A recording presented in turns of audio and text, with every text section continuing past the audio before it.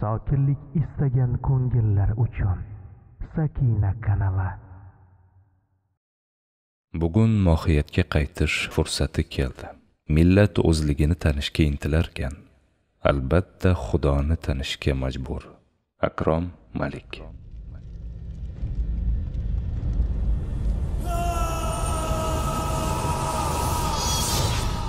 Jangchi.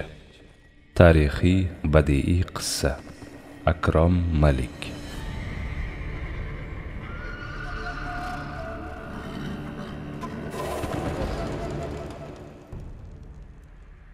Birinchi bob.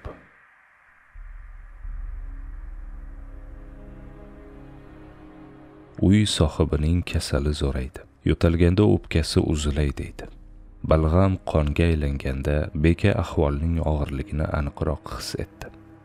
To'qqiz yashar o'g'li kasal otaning atrofida zir yugurar kir latta bilan og'zidan otilgan qon tekkan lab va soqolni artadi.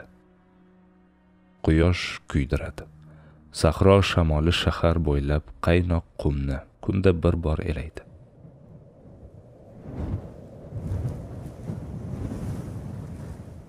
ona hovlining o'rtasiga tiz cho'kib qo'lini ko'tarib o'z xudosiga yolvoradi. Ey quyosh ey olamning nuri ey hayotbaxsh iloh cho'lni qaqratgan sensan vodiyni yashnatgan sensan.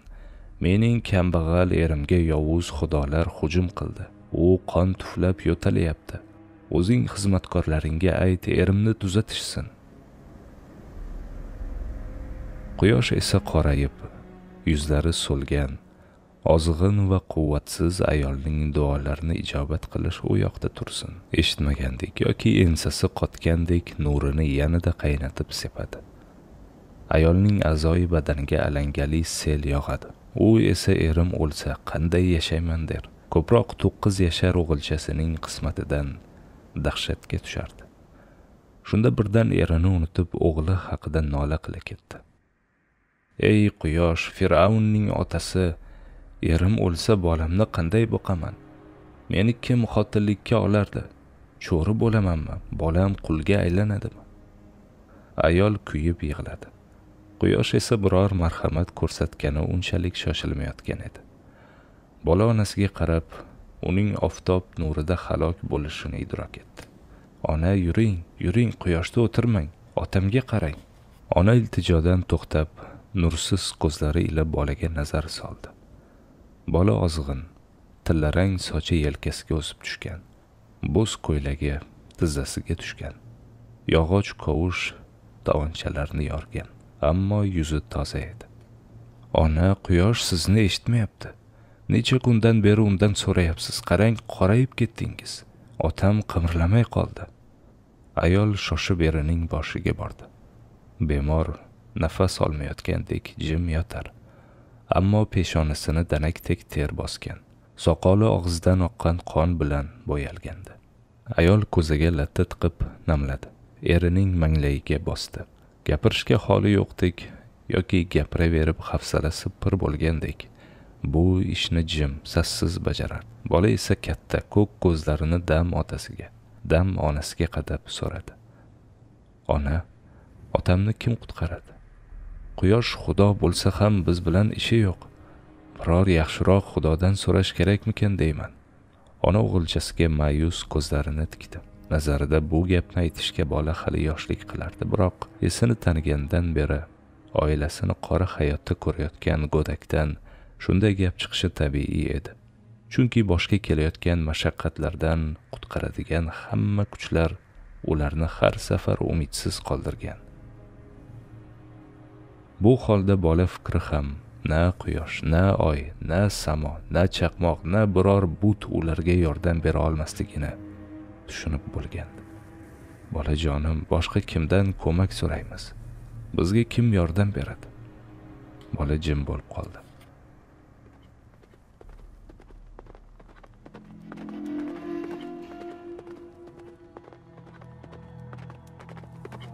Tashqaridan otning kishnagani. Kimningdir bo'ralab so'kingani eshitildi. Ona qo'rquvdan sapchib turib ayvonga otildi bola ham ergashdi. Eshik vazifasini o'tayotgan butalar boylami yerda yotar. Bel bo'yi ko'tarilgan devorning bir necha qadami yerga qulagan. Hovlida esa ularning xo'jayini bo'lmish saqif g'obaning ikki navkari otda turardi. Navkarlarning vajohati xunuk edi. Ashiya ering qani? Ashiya rangi dokadek oqarib egildi. Janobim erim kasal. Kasal nega hali tuzalmadi? Nega? Kasali og'ir janobim qon tuflayapti. Qon tuflayapti. Katta navkar so'kindi. Odam bo'lmaydi shekilli bor olib chiq. Ashiya yig'ladi. Janobim erim o'rnidan turolmaydi. O'rnidan turolmaydi. Sen sudrab chiq. Yosh navkar otdan sakrab tushib kulbaga kirdi. Orqasidan ashiya yugurdi va dedi ulug' amon haqqi ulug' ra hurmati rahm qiling. Erim o'lib qoladi. Katta navkarning qahri qaynadi.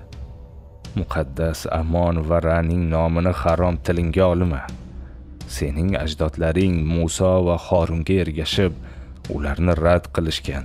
Senlar muso va Xorunning xudosiga topinasanlar. Ashiya yerga yiqilib izilladi. Janobim biz tavba qilganmiz. Tavba qilganmiz amon raga qaytganmiz. Jang qilib yurtlaringni bosib olganimizdan keyinmi? Aldayapsan.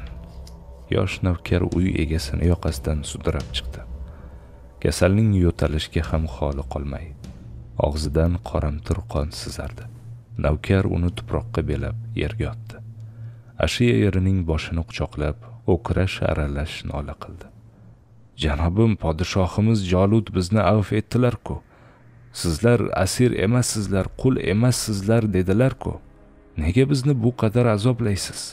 Katta navkar jirkanib vishilladi. Podshohimiz jolut marhamatli biroq biz bunga rozi emasmiz. Sen kabilarni yashashga qo'yib berganimizga rahmat de. Qani muso qani Xorun, senlar yahudo bolalari aytganini qilib yurardilaring-ku. Ashiya boshqa so'z aytmay erining boshini quchoqlab faqat yig'lardi. Bola esa qotib turardi. Katta navkar oti bilan er xotinning boshiga keldi. Ey ashiya qoch. Nega janobim? Savol beryapsanmi? Katta navkar quturib sherigiga buyurdi. Bolani ol. Yosh navkar bolaga qarab yurdi. Ashiya dodlab erini tashladi va o'g'ilchasiga otildi. Katta navkar otda o'tirgan kuya uy egasini nayzasining uchi bilan turtib ko'rdi. Bemor ingragandek bo'ldi.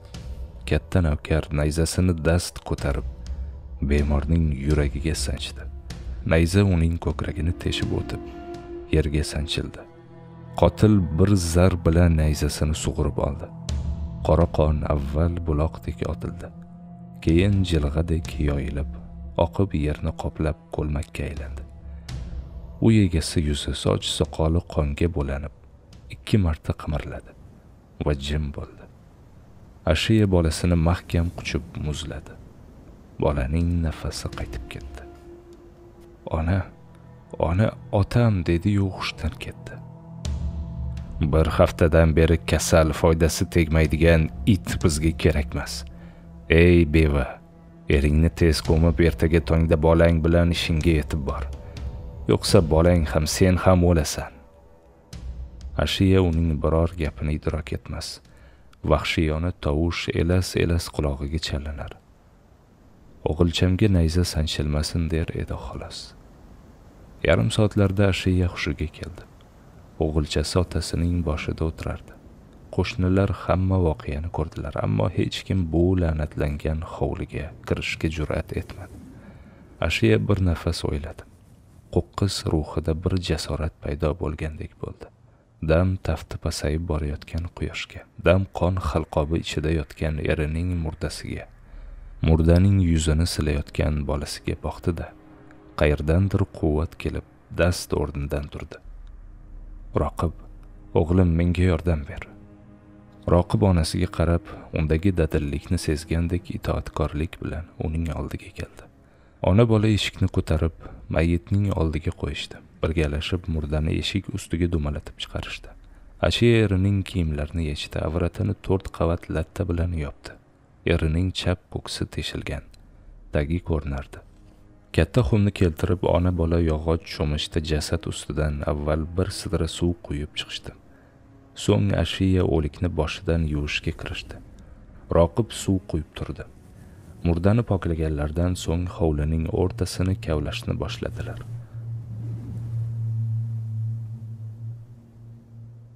Quyosh botdi. Oy chiqdi. Ashiya shoshib ishlar roqib esa ko'z yumib uxlagisi kelardi. Ertalabdan buyon tuz totmagan bo'lsalarda ishtahalari taom istamasdi. Roqib uyg'onganida onasi otasini o'zi kavlagan chuqurga qiynalib sudrardi. Tun yarmidan og'gan chigirtka chirillar oy dum dumaloq bo'lib qizarib qarab turardi. Roqib tez borib onasiga ko'maklashdi. Ayol ancha chuqur qabr qazgandi. Murdani sekin tushirish imkonsiz edi. Shuning uchun o'likni chuqurga tashlashdi. Jasad yuzi bilan tushdi. Ashiya qabrga kirdi. Erining yuzini tepaga qaratdi va unga gapirdi. Ey mening bechora erim biz musoning yo'lidan jon saqlash uchun voz kechgandik ammo xorlandik. Muso bizning ajdodlarimizni fir'avndan qutqargan edi. U bizga o'zimizni himoya qilishni o'rgatgan edi. Koinotni birgina iloh yaratgan degan edi. Biz esa yashab qolamiz deb undan yuz o'girdik.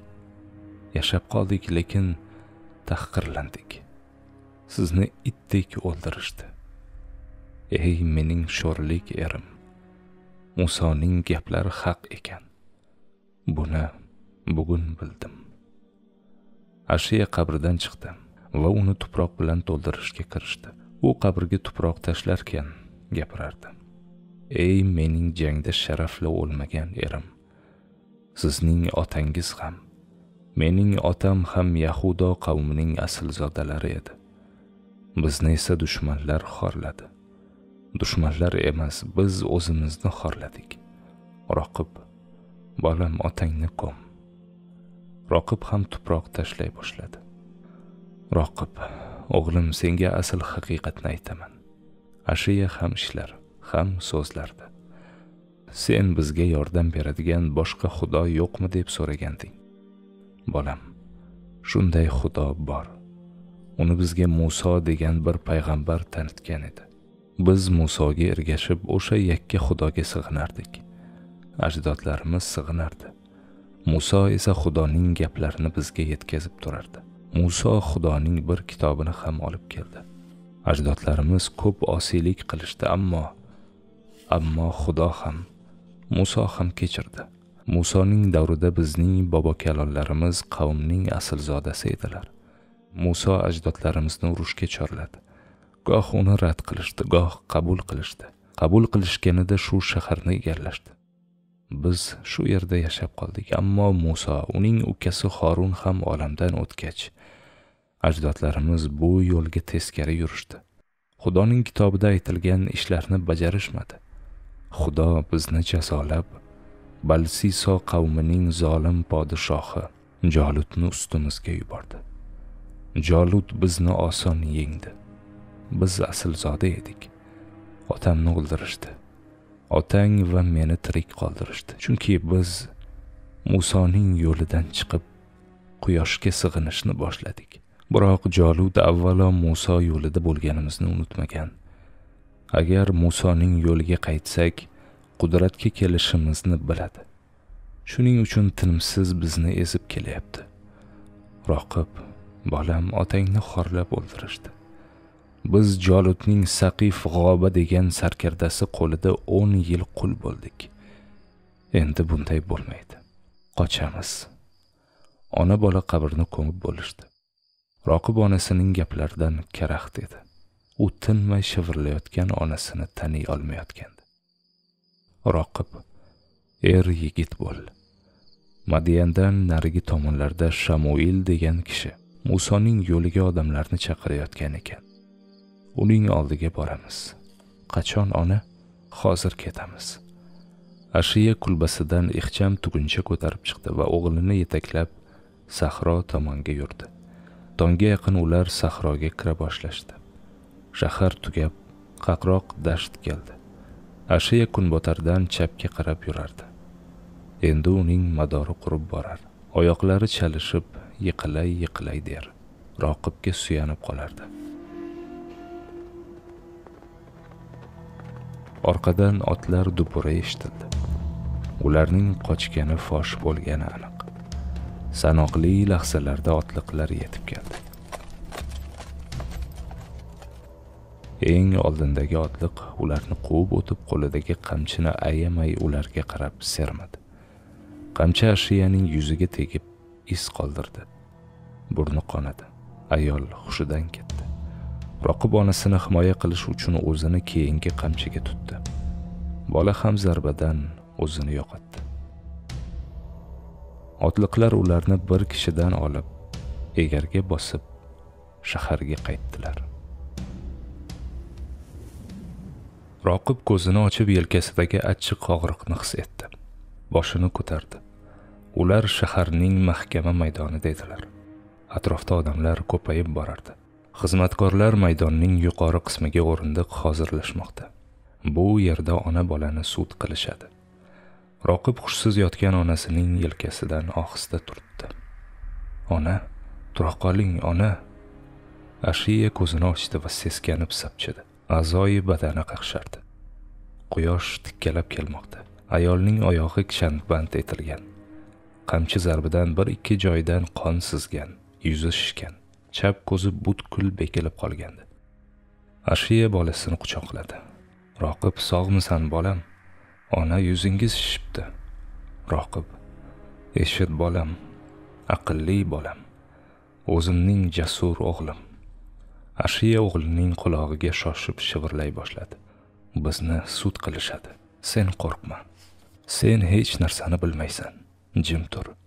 Qanday hukm chiqaradilar bilmayman ammo sen musoning yo'lini izlab olam. Muso ahmad degan payg'ambar butun insoniyatni qutqaradi. U kofirlarni o'ldiradi. Zolimlarning dodini berib mazlumga najot bo'ladi degan. Sen ahmad degan payg'ambarni eshitsang ikkilanmay unga ergash xo'pmi? Ilohiy xushxabardagi odam shu bo'ladi. Naslimizning yagona vakilisan. Sen o'lmasliging kerak. Shaytonga aldangan sulolamizni yana sharaflantirishing kerak. Qochoqlar hushiga keldi. Ikki navkar yugurib kelib ona bolani maydon o'rtasidagi ustunga bog'ladi. Maydon odamga to'ldi.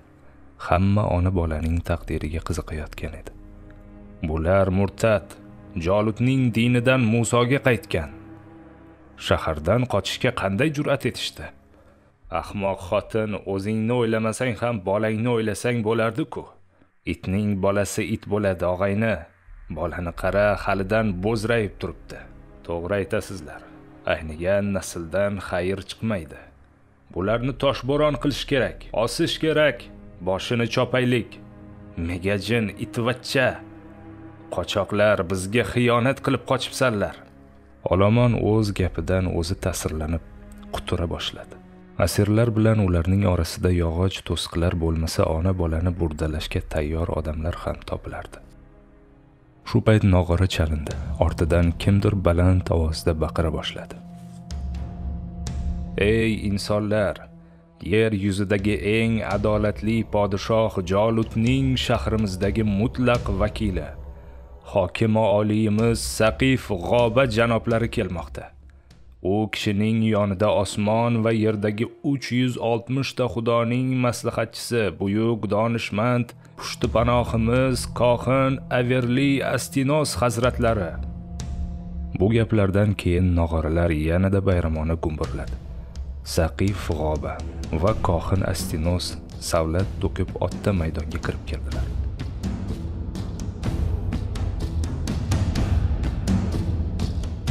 Olomon jumbushga kelib uvilladi odamlar saqif g'obadek buyuk sarkardani 360 ta xudoning maslahatchisi astinosni bevosita ko'rayotganlaridan shaytonlab qolayozdi kimdir sakrab kimdir qo'lini ko'tarar.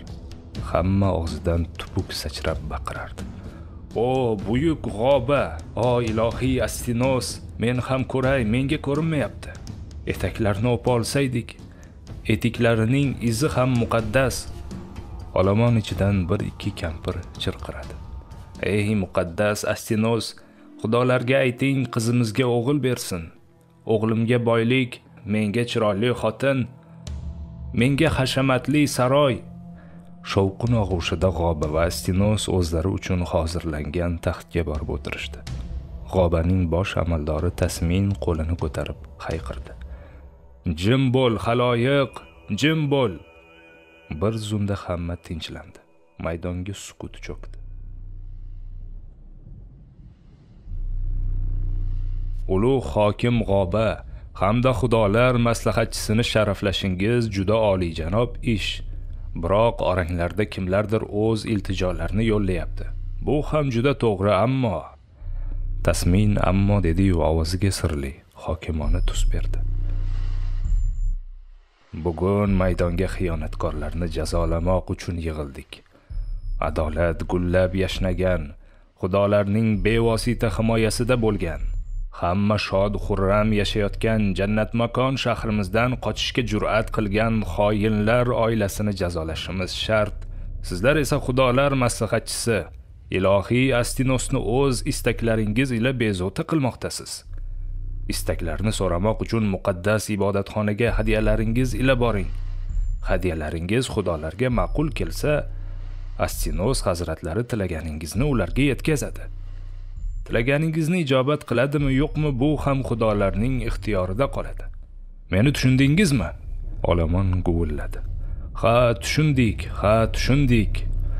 Tasmin ishini tugatib joyiga qaytdi. G'oba qo'lidagi hokimlik hassasini ko'tarib o'tirgan joyida gap boshladi. Bizning shahrimiz buyuk shahar. Bu yerda hamma baxtiyor. Xudolar ham biz bilan. Kohin astinosning yordami bilan shaxsan o'zim 75 ta xudoni saroyimda qabul qilganman. Ularning hammasi shahrimizni qo'riqlashga va'da berdi. Bu ona bola esa katta xiyonat qildi. Ular yarim kechasi qochib ketishdi ammo xudolardan xabar keldi. Navkarlarimiz tutdilar endi ularni adolatli sud qilamiz. Qilmishlariga javob berib munosib jazo olishsin. G'oba ashiyaga ko'zlarini qisib qaradi. Ey jinoyatchi xotin kimsan nasabing qanday? O'zingni oliy hukm beruvchilarga tanit. Men ashiya otam payg'ambar yoqub qavmidan aslam bobom shu shaharning hokimi muassardir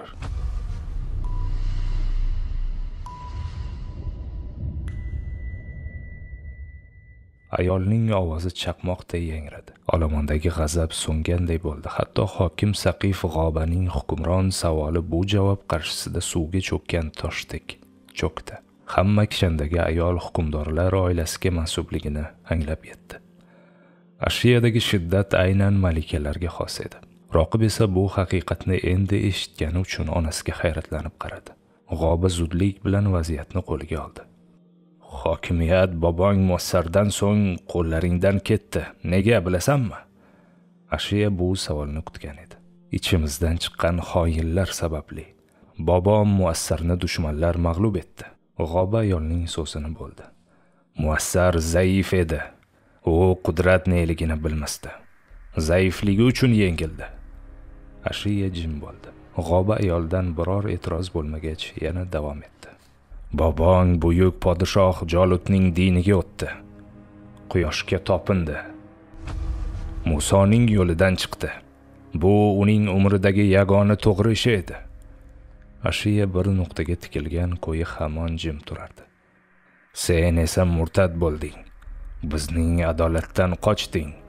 Shahardan qochgan xoindir. Xoinga esa o'lim. Olomon shuni kutib turgandek chuvilladi xoinga o'lim o'lim o'lim. Ashiya hokimga shunday qaradiki g'oba nigohi uning nigohiga tushganda ichi titrab ketganini sezdi. Ashiyaning ko'zlarida muassar ko'ringandek bo'ldi. Muassar g'obaga ey cho'rining bolasi meni sen sotding degandek bo'ldi. Ashiya hokimga qarab hayqirdi. Qadim qonunni unutdingmi g'oba? Ayolning ovozi g'ayritabiiy bir qahr bilan yangrab olomonning shovqinini kesib ko'pchilikning qulog'iga yetdi. Odamlarning shovuri pasaya boshladi. G'obaning o'rniga astonis so'radi. Ey jinoyatchi xotin qanday qonunni aytyapsan?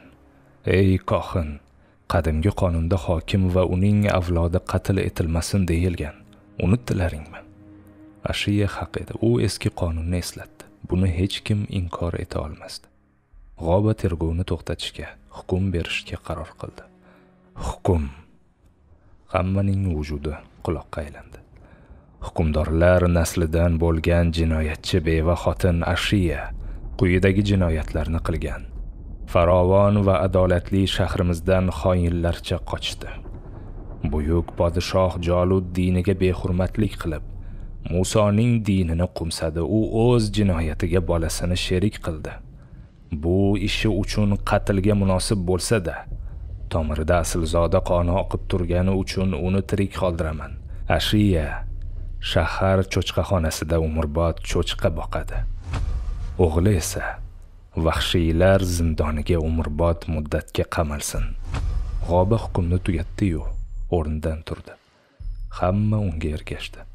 Olomon ham bir narsalarni muhokama qilib tarqala boshladi. Ashiya o'zi bog'langan ustunni yiqitgudek siltanib qichqirardi. Zolim erimni sening qotil askarlaring o'ldirdi. Hukmga rozi emasman bolamni qo'yib yubor. Ammo uning dodini eshitadigan biror kimsa yo'q edi. Bolaning oyoq qo'li kishillandi. Uni bir soqchi ko'tarib ot arava ustidagi qafasga otdi. Ado bo'lding bolakay. Vahshiylar zindonida bir kun ham yo'q bir soat ham omon qolmaysan. Arava yurdi. Roqib shahar bo'ylab ketarkan tomi loysuvoq uylarga pakana daraxtlarga qarardi. Uning hissiyotlari o'lgandek. U o'zini katta ishlarga qodir sezdi biroq o'sha katta ishlar nima ekanligini bilmasdi. Holbuki uni yer yuzidagi eng vahshiy qamoqqa olib ketishmoqda. Arava har silkinganda tuproq. Changdan kirlangan sochi yuzini to'sadi. Ozg'in yelkasi cho'kkandek ko'rinadi. Moviy ko'zlarining tubida haqiqatan bir qaytmas qudrat yiltillaydi.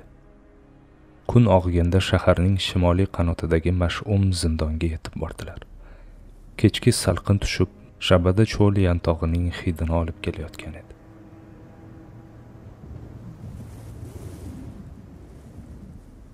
Roqibning tuz totmagani hisobi bir kecha va bir kunduzdan o'tdi.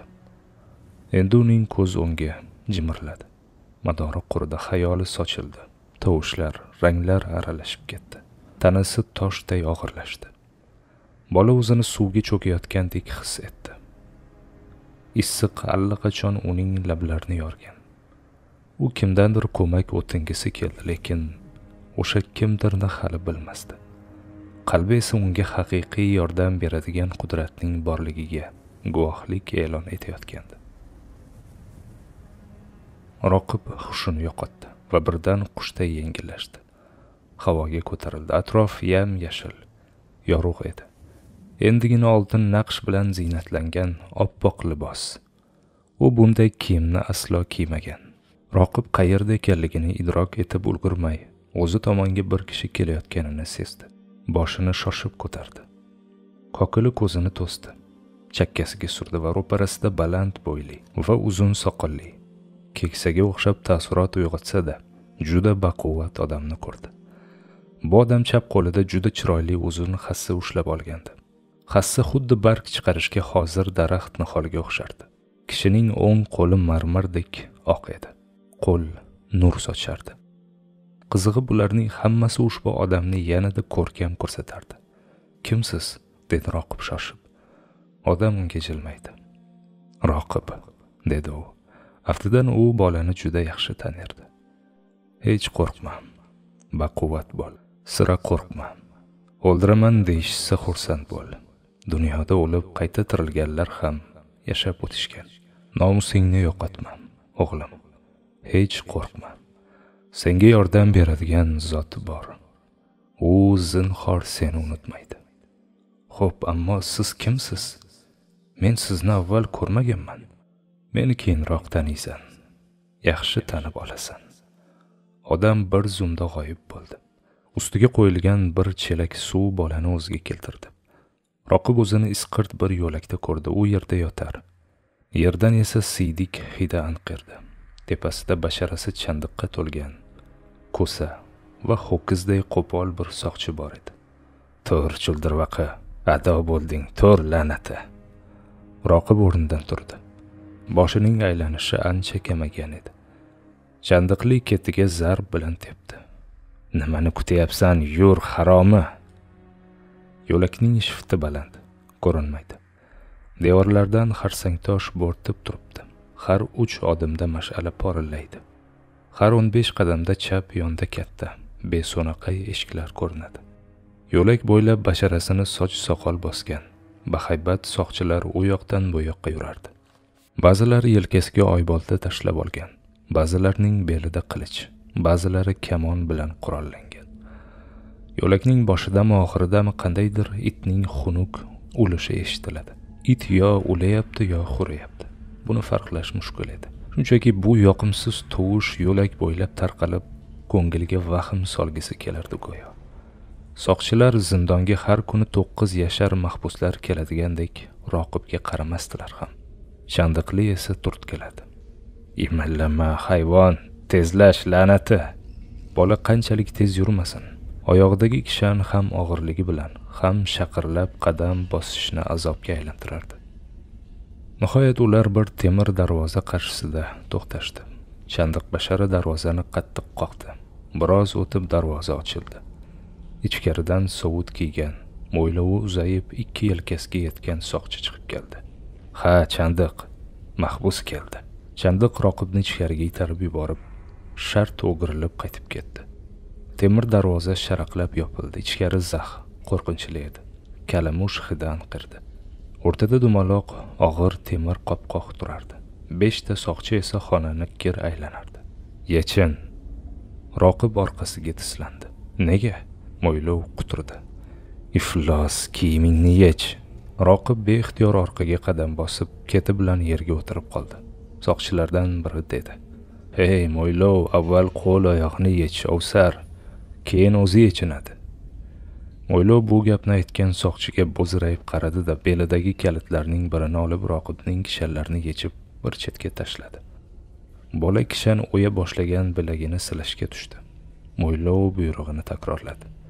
Yechin roqib unga tik qaradi. Yo'q hu it manaman degan kalla kesar ham indamay yechinadi sen yo'q deysanmi? Nega yechinaman? Yechinmayman. Roqib qochmoqchi bo'ldi ammo uni boya mo'ylovga gapirgan soqchi ushlab oldi. Uning burni qiyshiq edi. U qandaydir muloyim edi. Bolakay qoidasi shu. Zindonga kirayotgan odam tintiladi. Uning uchun kiyimlarni yechishing kerak. Yomon narsa bo'lmaydi. Yomon narsa zindonning ichida bo'ladi. Ko'zlarini yovuzona o'ynatdi mo'ylovli. Roqib asta ko'ylagini yechdi. Uni burni qiyshiq soqchi titganday bo'ldi. Va sheriklariga dedi. Zindonni ochinglar. To'rt soqchi borib zindon qopqog'ini ko'tardilar. Tagi ko'rinmas bir o'ra paydo bo'ldi. Bir soqchi arqondan yasalgan narvonning bir uchini tashqariga qoziqqa mahkamlab ikkinchi uchini o'ra ichiga tashladi. Tush deb buyurdi mo'ylovli roqibning yuragi orqaga tortib ketdi ammo miyasida zinhor qo'rqma. Senga yordam beradigan zot bor. U seni unutmaydi. Degan bir nido aylangandek bo'ldi. Darhol narvonga oyoq qo'yib zulmatning ichiga qadam bosib shaxdam tusha boshladi. U pastlarkan atrof qorong'ilashib borar. Narvonning ikki chetini bazo'r topgandek mahkam changallab olgandi.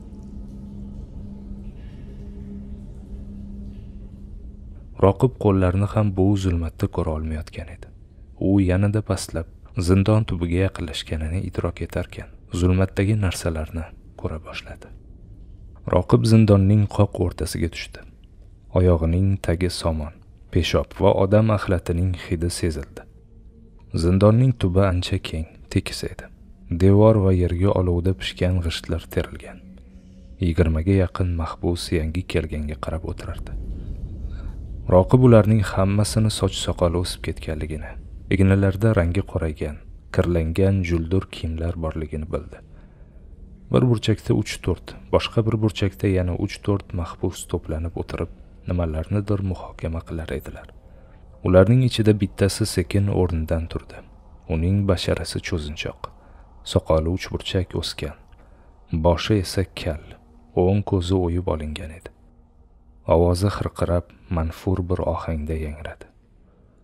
Mahbuslar kelishuv o'sha. Bu mening ko'ngil xushim bo'ladi. Hech kim e'tiroz bildirmadi. Hamma bir narsani kutar edi.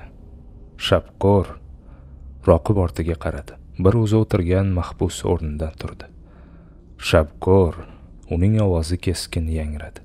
Bas qil bu bola. Shabko'r o'ziga gapirayotgan mahbusga qarab iljaydi. Ey musoning tobesi zindonda bola bo'lmaydi. Zindonda hamma mahbus.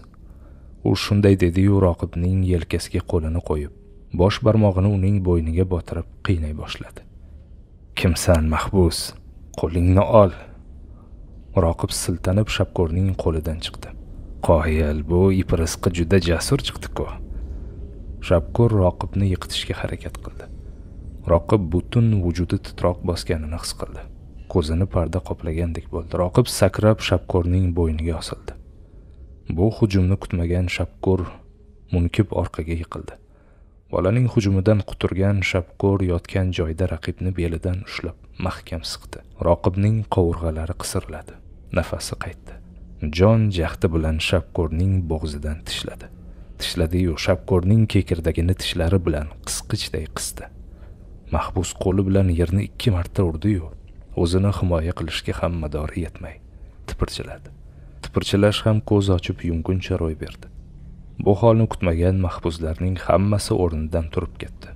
Roqibni himoya qilgan qariya mahbus toshday qotib qolgan bolani shapko'rning ustidan olish uchun uning yelkasidan ushladi.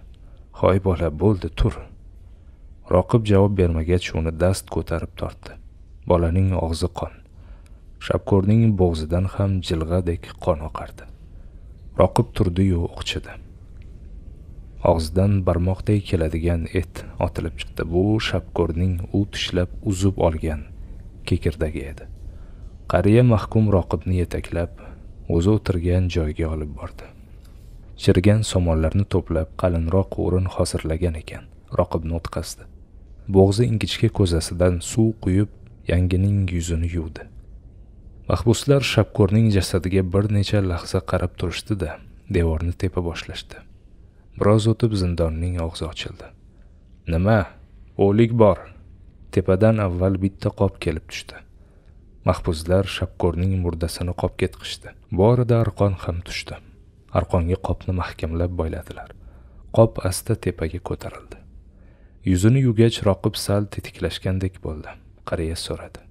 Oting nima yigit? Roqib. Qariya o'rnidan turib mahbuslarga qaradi. Hamma u nimadir demoqchiligini tushundi. Bu yigitning oti roqib shu jussasi bilan shapko'rni o'ldirdi. U endi bedaxl agar kim unga yana hujum qilsa aniqki mening qo'limda o'ladi. Hech kim e'tiroz bildirmadi. Zotan ularga bosh bo'lib turgan buzuqi shapkur o'ldi. Musoning tobesi chol bo'lsa-da uning jangchi ekanligini hamma biladi. Yangi mahbus bola ko'ringani bilan ozg'in tuyulgani bilan hech narsadan qaytmasligini odam ham o'ldirishini isbotlab ulgurdi roqib esa nafasini rostlab nima sodir bo'lganini eslashga tirishardi. Qorni behad och edi. Qariya buni ham sezgandek dedi. Roqib birozdan keyin kechki yemak tarqatishadi. Qariya gapini tugatmasdan zindon qopqog'i ko'tarildi va tepadan arqonga bog'lab osilgan savat tushib keldi. Roqib o'rnidan turib devorga suyandi. Savat yerga tushdi. Ichida arpaning kepagidan yopilgan chaqaloqning mushtidan biroz kattaroq qop qora kulchalar bor edi. Mahbuslar o'z ulushlarini ola boshlashdi. Qariya ham o'zi va roqib uchun ikki dona kulcha oldi.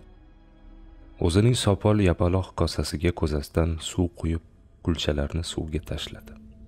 Mahbuslardan biri uzun og'zi ingichka yog'och chelakni ikkinchi marta tushgan arqonga bog'ladi. Roqib bu nima? degandek qariyaga qaradi. Najosatimiz dedi qariya xotirjam. Har kuni bir marta tepaga chiqarib yuboramiz. Suvdagi arpa noni ham ivada qariya suvni ichdi va yarmini qoldirib roqibga uzatdi. Ich nonning ta'mi bor. Roqib suvni ichib haqiqatan unda yoqimli ta'm borligini bildi. O'ziga berilgan kulchani yeb bo'lgach roqib yerga holsiz cho'zildi. U o'zining kechagi holiga begona edi. Yoxud bolalik uning uchun mavziga aylandi. U ayni mahal bolalik uchun yot odam edi. Ichiga bir bahaybat odam kirib oldi go'yo. Bu odam to'qqiz yasharlik jismga sig'mayotgandek edi.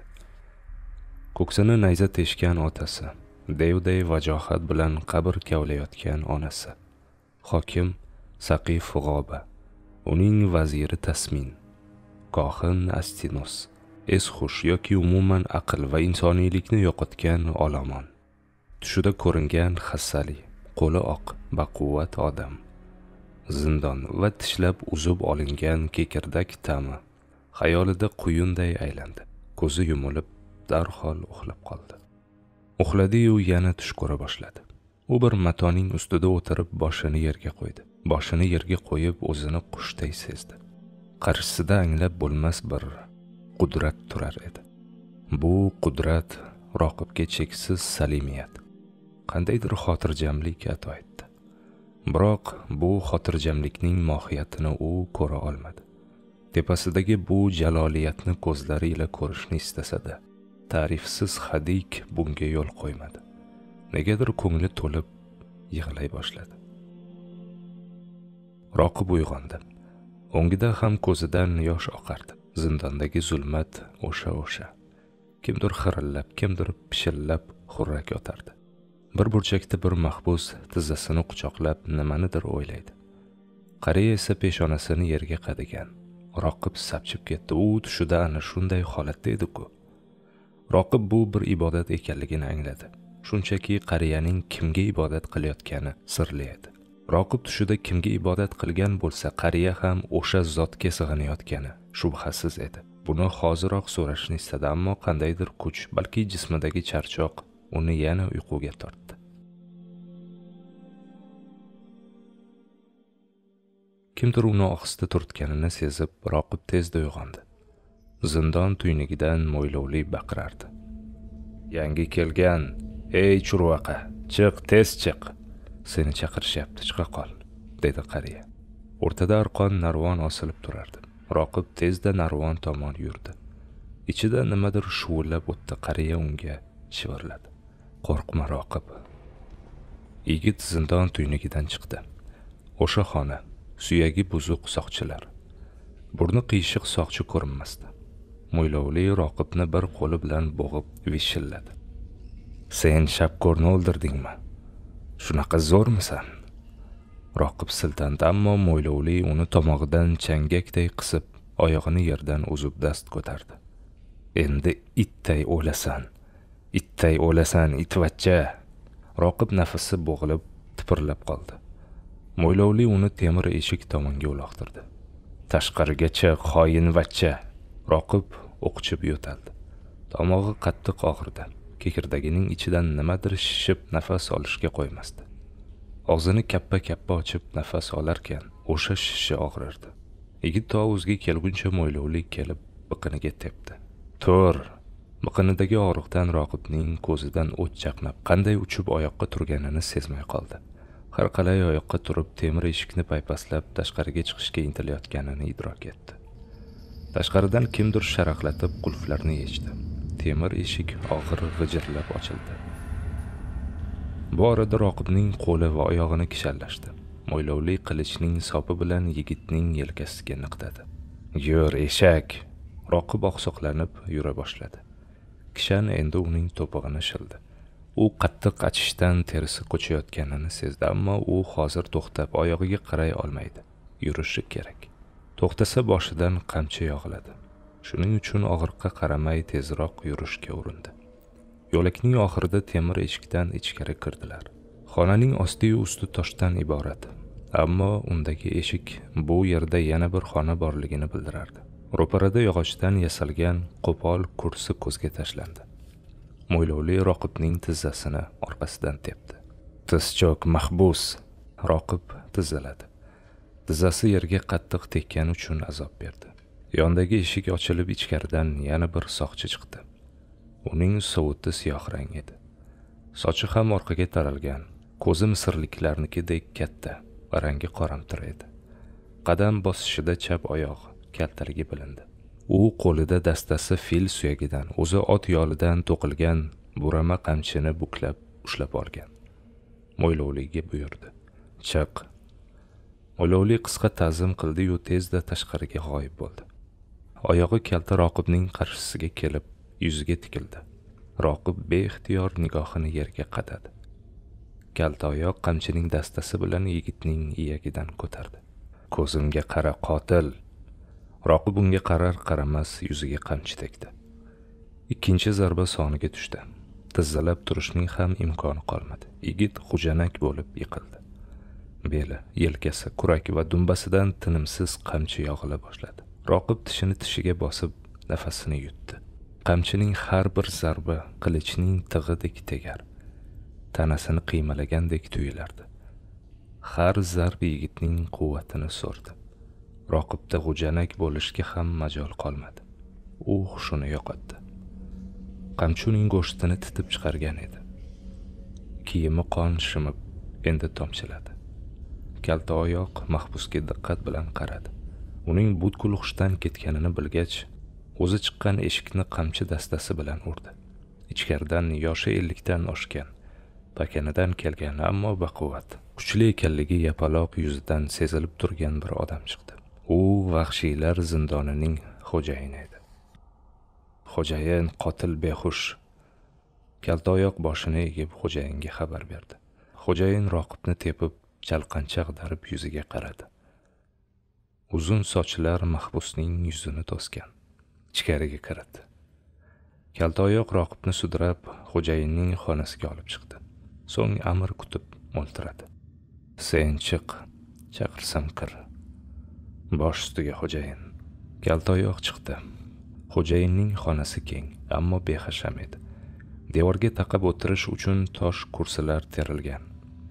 Yerdan ikki qarich yuqorida esa xo'jayin uchun o'rin bor. Devorga oybolta bir necha tur qilich yoy va nayzalar osilgan. Kirishning chap tomonida devor o'yib tokcha yasalgan. Tokchada pishirilgan go'sht yana bir qancha taomlar mevalar ko'zga tashlanadi. Xo'jayin tokchadagi sopol ko'zani olib roqibning boshiga keldi. Mahbusning yuziga ko'zadan biroz suv to'kdi. So'ng jildiratib suv quya boshladi. Roqib og'zi burniga suv kirgach hushiga keldi. Suv muzday edi. Tanasiga biroz yengillik berdi. Yigit shoshib turmoqchi edi. Og'riqdan beixtiyor ingradi. Dumbasi kesilib bir parchasi osilib qolganday edi. A'zoyi badani g'ijimlangan kabi qaqshardi. Qarshisidagi odam hamdard kabi qarab tursa-da, bu turuqda zulmning sovuq nafasi ufurardi. O'likning ko'zidek kiltirayotgan ko'z yalpaygan burun do'rdaygan lab keng yelka pakana bo'y bir qarashda manfur bir qarashda mudhish edi. Tura olasanmi roqib qiziq ovoz favqulodda g'amxo'r yangradi. Roqib qiynalib oyoqqa qalqdi. Ammo boshi aylandi o'qchidi.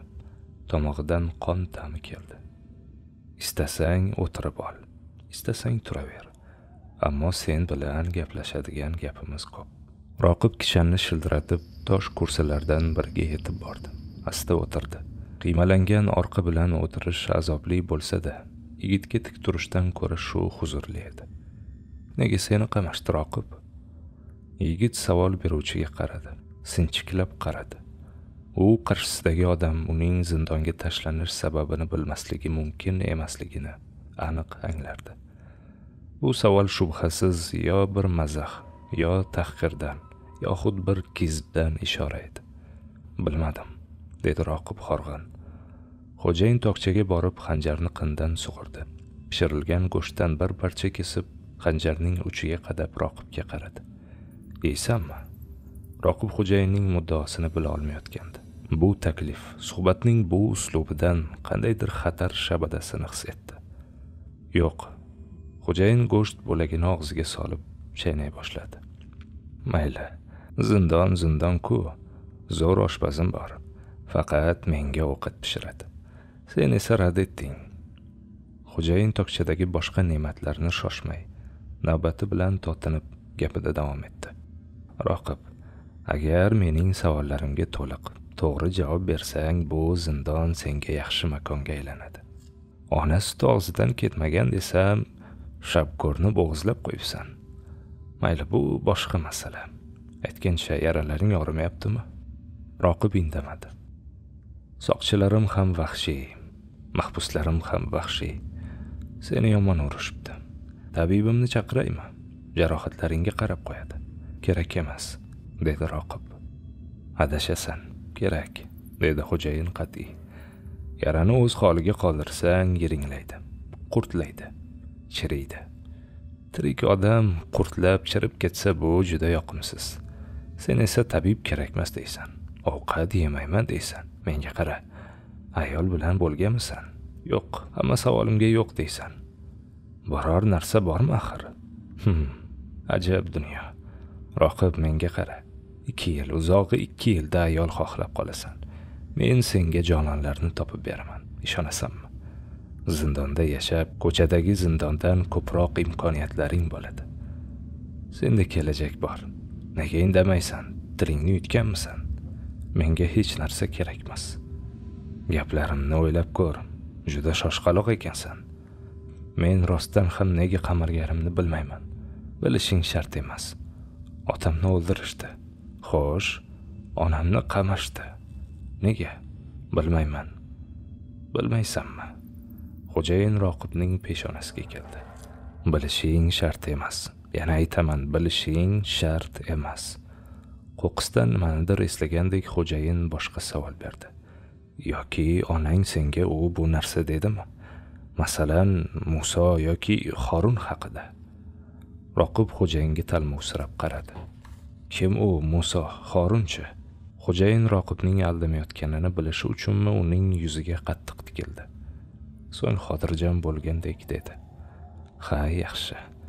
Onang hech narsa aytmadimi? Demak nega zindonga tushganingni bilishing mumkin emas. Bu taqiqlangan. Sen zindondagi hayotni o'ylab ola. Umrbod zindonda senga jannat yaratib beraman. Buning uchun sendan bir narsagina so'rayman. Agar aytganimga rozi bo'lsang shapko'rni o'ldirganingni ham kechiraman. Shapko'rni o'zi menga tashlandi. Bu menga qiziq emas u o'lgan sen o'ldirgansan. Senga tashlangan bo'lsa menga aytishing kerak edi. Men ajrim qilardim. Sen muammoni o'zim hal qilaman deb qamoq qoidasini buzgansan. Roqib lanj bo'la boshladi. Xo'jayinning ezmaligi ko'nglini aynitdi. Va xo'jayin ezuvchi ohangda yana davom etdi. Va shapqo'rni o'ldirding. Buning uchun seni osish kerak. Roqib jim o'tiraverdi. Ammo sen menga bo'ysunsang aytganimni qilsang.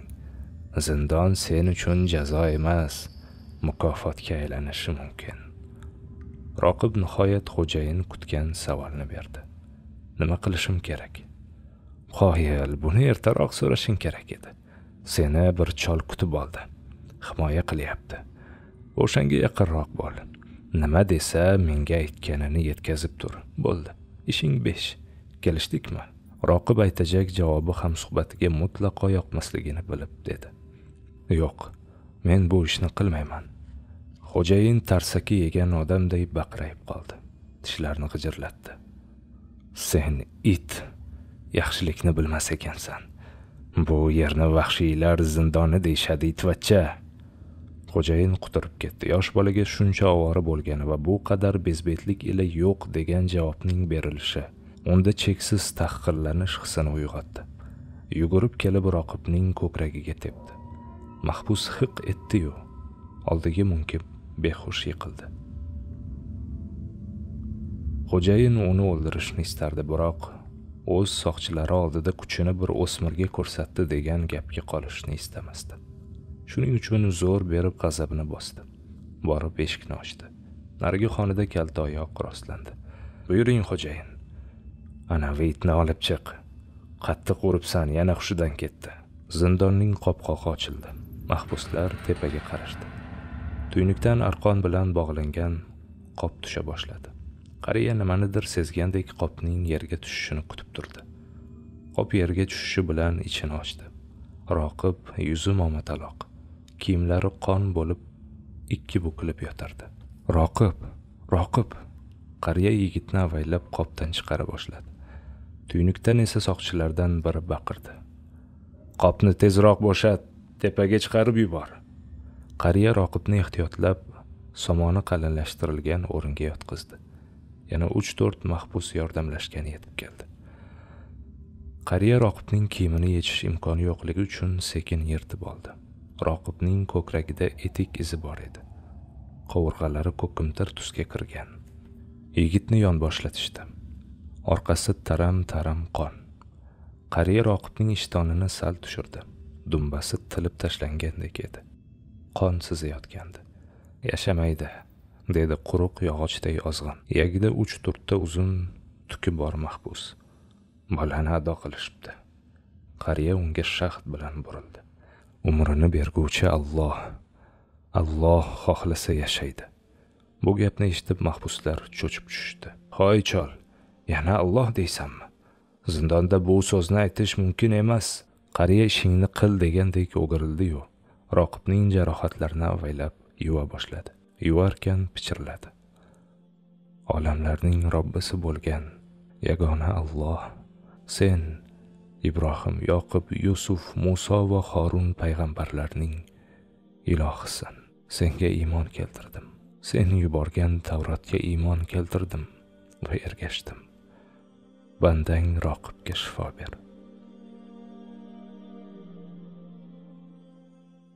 To'rtinchi bob tugadi.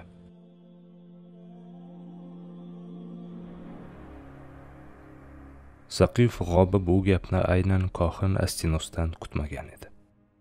Kohin hazratlari siz uch yuz oltmishta ilohimizni rad etmoqchimisiz? Bu ilohlarni topish ularni nomlash odamlar e'tiqodini qozonish uchun sizning ajdodlaringiz qancha aziyat chekdilar? Hokim bo'g'riqib ketdi. Astinos qo'lida bir xilda kesilgan taxta sahifalarni ko'tarib fikrini tushuntirishga oshiqdi. Hokim janoblari muso o'z ilohidan keltirgan kitob juda mukammal deyapman xolos. Bu kitobda butun koinotni yakka bir iloh yaratganligi isbotlangan. O'sha ilohga ibodat qilishga majburligimiz aytilgan. Majburmiz. O'ylab gapiryapsizmi kohin? G'azab bilan hayqirdi hokim. Siz majburdirsiz. Men majbur emasman. Men o'z ilohlarimdan voz kechmayman. Ularga ota bobolarim sig'inib keldilar. Bu ilohlar yordamida saltanatga erishdim. Qudratga keldim. Endi musoning kitobiga ishonib shuncha hokimiyatni yakka ilohga topshiraymi? Zinhor hokim janoblari zinhor. Kohin shoshib qoldi. Fikrimni anglatolmadim chog'i.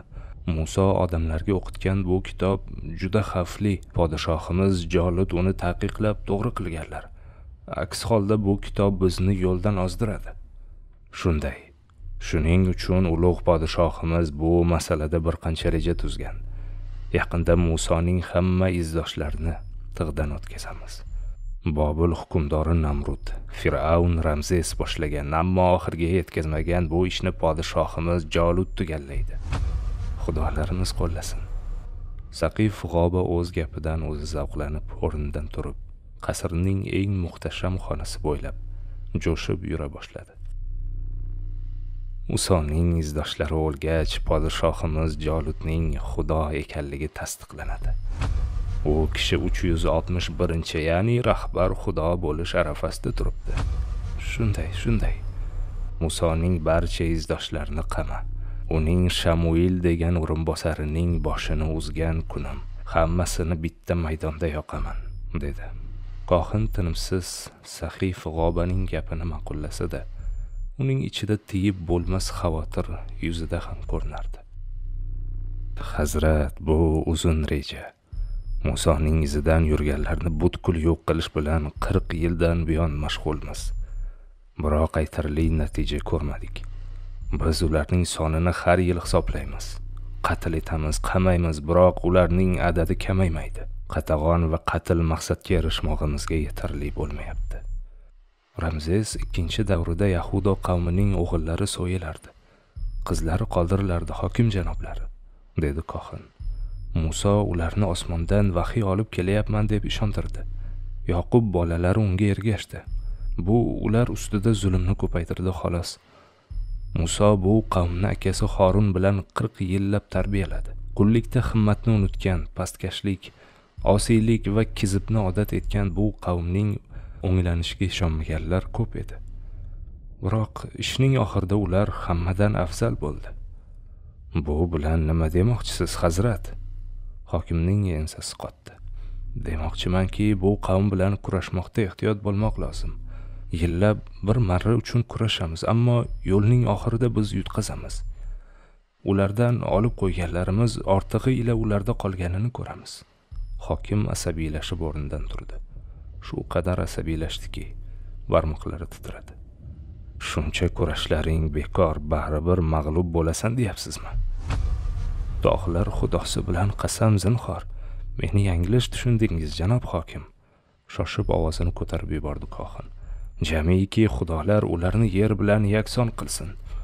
Ularning yakka xudosi bizning uch yuz oltmish xudoyimizga bas kela olarmidi? Bu gap saqif g'obaga ancha ma'qul keldi. Bu gapingiz to'g'ri hazrat dedi hovridan tushib. Siz yahudo bolalarni faqat maqtadingiz. Ularning qalbida bizning yo'lga muhabbat borligini ham unutmang. Unutib bo'larkanmi dedi kohin. Muso bu ahmoqlarni fir'avndan qanday qutqargani yodingizdami dengizning ichidan olib o'tdi deyishadi. Biroq muso o'z xudosi bilan gaplashgani toqqa ketdi. O'ttiz kunda kelaman deb qirq kun qolib ketdi. Shunda bular nima ish qilishdi? Hatto musoning akasi ham biror narsa eplolmadi. Ularning qilgan bu ishi bizning g'alabamizdan darak dedi ishonch bilan kohin. Juda to'g'ri. Buzoqning haykalini yasab unga ibodat qilishdi. Qanday ham yaxshi ish bo'ldi bu. Osmondagi yakka xudosini qo'yib buzoqqa topingan bu qavm albatta bizning mulk bo'ladi. Va bo'ldi ham. U holda xavotirga o'rin yo'q hokim janoblar. Uni quvvatladi kohin.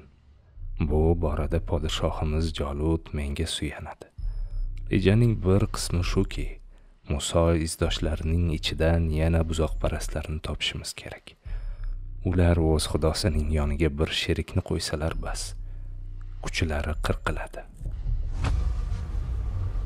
Shubhasiz saltanatni ikki podshoh boshqarsa xalq parokanda va xor bo'lgani kabi dedi kohin. Ha bu ishni siz qilasiz hazrat. Xudolar bilan bamaslahat bir ish qilasiz. Bajonidil ishimning tartibi qanday? Qiziqdi kohin. Nima uchun muso keltirgan kitobni o'qidingiz? Bilasizmi? Shubhasiz bilaman dushmanning zaif yerini shu kitobdan topish uchun o'qidim. Topdingizmi? Kitob mukammal undan bir xato topmadim. Holbuki men navohodunasar mehatlarini hammurapi qonunlarini fir'avnlarning yilnomalarini o'qiganman. Har qanday kitobdagi yolg'on zaiflikni uning yozish uslubidan bilaman. Musoning kitobida esa bir yolg'on topolmadim. Juda tez yengilasiz bu yomon. Hokim yana biroz qizishdi. Unda kitobni yolg'on bilan boyiting ya'ni kohin hokimning asl maqsadini tushunmay qoldi. Tavrotning ba'zi oyatlarini olib tashlab o'rniga o'zingiz yozing. Yoza olmasangiz qadim mehnatlardan ko'chiring. Xullas tavrotni o'zingizga moslang. Astinos bu talabni hatto tasavvur ham qilmagan edi. Endi chindan qo'rqib ketdi. Tavrotning ortidagi buyuk jaloliyatni u his qila boshlagan edi. Har qanday ishni gunoh emas deb hisoblasa ham tavrotni o'zgartirish to'g'ri ish deya olmasdi. U tavrotni musoga bergan xudo uni o'zgartirgan odamni ayovsiz jazolashga ishonib bo'lgandi. Shuning uchun nafasini yutib jim turib qoldi. Nega jimsiz? Yo bo'yin tovlaysizmi? Hokim tahdidli savol berdi. Bo'yin tovlamayman hokim janoblari deb yubordi kohin rangi bo'zarib. Ammo tavrotni o'qigan odam men yozgan oyat va asl oyatni tezda farqlab oladi. Chunki bu kitobning uslubida yozish insonning qo'lidan kelmaydi. Saqif g'obaning taxtiga bir shohona qilich suyab qo'yilgandi. Hokim kohinning bu javobidan qoniqmadi ammo boyagidek qizishmadi. Borib qilichni oldi qinidan chiqardi. O'ynatdi va kohinga savol berdi. Sizning ishingiz nimadan iborat hazrat? Xalqning dodini xudolarga yetkazish. Bizning dodimizchi hokimlar hukmdorlarning dodi qayerda qoladi? Shu ahmoq xalqni boqish uchun dushmanlardan qo'riqlash uchun qon to'kyapmiz qon yutyapmiz to'g'rimi? Ming marta to'g'ri. Ibodatxonangizga o'ljalarning sarasini beryapmiz to'g'rimi? To'ppa to'g'ri. Ibodatxona yerto'lalarini oltinga to'ldirib oldingiz to'g'rimi? Ha o'ziga o'zi aljiraydigan badaniga echkining qonini surib sasib yuradigan xudojo'ylaringizni kimning hisobidan boqyapsiz? Hokimiyat hisobidan. Hokimiyat? Qanday hokimiyat? Men hokimiyatman. Mening hisobimdan badbo'y va tentak xudojo'ylaringizni boqyapsiz. Bilaman. Ibodatxonangizni to'ldirib turgan tosh sanamlaringiz siz uchun urush qilsa bo'lmaydimi? O'shalar sizga ovqat bersin. Hozir boshingizni chopsam anavi eng baland haykalingiz oti nima edi? O'sha kelib sizni himoya qilsin. U tosh haykal. Xudo emasmi o'sha tosh haykal? Xudo albatta. Nega unda qo'lidan bir ish kelmaydi? Tosh haykallar xudolarning siymosi. Xudolar boshqa joyda yashaydilar. Xudolar o'z siymosini hamma bandalarga ko'rsataversa qadri ham yo'q ekanda. Unday demang hokim janoblari. Shak keltiryapsiz. Kohinning ovozi shu nuqtada yig'lamsirash aralash titrab chiqdi. Shak keltirmayapman hazrat dedi bezrayib hokim. O'sha xudolaringiz xudo bo'lsa biz ham xudo bo'lishimiz kerak. Ayniqsa podshohimiz jolut xudolikka haqli chunki u sizlarni ham xudolaringizni ham boqyapti qo'riqlayapti. Albatta albatta. Men ham jolutdan keyingi kichik xudoman. Shuning uchun amrimizni bajaring tavrotni o'zgartiring hazrat. Hamma oyatlardagi bir so'zni o'zgartiring. Kohin rangi oqargan quyi orqaga tislandi. Aytganingizdek bo'ladi hokim janoblari kohin saroyni parishon hol tark etdi. Saqif g'oba o'z ishidan juda huzurlandi. Kohinni qay tariqa yer bilan yakson qilganini eslab jilmaydi mana shu qudrat deyiladi. O'zidan o'zi qoniqdi. Kimdir qulog'i tagida shivirlab uni yanada to'lqinlantirdi. Sen chinakam xudosan. Hatto kohinni lol qoldirding. Saqif g'obi bu gapni ma'qullab bosh silkidi. U bu ovozni o'z hojasi muassarni jolitga tutib berganidan buyon aniq eshitib kelmoqda dastavval bu ovozni bir xayol deb o'ylagan g'oba keyinchalik ovozni haqiqatan eshitayotganini idrok etdi. Ovoz egasini ko'rishga qanchalik urinmasin buni uddalay olmadi. Bir kuni ovoz egasidan ismini so'radi. Bir necha marta so'rayvergach ovoz quvlab o'z haqqini talab qilayotgan bir buyukman deb javob berdi. G'oba hayron bo'lib unda sening isming quvilganmi? dedi. Hozircha quvilgan dediyu ovoz bu masalada boshqa gapirmadi.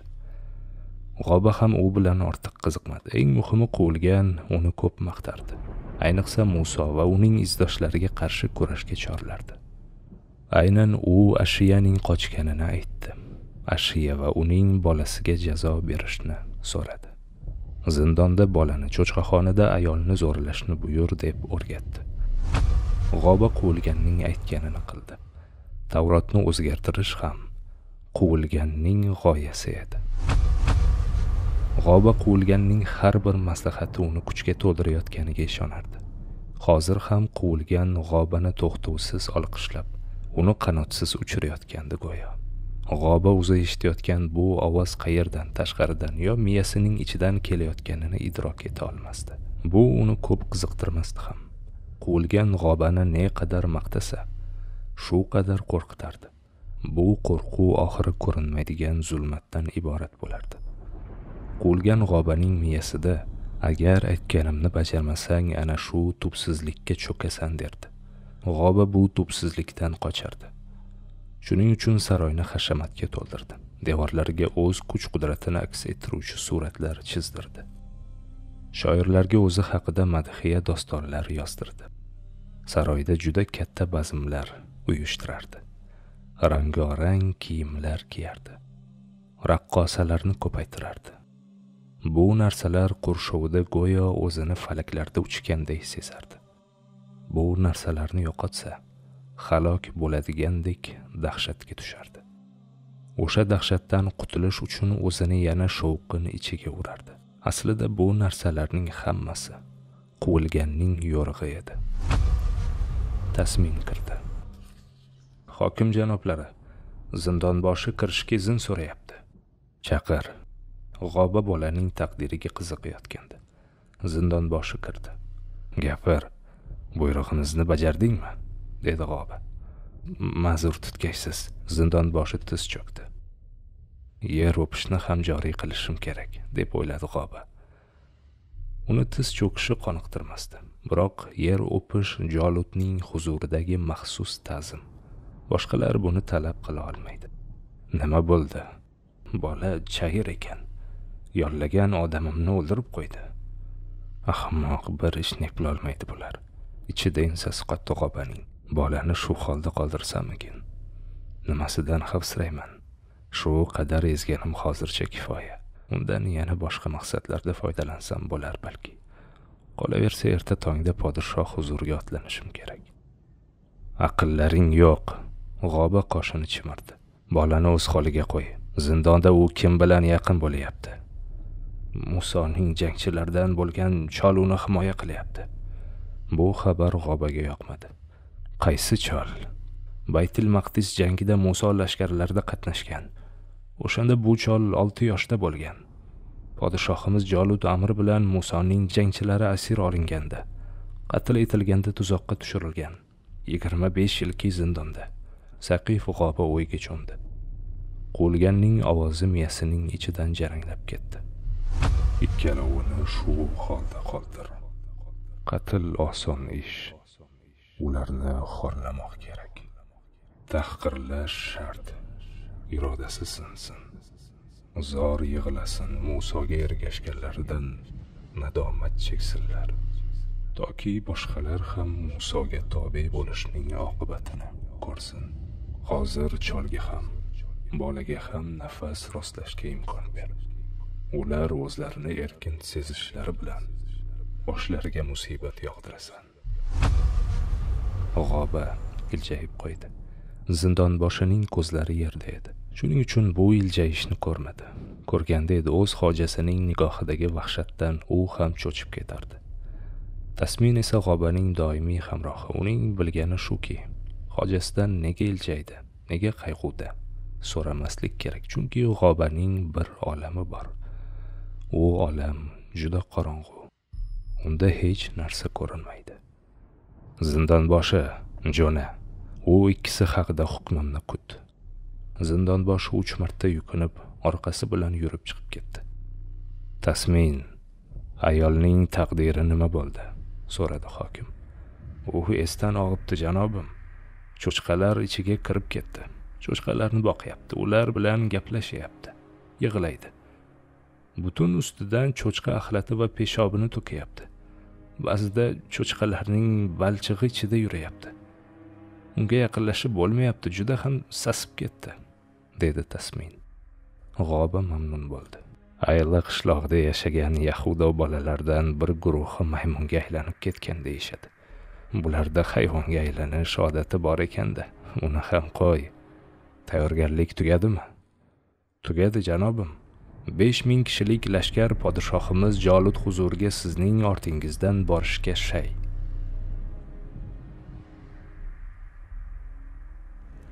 Cho'chqaxonaga cho'chqaboqqar o'laroq yuborilarkan ashriyaning qalbida jannatga ketayotgandek bir tuyg'u bor edi.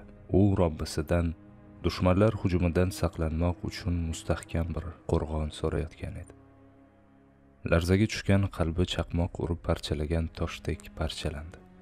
Bu tosh qaridan go'yo hayot suvi otildi. Qafasda ketarkan ko'zidan yosh duvilladi tizzasini ko'ksiga bosib o'tirarkan kirlangan loylangan sochlari uning yuzini vujudini bir parda kabi yopdi. Unga boqqanlar bir alvastini ko'rgandek seskandilar. Holbuki bu vujud ichidagi ruh robbisiga tavba qilar edi. Ashiya cho'chqaxona uning bir iffat qal'asi bo'lishiga amin edi. Zohirini jirkanchlik ila qoplab bu jirkanchlik ichida nomusini iymonini saqlamoqni qasd etdi. Ashiya butkul olamdan uzildi. U mansubi bo'lgan haqiqat olamini tuyqus idrok etayotgandi. O'tmishi bu musibat shamolida g'ubordek ko'tarilib ongini qamradi. Ko'z o'ngida butun hayoti tirildi.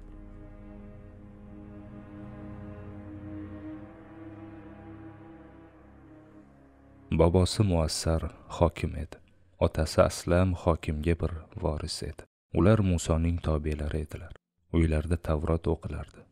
Muassarning maslahatchisi ustoz ularga tavrotdan ta'lim berardi. Olamlarni yaratgan zot yolg'iz allohdir. Faqat u ibodatga loyiqdir. Muso uning bandasi va payg'ambaridir. Bu so'zlarni ustoz har kuni har suhbatning avvalida takrorlardi. Allohdan qo'rqing. Biz oxir zamon payg'ambari allohning so'nggi elchisi. Barcha nabiylarning sultoni ahmadga iymon keltiramiz. U insoniyat xaloskoridir. U yer yuzida eng buyuk adolatni o'rnatadi. Biling tavrot bizga shuni ta'lim berdi. Ashiya yosh qizaloq edi. Shahar zodagonlarining bolalari bilan ustozning bu darslarini yod olishardi. Ashiyalar tug'ilganda hayot munavvar edi. Ular bu kalimalar ma'nosini bilmasdilar. Ular bu kalimalarga hali ehtiyoj sezmasdilar. Zotan hayotni tanimagan go'dak so'zlarning qudratini qaydan bilsin? Ular hozircha ota ona nonu suv so'zining kuchini yaxshi bilishardi xolos. Ashiya ulg'ayish yoshlarida o'smirlik yillarida ko'zguga qarab husni ila faxrlana boshlagan vaqtlarida o'z shahrida sodir bo'layotgan ko'p o'zgarishlarni idrok etganini yaxshi eslaydi.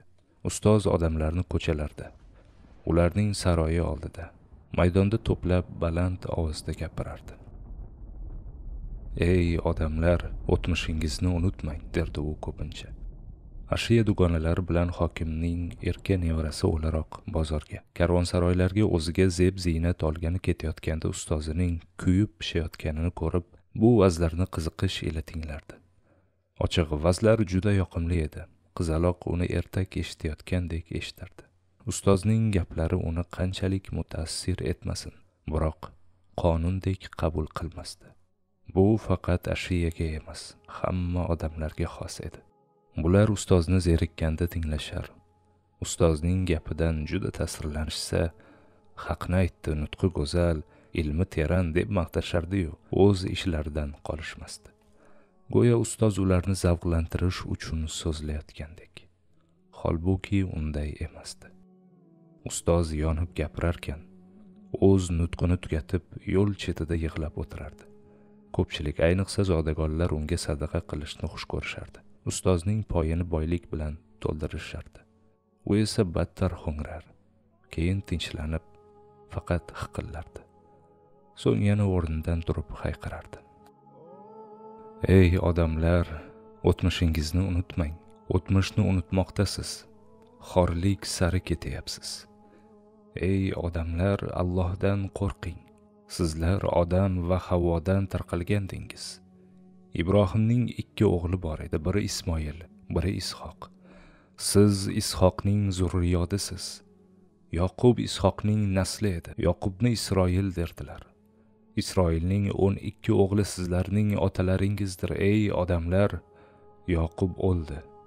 Sizlarga yusuf so'ng yahudo bosh bo'ldi. O'tmishni unutmang.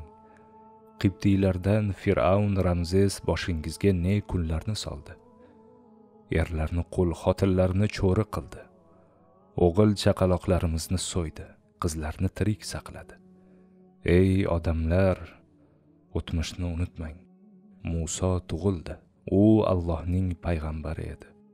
U fir'avn xonadonida ulg'aydi. Vaqti yetib akasi xorun ila fir'avnni hidoyatga chaqirdi. Fir'avn kofir bo'ldi. Musoni quvdi. Muso yahudo bolalari ila qochdi. Yahudo bolalari bobolaringizning jinoyatlari yodingizdami? Hayhot tavrotda alloh buyurdiki yakka allohga ibodat eting. Ota onaga yaxshilik qiling qarindoshga yetimga miskinlarga yaxshilik qiling odamlarga go'zal so'zlang. Namozni qoyim qiling zakot bering. Bir biringizni o'ldirmang o'zaro qasdlashmang. Biringiz ikkinchingizni o'z yurtidan quvib chiqarmasin. Ming nadomatlar bo'lsin ey odamlar sho'ringiz quriyapti siz bugun nima ish qilyapsiz? Allohga ibodat qilmayapsiz. Unga sherik topyapsiz. Ota onani qarovsiz tashladingiz. Qarindoshlar ila aloqani uzdingiz. Yetimlarga zulm etyapsiz miskinlarni unutdingiz. Odamlarni haqoratlaysiz. Namoz o'qimaysiz zakot bermaysiz. Biringiz boshqangizni boylik talashib o'ldirasiz. Biringiz ikkinchingizni o'lkangizdan vatandan quvib chiqarasiz. Ularga azob berish uchun boshqangiz uning sirlarini sotasiz. Boshqangiz uni azoblaysiz.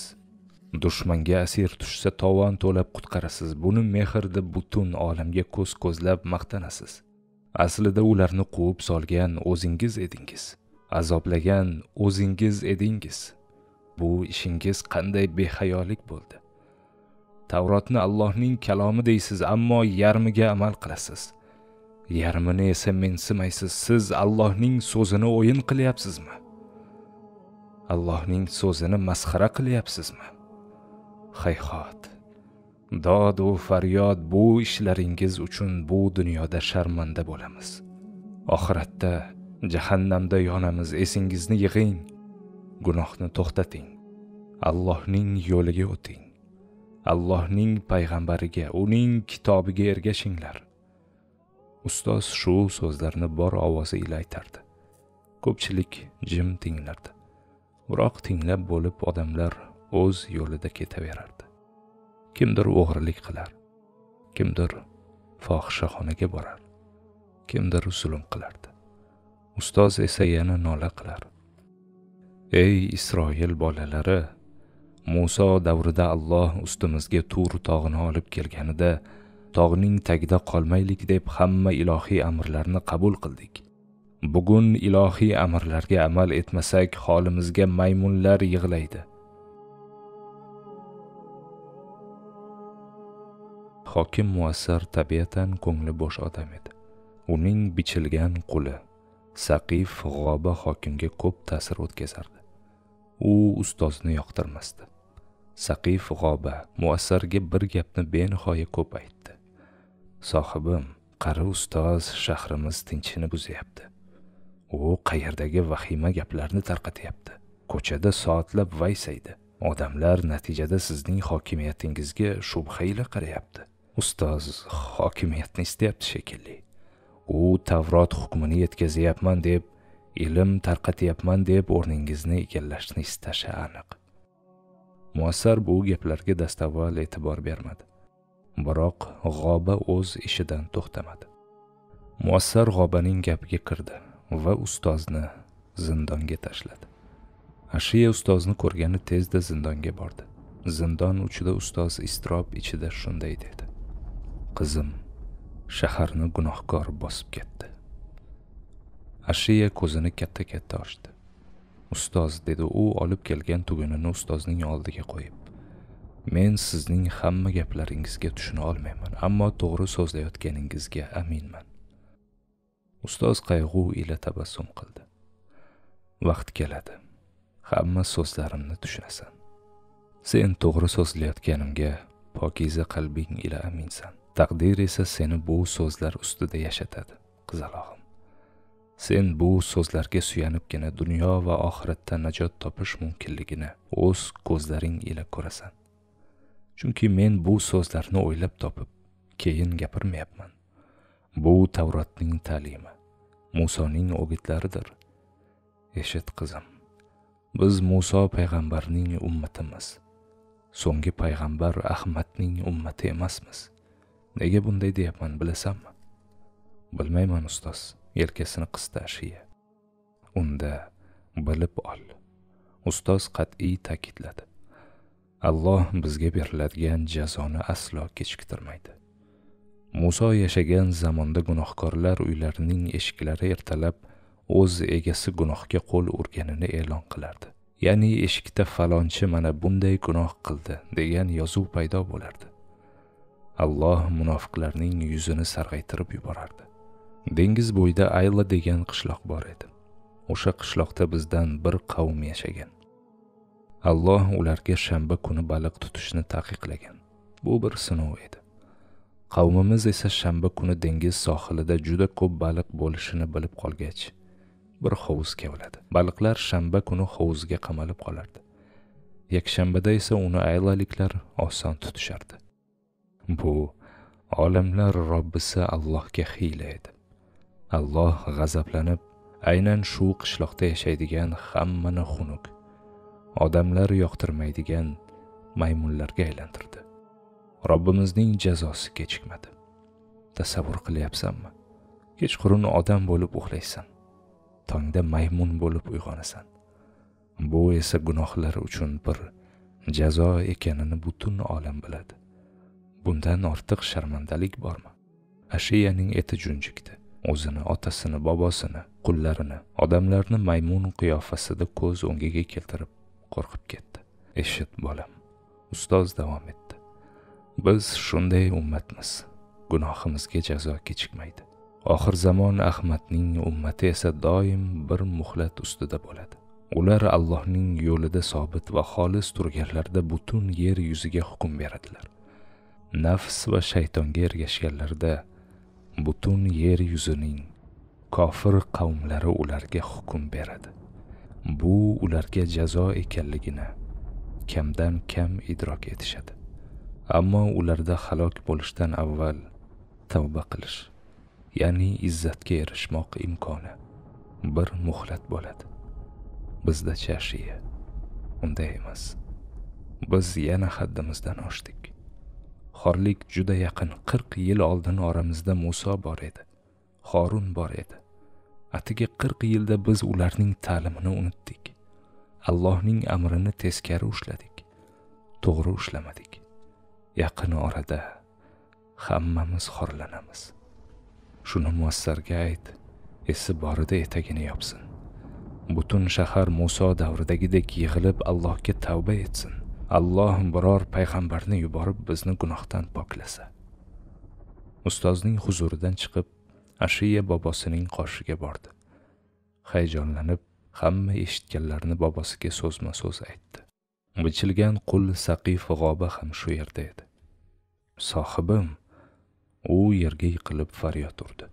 Ustoz yosh va go'zal malikamizni qo'rqitibdi. U bilan uchrashishni man etmoq lozim.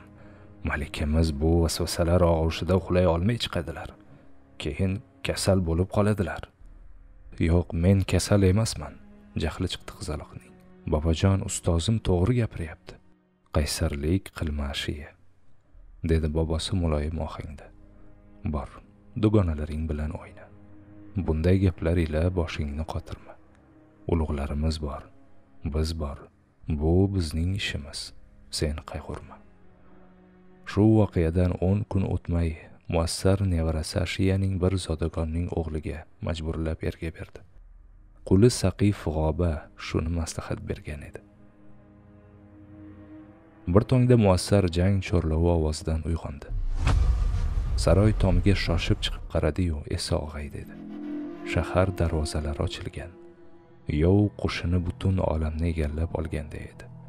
Odamlar talvasiga tushib boshi og'gan tomonga yugurar. Shahar darvozalarini dushmanga kim ochib bergani muassarga qiziq edi. U xoinni aniqlab bor qo'shin bilan tezda hujumga o'tishni istadi ammo ortiga o'girilib bo'g'ziga qadalgan tig'ni ko'rdi. Qarshisida saqif g'oba turardi. Muassar davring bitta. Seni buyuk podshoh jolutga topshiraman. Dedi u dadil. Xoin muassar shunday deb hayqirdi-yu ishning haqiqatini bir onda angladi. U shaharda fohishaxonalarni ko'paytirgan jinoyatchi to'dalarni saroy ichida qo'llab quvvatlagan uni jolutga sotgan ustozni qamatgan aynan qo'ynidagi ilon saqif g'oba ekanligini tushundi. Endi juda kech edi. Saqif g'oba o'z hojasini zanjirlab pastga olib tushdi. Saroydagi hamma asir olingan edi. Jolut lashkari saroyni talon taroj etardi. Muassar bor budidan ajraganini bildi beixtiyor oh tortdi. Saqif g'oba esa iljaydi. U o'z ishidan mamnun edi. U butun saroy ahlini zanjirlab jolutni kutgani chiqayotgan edi. Olamni bir zumda zulmat bosdi. Lazzat ichidagi lazzatni izzat ichidagi izzatni unutdi.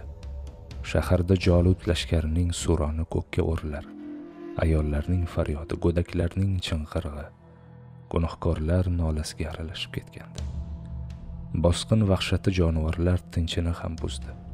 Itlar vovullar mollar mo'rar qo'ylar barardi. Musibat o'lim shamolidek keldi. Bu shamol hammani behalovat etdi. Jon qayg'usi mol qayg'usini daf etib yubordi. Aksar odamlar qo'liga qurol olib dushmanga qarshi urushmoq o'rniga qochib qutulish vasvasasida edi.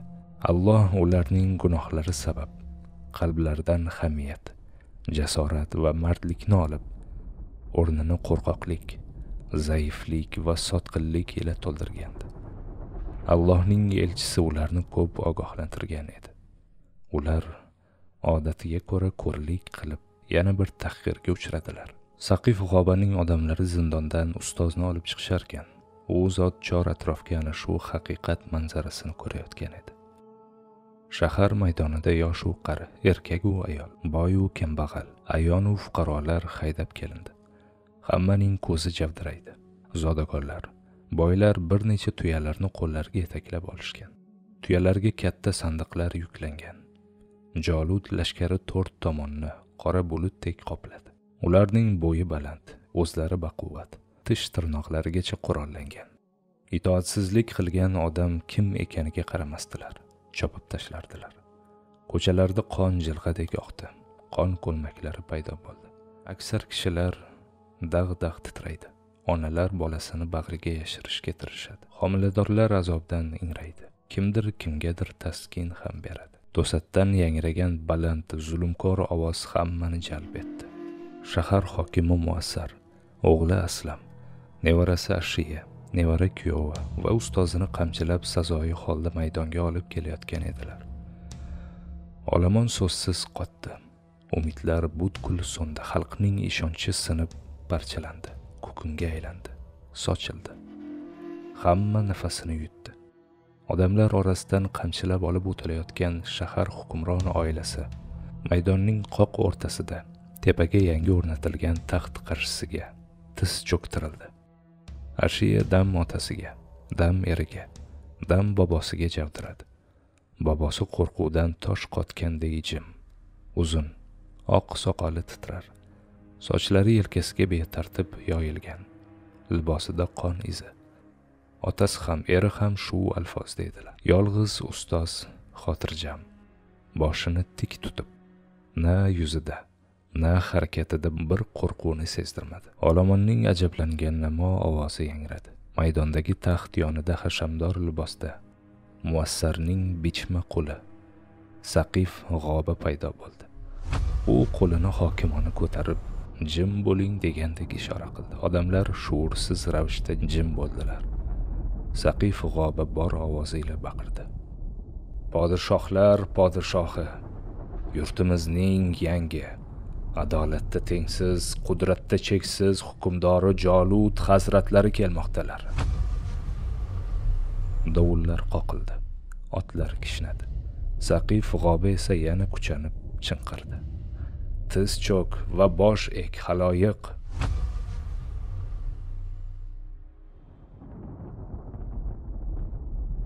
Ko'pchilik taraddudda turib qoldi. Bichma qulning amrini bajarish har qalay biroz bo'lsa ham hamiyatga tegayotgan edi. Saqif g'oba buni sezdi. Sezdiyu quturib bo'kirib yubordi. Kamonchilar. Olomonni qurshagan jolutning kamonchilari yoyga paykonni o'rnatdilar. G'oba o'q uzishga ishora qilish uchun qo'lini ko'tardi. O'n minglab odamlar bir vaqtning o'zida duvillab to'kilgan mevadek o'zini tizzasi bilan yerga tashladi. G'oba hokimiyat qudratini idrok etib behad kerilib yoyilib ketdi. Odamlarning qo'rquvda tiz cho'kishini ko'rib va nafasi qaytib bir muddat hayajonlandi. So'ng ulkan saltanat egasidek hayqirdi. Shunday hayqirdiki ovoz paylari favqulodda cho'zildi. Tovushi maydonning har burchagiga yetib bora boshladi. Itoat qilmagan o'ldiriladi. Tanasini bo'laklab itlarga yem qilaman. Ulug' podshoh jolutga sharaflar bo'lsin.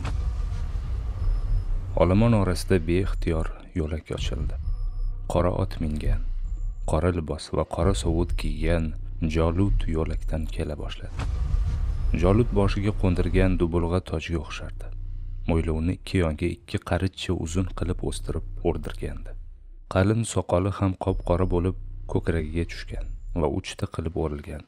Uchlariga esa yoqut ko'zli taqinchoq taqilgan. Jolut kiyimining chetlariga sovutining qirralariga olmos toshchalar qadatgandi etigi qora va uchi qayrilgan bo'lib unda ham olmos toshlar yiltiraydi. Oti yugani suvlig'i qamchisi qurol yarog'i ham o'ta jiddiyat va katta did bilan ziynatlangandi jolut maydon o'rtasida to'xtadi. Saqif g'oba uning oyog'iga tiz cho'kib yelkasini tutdi. Podshoh bichma qulning yelkasiga oyoq qo'yib otdan tushdi. Hech kimga nazar ham solmay o'zi uchun hozirlangan taxtga borib o'tirdi. So'ng saqif g'obaga qarab ko'rsatkich barmog'i bilan ishora qildi. Saqif g'oba bor ovozi bilan baqirdi. Podshoh ruxsat berdilar. Boshingizni ko'taring. Xalq boshini ko'tarib taxtda katta kibr qahr va beshafqatlik ila o'tirgan bir mustabidni ko'rdi. Cho'zinchoq yuzni to'ldirgan chuqur ajinlar cho'tirlar. O'yib olgudek tikiladigan ko'z siyrak qosh. Keng yelka jolutdan bir qo'rqinch yog'dirayotgandek edi. Uni ko'rgan aksar odamlarning dami yanada ichiga tushdi. Bosqinchiga hayqish ila qarayotganlar orasida bir kishi yo'q edi. Bu ustoz bo'lib yerda maydonning o'rtasida boshi yorilib o'z qoni ichida behush yotardi. Chunki faqat u tiz cho'kmagan edi. Bosh egmagan edi. Bir navkar uning boshiga qilichni qini bilan urib shu holga soldi. G'oba jolutdan izn olib nutq boshladi. Ey odamlar meni eshiting. Balsiso qavmining sarasi amiqiylar podshohi jolut hazratlari buyuradilarki hammangiz u kishi uchun bir qulsiz. Qul ekaningizni unutmang. G'oba shu nuqtada so'zini uzib hammaga birma bir o'qiraydi ayni shu payt uning qulog'i ostida qo'lganning sen eng aqlli va qudratli hukmdorlar ishini bajaryapsan degan ilk olqishi yangragan edi. G'oba hokimiyat qudratidan mast bo'lgani uchun ovozga ahamiyat bermadi. Zotan u bundan ham quyuqroq bir maqtov istayotgandi siz podshohning quli o'laroq uning hamma xizmatiga shay bo'lishingiz shart podshoh o'l desa shu ondayoq o'ling. Tiril desa tiriling. Chunki hukmdorimiz o'z qullarini farzandlaridek yaxshi ko'radi. Sizlarga zinhor yomonlikni ravo ko'rmaydi. Sizlar podshohimizni sharaflang maqtang. Unga itoat qiling.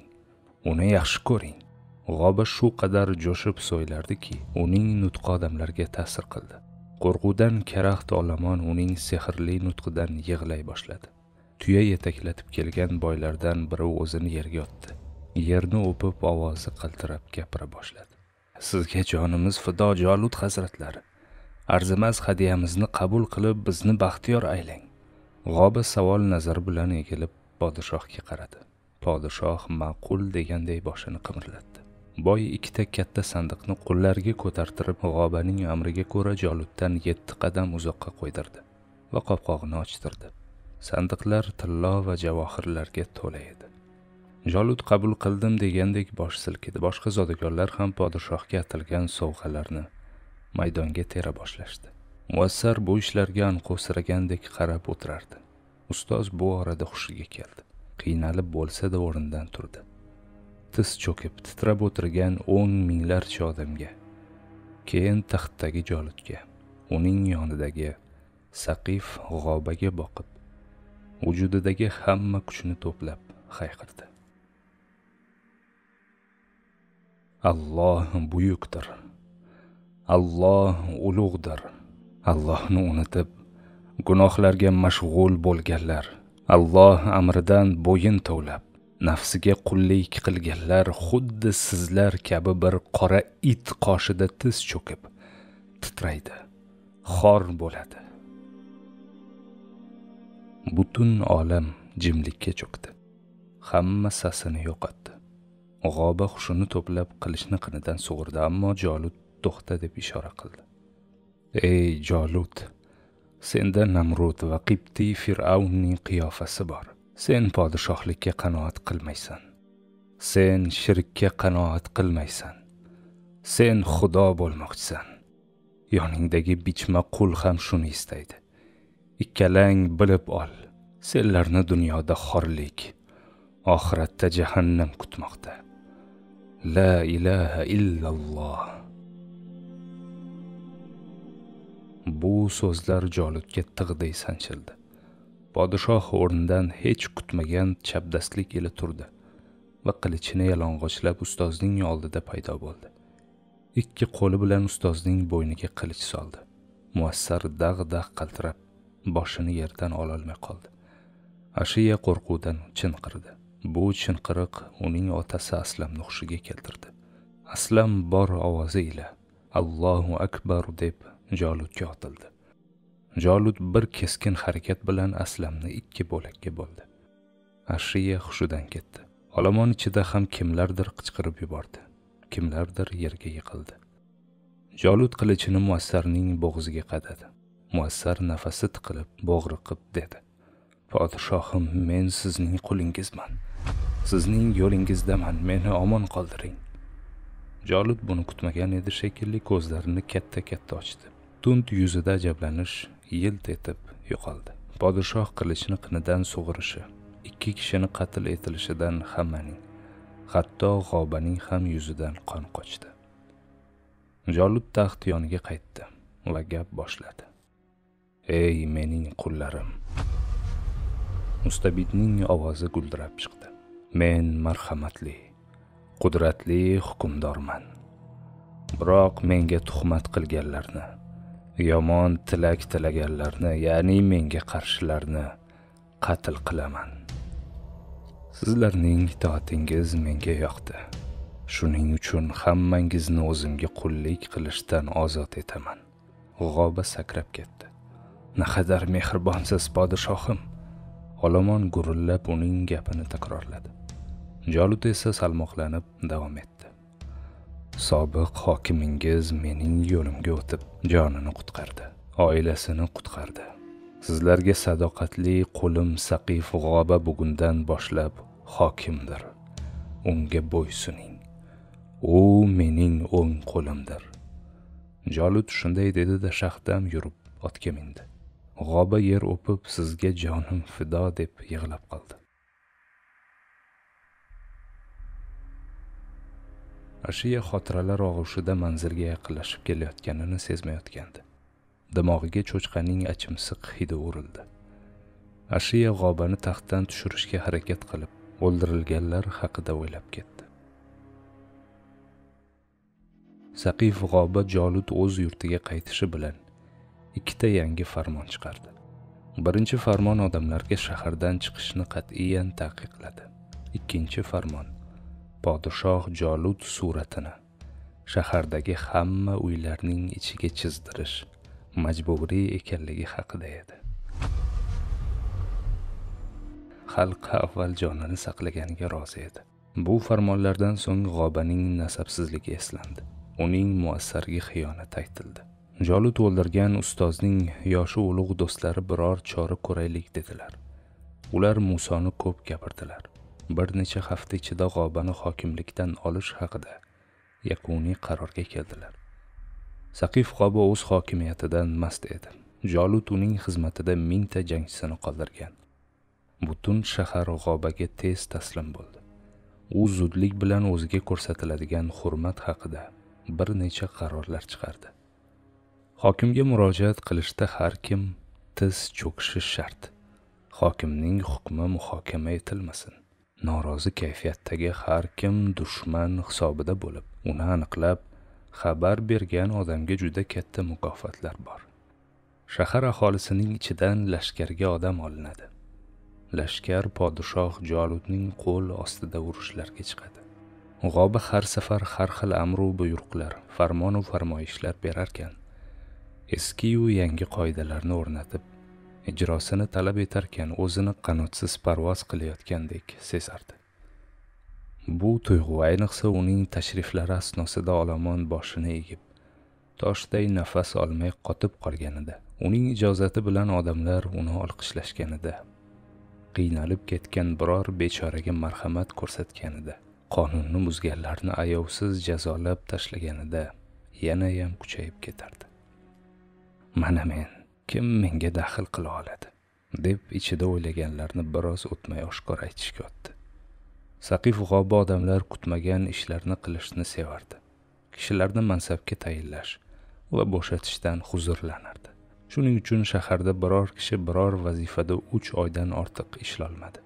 Boshqaruvda qobiliyatli odamlar aslo bu shaklda ishlashni xohlashmadi. G'oba shu kabi ishlari bilan ko'zlari yumilgandek darajada mast bo'lib yurganida nisbatan yoshroq bir odam uning huzuriga kelib tiz cho'kdi. Ismim tasmin dedi u. Muso izdoshlari sizni hokimlikdan tushirmoqchi. Tasmin hammasini bayon etdi. Uning axborotiga ko'ra shaharning ulug'lari jolibning qasriga borib shikoyat qilishar emish. Ular nasabining tayini yo'q naslsiz g'obaning o'rniga boshqa kishini ya'ni aslzoda ota onasi yoqub farzandlaridan bo'lgan. Uylangan. Bir necha xotinli bola chaqali boy biror odamni hokimlikka tayinlashni talab qilisharmish. G'oba tasminning hamma gapini eshitdida sening kelajaging porloq shunday buyuk ishlarda davom et deb maqtadi. Tasmin ketishi bilan g'obaning miyasiga qon tepdi. Meni almashtirisharmish deb tutaqdi quvilganning ovozi esa uni dahshatga soldi. Shahar ahli jonutga aytib sen hokimlikdan olsa ne bo'ladi? Bilasanmi? Seni tilkalab tashlaydilar. Chunki sen ularga qattiqqo'llik qilyapsan. Agar tadbir bilan hiyla bilan ish tutmasang yaqinda avvalgidanda xor bo'lajaksan. Saqif g'oba hokimiyatdan ketishni cheksiz dahshat deb his qila boshladi. Tasminni chaqirib unga bir necha topshiriq berdi. Tasmin shahar ulug'larining davrasiga kirib borib ularga g'obaning ustidan shikoyat qilishdan oldin o'ziga uning xatolarini bildiraylik balki isloh etar dedi. Qariyalarga tasminning gapi yoqdi. Belgilangan kunda yosh ulug'lardan o'n kishi saqif g'oba saroyiga yo'l olishdi. Ular saroyga yaqinlashib kelisharkan. Ularga har xil odamlar beso'roq qo'shilib yura boshlashdi. Yangi qo'shilganlarning qiyofasi yoqimsiz edi. Chollar bir ko'ngilsizlikni sezgandek bir birlariga qarab qo'yishdi. Odamlar esa ko'payishda davom etdi. Hokim saroyi oldiga yetib kelganlarida o'n qariyaning ortida ming kishilik olomon bor edi. Qariyalarning ulug'i egilib saroy eshikboniga janobimiz saqif g'obaning muborak huzurlariga kirishga izn so'rayman dedi. Eshikbon olomonga biroz hadik bilan qarab hammangiz kirmoqchimisiz? deb so'radi. Yo'q yo'q shoshib javob qildi chol. O'n kishiga izn so'raymiz. Eshikbon indamay ichkariga kirib ketdi. Bir necha daqiqada saroy devoridan tashqariga chiqarib xalq bilan so'zlashish maqsadida qurilgan ayvonda saqif g'obi paydo bo'ldi. Haloyiq nima gap? dedi. Qariyalar javob berishga ulgurishmadi. Ularga yo'lning o'rtasida qo'shilib olganlardan biri qo'ynidan kamon olib o'qladi va g'obaga otdi o'q hokimning yelkasiga sanchildi. O'q otgan odam hokimga o'lim deb baqirdi. Yerdan tosh oldi va saroy tomonga otdi. Olomon guvillab yerdan tosh izlashga tushdi. Saroyga toshlar yoqildi. Bu narsa qariyalarning rejasida yo'q edi. Ular qanday yo'l tutishni bilmay qolishdi. Bilganlarida ham qo'llaridan bir ish kelmasdi shubhasiz. Ular faqat eh beboshlar ishimiz yurishmaydi endi deyishardi. Olomon ichidan chiqib olgani tirishib. Saroy tepasida yuzlab yoy andozlar ko'rindi. Ular olomon ustidan o'q otdilar. Odamlardan ba'zilari yerga yotib oldi. Ba'zilari duch kelgan tomonga o'zini urdi.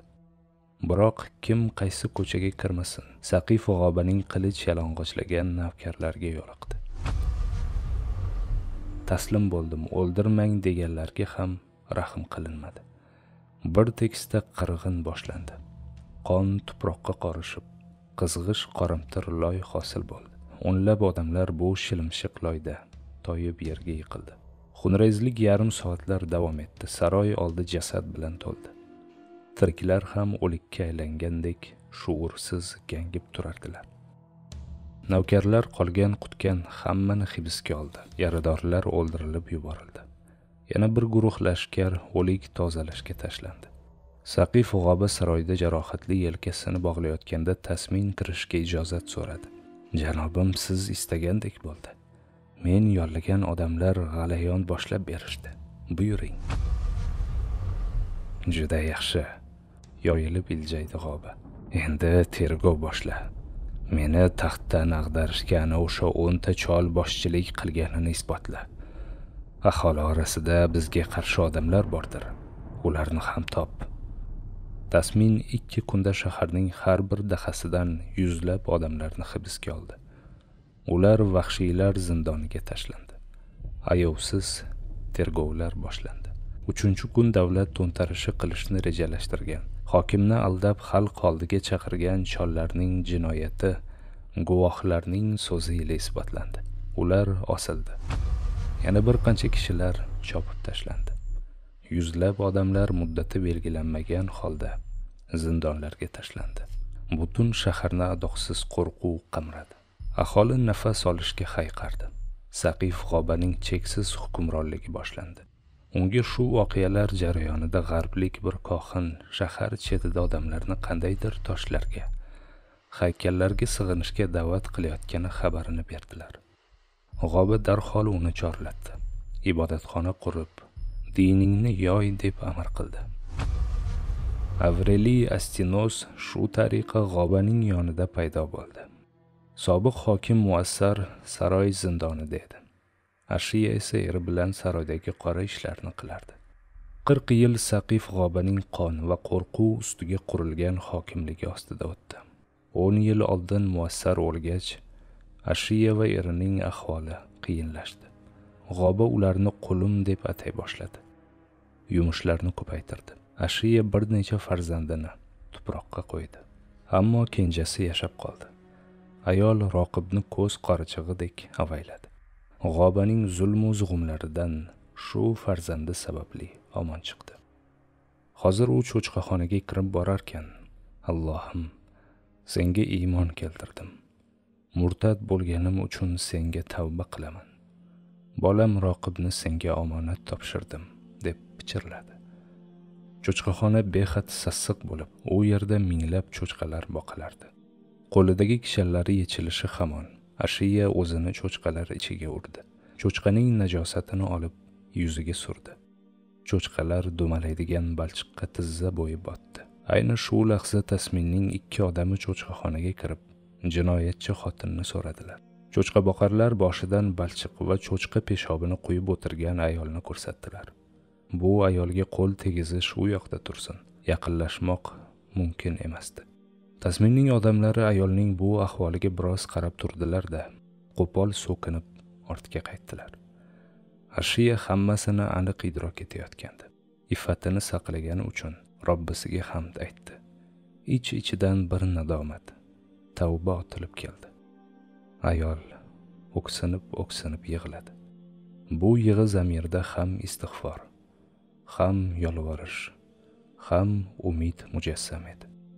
Buni tavba olovida qalbi erimagan g'ofillar hargiz anglay olmaslar.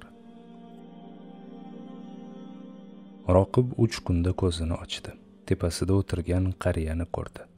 Qariya nimalarnidir pichirlayotgan edi. Roqib uch kunda ko'zini ochdi. Tepasida o'tirgan qariyani ko'rdi. Qariya nimalarnidir pichirlayotgan edi. Onam menga koinotning yakka xudosi bor deb aytgan edi. Roqib madorsiz shivirladi. Biroq qariyaning hamon yaxshi eshitadigan qulog'i uning gapini ilg'adi. Onang to'g'ri aytgan roqib dedi uning ustiga biroz egilib bu yakka iloh allohdir. Allohdan bo'lak ibodatga sazovor boshqa biror iloh yo'q. Bo'lishi mumkin emas. Allohdan bo'lak ibodatga sazovor biror iloh yo'q. Bo'lishi mumkin emas. Roqib kuch bilan shu kalimani aytdiyu. Qalbiga yog'ilgan sakinat yomg'irini tuydi. U yo'qotgan ammo eng zarur narsasini topganini idrok etdi. Alloh lafzini aytarkan allohning yakka iloh ekanini tilda iqror ila qalbda tasdiq qilarkan.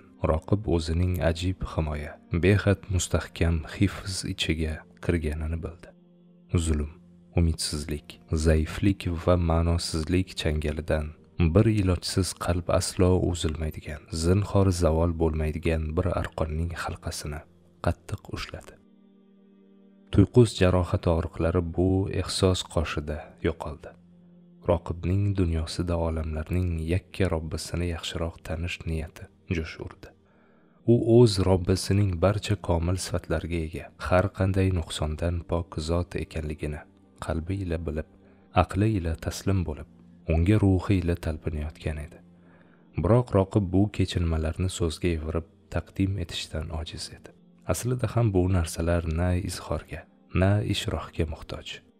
Zotan bir banda va alloh orasidagi bog'lanish begonalar ko'ziga suratlanadigan suratlanish mumkin bo'lgan hodisa emas.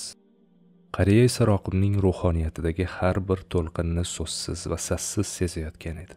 Zotan bir qalbda mavjlangan sof iymon ikkinchi qalbdagi sof iymondan zarracha farq etmagay. U yaxlit narsadir. U tavhiddir. Yuz yoshdan oshib ketgan keksa jangchi va o'n yoshga to'lmagan bir go'dak ayni shu yakka nuqtada azaldan bir biriga mahbubu abadiy ahbob edi. Qariya roqibning suv ichishiga yordamlashdi. Ivitgan nonlarni tutdi. Biroz tamaddidan so'ng roqibning holati yanada yaxshilandi. Jarohat og'rig'i yo'q edi. Roqib devorga suyandi. Uning bola yuzi uch kunda ulg'aydi. Ko'zlarida chuqur dard porladi. Qariyaga dedi. Hamon sizni qanday chaqirishni bilmayman. Ismim atbo dedi qariya. Muso alayhissalomga ergashib yakka ilohga.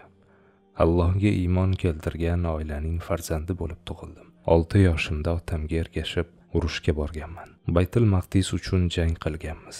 Men jangchilarga suv kamon o'qi tashib yurganman. O'shanda muso alayhissalomni ko'rganman. U baland bo'yli keng yelkali yuzi oq va nurli sochi qalin juda baquvvat odam edi. Qo'lida odam alayhissalomga jannatdan olib chiqib berilgan mo'jiza hassa bo'lardi. Uni muso alayhissalomga qaynotasi shuayb alayhissalom bergan. Roqib qariya atborning hikoyasini diqqat bilan tinglarkan. Tushida ko'rgani baland bo'yli chap qo'lida hassa tutgan o'ng qo'li marmarday oppoq kishini esladi. Muso alayhissalomning o'ng qo'li oq edimi? deb atboning so'zini bo'lib savol berdi. Atbo yigitga biroz hayrat aralash qaradi-da tasdiqladi. Alloh taolo muso alayhissalomga ko'plab mo'jizalar bergan. Shulardan biri u kishining oq qo'lidir.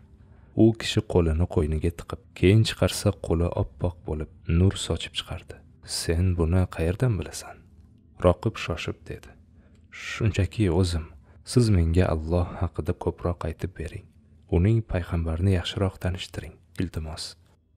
Allohning payg'ambari bitta emas yuzlabdir. Ularning hammasi yakka allohga ibodat va itoat etishga da'vat etdilar. Allohga sherik topishdan qaytardilar. Yakka allohga ibodat va itoat etish nima degani?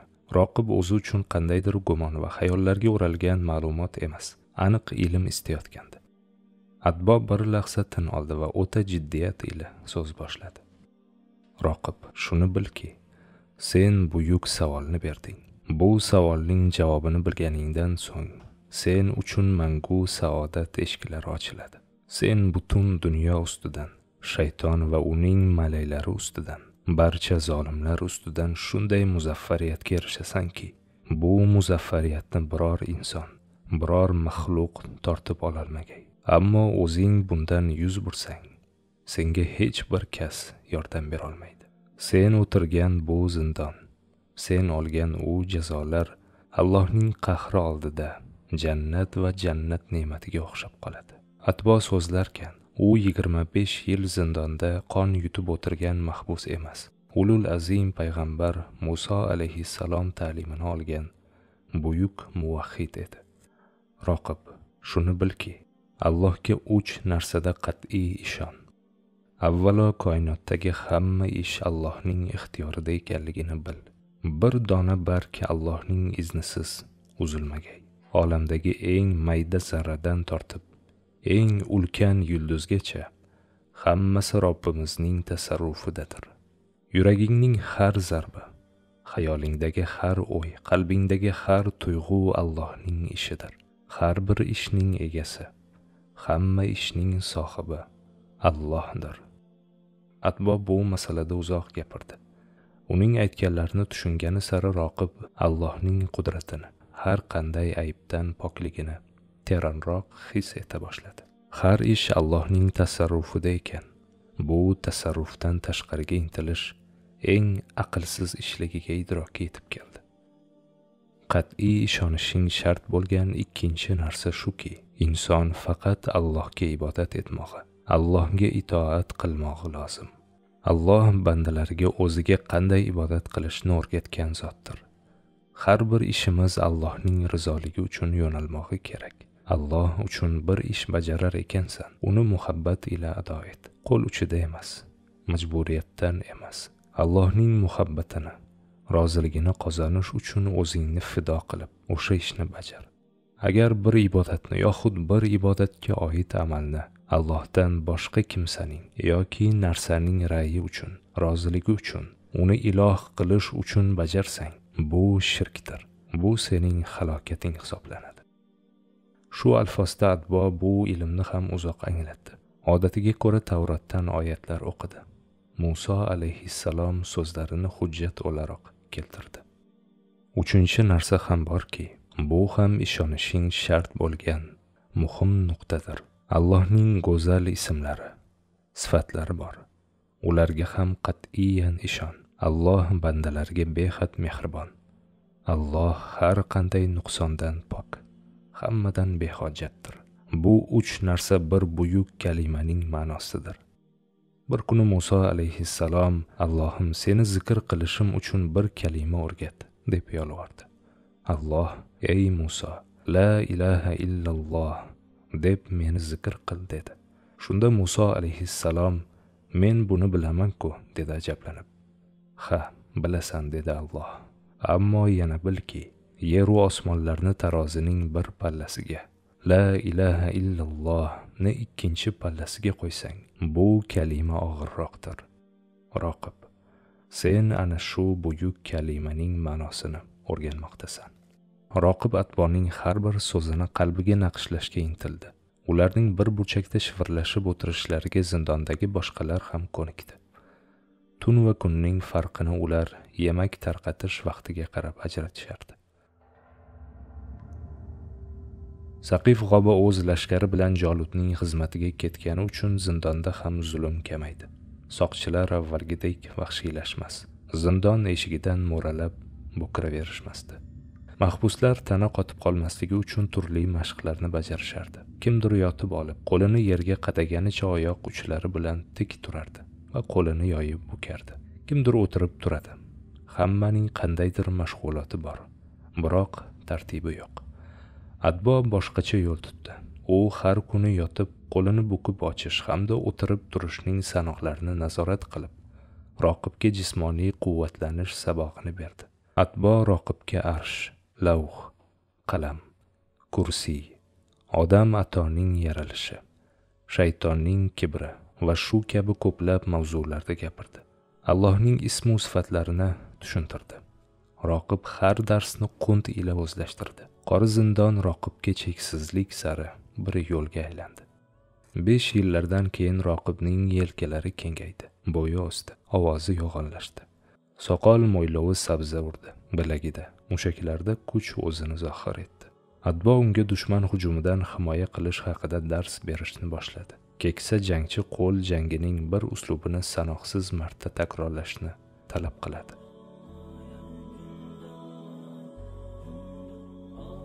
Zindonda zulm kamaygani uchun boshqa mahbuslarning atbo va roqibga sababsiz adovat ko'rsatishi yo'qoldi. Endi ular orasida ham suhbatlar uyg'ondi.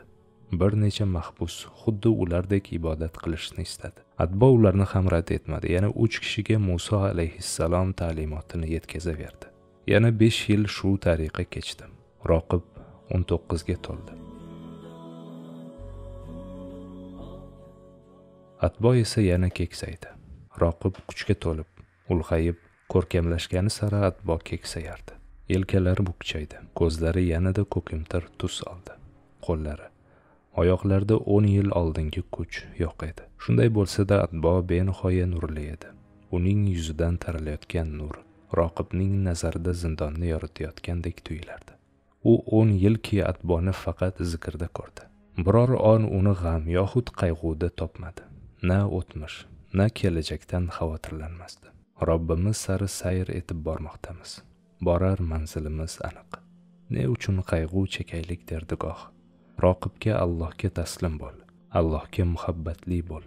Allohdan qo'rq. Allohning rahmatidan umid uzma. Taslim bo'lmasang kibrga zanjirlanasan muhabbatsiz ma'noni zavqni shavqni shijoatni yo'qotasan. Muz va toshga o'xshab qolasan. Allohdan qo'rqmasang haddingni yo'qotasan. Nafsing quturadi umid qilmasang shaytonning odatini tutgan bo'lasan deb ko'p ta'kidlardi. Atbo payg'ambarlarni sevib tilga olardi. Robbimning elchilariga jonim fido bo'lsin. Odamlar orasida ular kabi ma'sum hech kim yo'q. Odamlar ichida ular kabi itoatga munosib hech kim yo'q. Odamlar ichida ulardek sevgili hech kim yo'q deb ibrohim alayhissalomni maqtab ketardi. Ibrohim alayhissalom o'g'li ismoil alayhissalom ila kabani qurgan. Aynan ibrohimga alloh taolo taslim bo'l deganida u zot darhol olamlar robbisiga taslim bo'ldim deb aytgan. Roqib qanchalar zulm chekmaylik? Biz allohning vahiysi yerga kelib turgan zamonda yashamoqdamiz. Oxir zamonda ahmad degan payg'ambar tug'iladi. U arshga chiqadi. Muso alayhissalom alloh bilan gaplashgan. Ahmad ham alloh bilan ko'rishadi. Yuzma yuz bo'ladi gaplashadi. Hamma payg'ambarlar allohga ahmad bilan uchrashsam unga iymon keltiraman yo'lidan yuraman deb va'da berishgan. Men ham shu ulug' payg'ambar davriga yetsam uning yo'lida jonimni berardim. Alloh habibim degan zotni sevmay bo'larmi atbo o'zi gapirib ko'pincha o'zi yig'lardi. Robbimning qoshida qanday holda bo'larkinman? Deya shunday yig'lardiki soqoli ho'l bo'lib ketardi. Roqib ham shu holga tushadigan bo'ldi. Alloh bilan yuzlashajak onlar uning ham fikru xayolini olardi. O'sha paytlarda zindonda ekanligini unutib qayerlargadir uchgandek bo'lardi. O'n to'qqiz yoshida roqibning qalbida kabai muazzamani ziyorat qilish istagi yanada olovlandi. Atbo unga tabassum ila men ham shunday istayman. Biroq qadar bitiga doim ustun der edi.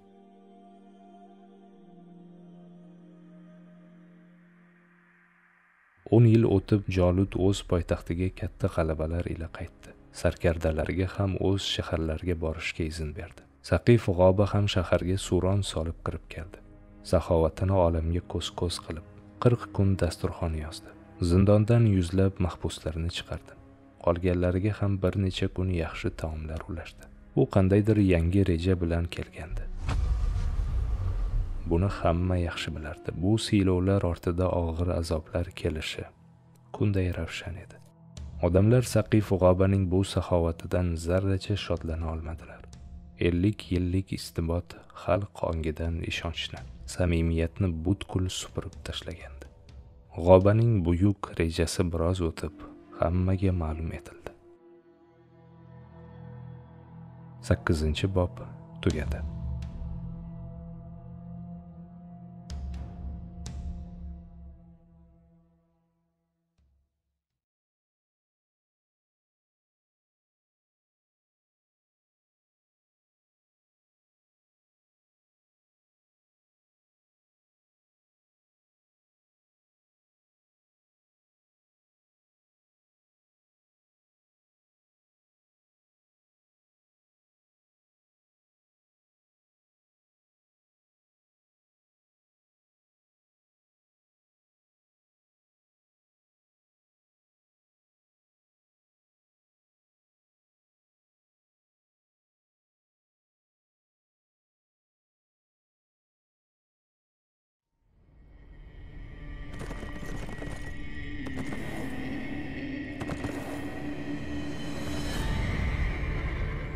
Jangchi tarixiy badiiy qissa akrom malik Ey oğul! Unutma. Yolumuz ezelden ebede kadardır. to'qqizinchi bob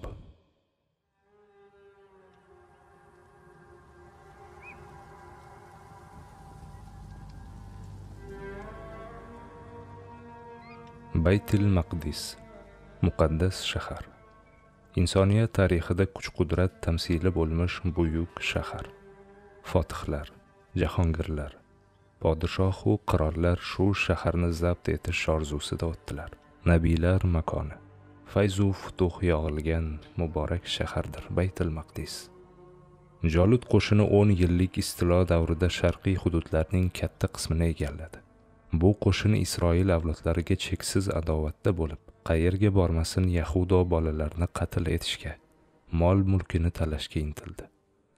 Bor budidan ayrilgan bani isroil qavmining zodagonlari faqirlari turli toifalari miloddan avvalgi taxminan minginchi yillarda baytil maqdisga yig'ilib keldilar. Jolutning ayovsiz qirg'ini ularni shu joyga haydadi. Chunki ular muso alayhissalomdan so'ng shamuil ibn bali alayhissalom bu shaharda odamlarni musoning shariatiga da'vat qilayotganini eshitdilar.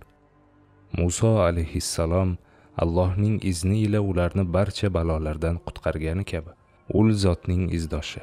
Payg'ambar osmondan xabar aytayotgan shamuil alayhissalom ham jolut balosini daf qilishiga umid bog'layotgan edi.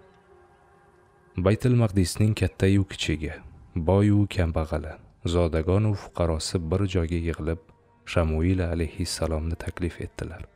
Shamuil alayhissalom aytilgan vaqtda kelishilgan joyda hozir bo'ldi. Bani isroil qavmi bezovta edi. Odamlar to'p to'p bo'lib nimalarnidir muhokama qilardilar. Tashvishli ovozlar har yoqni qoplagan. Shamuil alayhissalom kishilar orasidan yurib o'tib o'zlari uchun yasab qo'yilgan minbarga chiqib o'tirdi. U kishi qo'lida muso alayhissalomning mo'jizakor hassasini ushlab olgan edi. Odamlar payg'ambarning kelganini bilgach g'ala g'ovur bosildi. Qavmning zodagon aslzodalari shamuil alayhissalomning qarshisida saf tortdilar. Allohning payg'ambari xalq uning so'zini kutib sukut saqlayotganini ko'rib gap boshladi. Olamlarni yaratgan zot yakka allohning o'zidir. Uning sherigi yo'q. Tengi yo'q. U barcha maqtov egasidir. Maqtov unga xosdir. Hukm unikidir. Kuch quvvat unikidir. Ibodat qilishga loyiq yagona zot udir.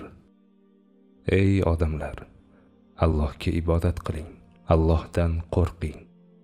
Muso alayhissalom allohning bir oddiy bandasi va haq payg'ambaridir. Men uning payg'ambar ekaniga tavrot allohning muso alayhissalomga bergan kalomi ekanligiga guvohlik beraman. Men shamuil ibn bali allohning oddiy bandasi va uning haq payg'ambariman. Men muso alayhissalom shariatiga o'z qavmimni da'vat etish uchun payg'ambar qilindim.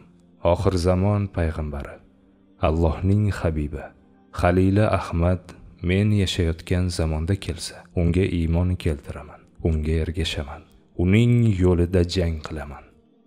Ey isroil bolalari ey mening qavmim sizlarni ana shu aytganlarimga chaqiraman. Qabul qiling qabul qilganingizni ayting va men sizlarning so'zlaringizni eshitaman. So'zlang. Shamuil alayhissalom vazini tugatgach odamlar gurilladi ey shamuil sening hamma so'zing haq. Allohdan bo'lak iloh yo'q. Sen allohning bandasi va haq payg'ambarisan. Shamuil alayhissalom ularning ijobatini diqqat ila tingladi va osmonga qarab dedi. Olamlarni yaratgan robbim alloh qavmim iymon keltirdi. Men guvohlik beraman. Sen ham guvoh bo'l. So'ng odamlarga dedi. Qanday savolingiz bor? So'zlang. Zodagonlardan biri baland ovozda so'z boshladi. Ey allohning payg'ambari bizga bir podshoh tayin qil. Biz uning qo'l ostida alloh uchun jang qilaylik. Shamuil alayhissalom bu so'zni aytgan odamga diqqat bilan qaradida nigohlarini odamlarga burdi. Jang qilasizlarmi? Jang qilamiz jang qilamiz jang! Shamuil alayhissalom qoshlarini chimirib o'ychan ohangda dedi. Alloh sizlarga urushni farz qilsa balki urushmassiz. Chunki siz va'dasini tez unutadigan qavmsiz. Tez qaror qilib undan tez voz kechadigan xalqsiz.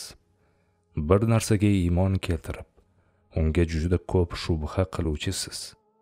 Jasoratni da'vo qilib qo'rqoqlikdan sira uyalmaysiz. O'zingizni maqtaysiz. Holbuki o'zingiz aytgan sifatlarning bittasiga ham ega emassiz. Yo'q narsani bor deb aytasiz. Bor narsani tan olmaysiz. Oqni qora qorani oq deyishdan hayo etmaysiz. O'zingizni aldab ovutib yuraverasiz. Joningizga xatar kelib o'lim bilan yuzlashmaguningizcha joyingizdan qimirlamaysiz. Esingizni yig'maysiz. O'tmish xatolaringizdan xulosa chiqarmaysiz. Juda ko'p gapirasiz. Juda ko'p uxlaysiz. Juda ko'p ko'ngilxushlik qilasiz. Haq so'zga toqatingiz yo'q. Sabot va subut sizga begona. Zulmdan boshqa narsa sizni mehnatga majburlay olmaydi. Xorlik botqog'iga cho'kib borasiz ammo o'zingizni katta tutasiz. Shuncha illatingiz bo'la turib alloh yo'lida urushmoqchisiz. Tafakkur qiling alloh sizlarga urushni farz qilsa balki urushni istamay qolarsiz. Odamlar jim bo'lib qoldilar. Shamuil alayhissalomning biror so'ziga e'tiroz bildira olmadilar. Chunki payg'ambari ular haqidagi ayni haqiqatni aytdi. Ammo zodagonlar o'z so'zlarida qat'iy turishdi. Ey shamuil ey allohning payg'ambari sen to'g'ri aytding. Biroq bugun vaziyat boshqa. Jolud bizning yurtimizni bosib oldi. Bolalarimizni o'ldirdi qul qildi. Bizni o'z yurtimizdan quvib chiqardi. Bani isroildan kimni tutsa qatl qilyapti qullikka majburlayapti jolib to'kkan qonlar daryo bo'ldi. Agar uni to'xtatmasak yer yuzidan bizning qavm qirilib ketishi mumkin. Biz urush qilamiz. Bizga oramizdan bir podshoh tayinla ey allohning payg'ambari shamuil alayhissalom qavmning shovqini bosilishi bilan o'rnidan turdi. Men robbimga duo qilaman. U xohlasa podshohni qanday topishni menga vahiy etadi. So'ng sizlarni chaqiraman. Shamuil alayhissalom minbardan tushib kelgan yo'lidan ortga qaytdi. Odamlar urush qilamiz. Qachongacha zulmga toqat qilamiz? Biz yoqub payg'ambar qavmimiz. Bizni hech kim yenga olmaydi. Alloh bir podshoh yuborsa edi bizning ham podshohimiz bo'lsa jolutning ta'zirini berar edik degan gaplar bilan tarqalishdi. Erta tongda baytil maqdis aholisi orasida hamma shamuilning minbariga yig'ilsin. Bugun bizga podshoh tanlanar ekan degan xabar tarqaldi. Hech kim podshoh qay yo'sinda tanlanishini bilmasdi. Biroq o'sha tanlanish ichida bo'lishni istayotganlar ko'p edi. Bir soatga bormasdan shamuil alayhissalomning minbari atrofi minglarcha odamlar bilan to'ldi. Podshoh ularga albatta katta sharaf kuch quvvat keltirishiga hamma ishonayotgan edi. Rahbarlikka haris bo'lgan kishilar minbarni o'rab oldilar. Shamuil kelyapti. Allohning payg'ambariga yo'l beringlar degan shovur ko'tarildi. Shamuil alayhissalom odamlar orasidan shoshmay yurib kelib minbarga chiqdi. Sukut cho'kdi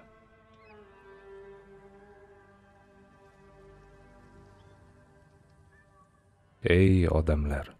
Alloh ibodatga loyiq yagona ilohdir. Allohdan qo'rqing. Allohning azobi qattiqdir. Sizlarni allohning azobidan ogohlantiraman.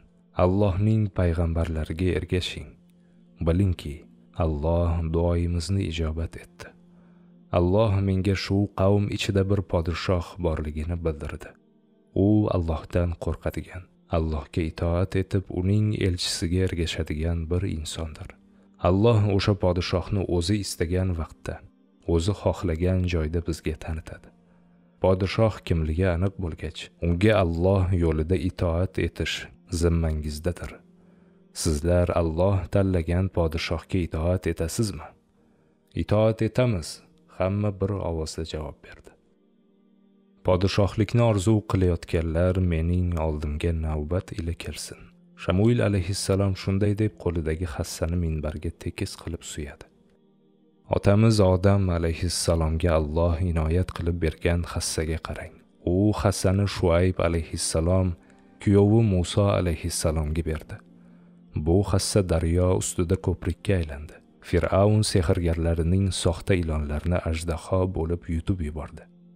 Bani isroilning o'n ikki urug'i suv so'raganida muso alayhissalom allohning amri ila hassani toshga urdi.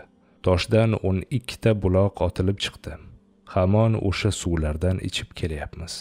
Alloh menga ey shamuil shu hassaga bo'yi teng odamni podshohlikka tanla deb vahiy etdi. Kim podshohlikni istasa bo'yini shu hassaga tenglasin. Agar bo'yi hassa ila teng bo'lsa shu ondayoq uni podshoh deb tan olasiz. Rozimisiz? Talabgorlar safi juda uzun edi. Hamma rozilik bildirdi. Har bir odam xayolan hassani bo'yiga moslab ko'rdi. Bo'yiga moslab ko'rib ichida alloh podshohlikka meni tanlagandir deb o'yladi. Eng birinchi bo'lib bo'yini hassaga tenglagan odam podshohlikni talab qilgan zodagon bo'ldi. Ammo hassa undan yarim quloch baland chiqdi. Shu tariqa hassa bilan bo'y o'lchash boshlandi. Shamuil alayhissalom allohni zikr qilgan kuyi vaziyatni kuzatib o'tirdi. Quyosh tik kelganida qalbida podshohlikka zarracha orzusi bo'lgan insonlarning barchasi hassa bilan yonma yon turib ko'rdi. Hech kimning bo'yi mo'jiza hassa bilan tenglasha olmadi. Odamlar toliqdi ba'zilar umidsizlandi ba'zilar hayratga cho'mdi.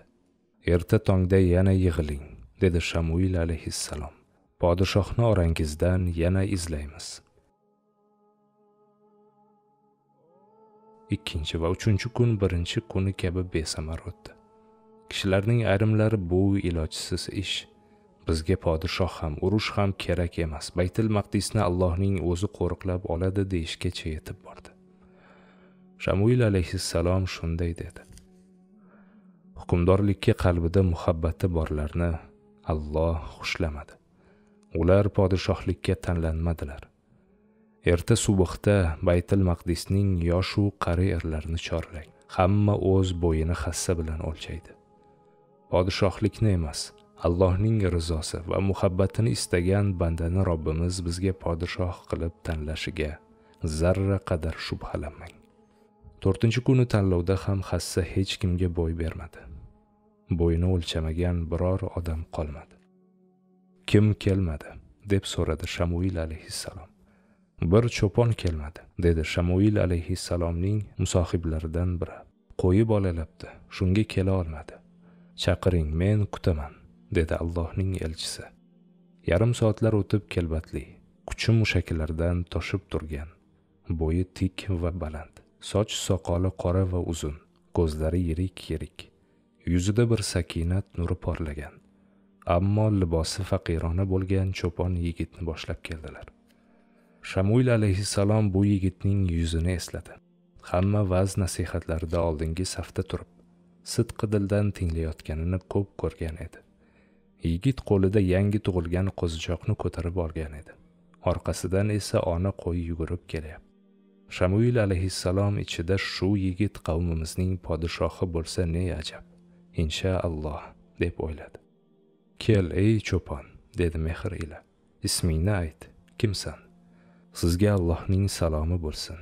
Ey allohning payg'ambari dedi cho'pon yigit tavoze ila. Senga ham allohning salom va rahmati yog'ilsin dedi shamuil alayhissalom ham qalbi ham chehrasi yashnab.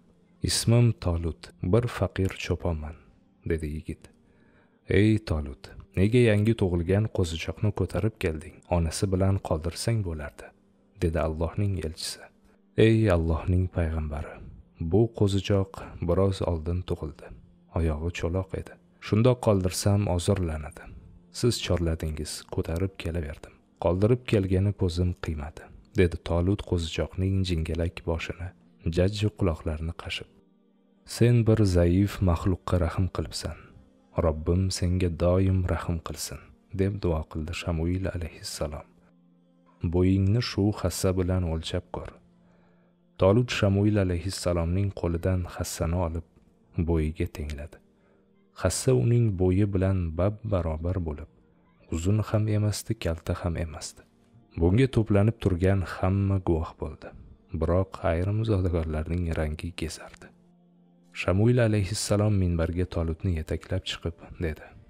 Ey bani isroil allohdan qo'rqing. Va uning amrlariga so'zsiz bo'ysuning alloh orangizdan bir kishini podshoh deb tanladi. Ko'pchiligingiz taxtga havasmand edingiz ammo alloh tanlagan podshoh unday emas. U albatta allohning amriga itoat etadi va sizlarga podshohlik qiladi. Uning ismi toluddir aslida bu onlarda allohga takbir tasbih aytilishi kerak edi. Biroq unday bo'lmadi. Podshoh talab qilgan zodagonlardan biri e'tirozini e'lon qildi. Ey shamuil biz bu cho'pon podshoh bo'lishiga rozi emasmiz. U juda qashshoq. Biz esa boy va badavlatmiz. Podshohlikka biz loyiqmiz. Shamuil alayhissalom g'azablandi. Yuzi qizarib ketdi. Ey g'ofillar deb hayqirdi. Sizlarga aytdimki sizlar nodon qavmsiz. Qasamini unutuvchi xalqsiz. Alloh podshoh yuborsa unga ergashamiz deb ont ichdingiz. Biroq endi o'z odatingizga ko'ra isyon etyapsiz. Ey shamuil zodagonlardan yana biri ovozini ko'tardi. Bizni haqoratlashni bas qil. Podshohni alloh emas sen tanlading. Sening hassang tanladi. Alloh bizga tolutni o'zi tanlagani haqida bir belgi bersin. Holingizga voy ey bani isroil. Allohning payg'ambaridan yordam so'rab kelasiz. Unga iymon keltirasiz ammo unga ishonmaysiz dedi shamuil alayhissalom. Muso alayhissalomga ham shundoq muomala qilar edingiz. Bilingki alloh kimni xohlasa o'shanga mulk beradi podshohlik beradi.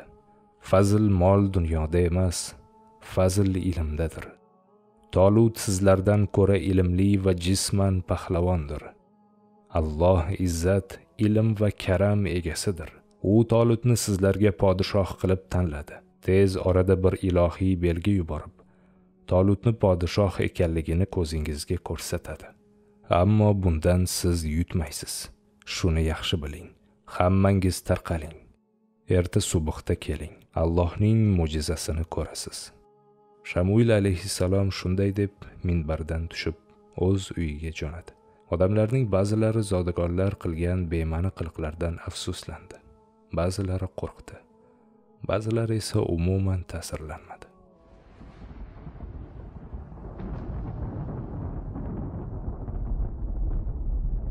Saqif g'oba o'z shahriga yuzlab asirlar. Tuyalarda bir qancha o'ljalar bilan kirib keldi. Xayolidagi rejalari unga sira tinchlik bermas halovatini o'g'irlagandi. Yo'l yo'lakay shaharning vayrona tusiga kirib qolganini idrok etdi. Ko'chalar benihoya ifloslangan. Shahar bo'ylab oqadigan anhorlar axlatga to'lgan. Odamlar ham savdoyiga o'xshaydi. Juda ko'pchilik xamirga ruju qo'ygan.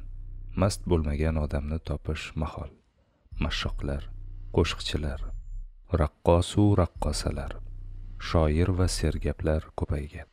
Biror mehnatga bo'yni yor bermay qolgan va hayotda ma'no mazmun topmayotgan olomon shaharning har joyida to'dalashib ichadi. Mashshoqlarga kuy chaldirib raqqosalarni o'ynatadi. Orada sergaplar o'rtaga chiqib har xil tuturuqsiz gaplarni aytib odamlarni kuldirmoqchi qarsak chaldirmoqchi bo'ladi. Saqif g'oba shu manzara ichidan o'tib borarkan mamnun edi. Ayniqsa odamlar uni ko'rganlarida tiz cho'kishlaridan lazzatlanadi. O'n yillik jangu jadalda olgan ulushini olomonga ko'z ko'zlarkan ichida muso bu narsalardan nafratlanardi. Lekin odamlar yaxshi ko'radi. Xursandchilikka nima yetsin deb o'yladi.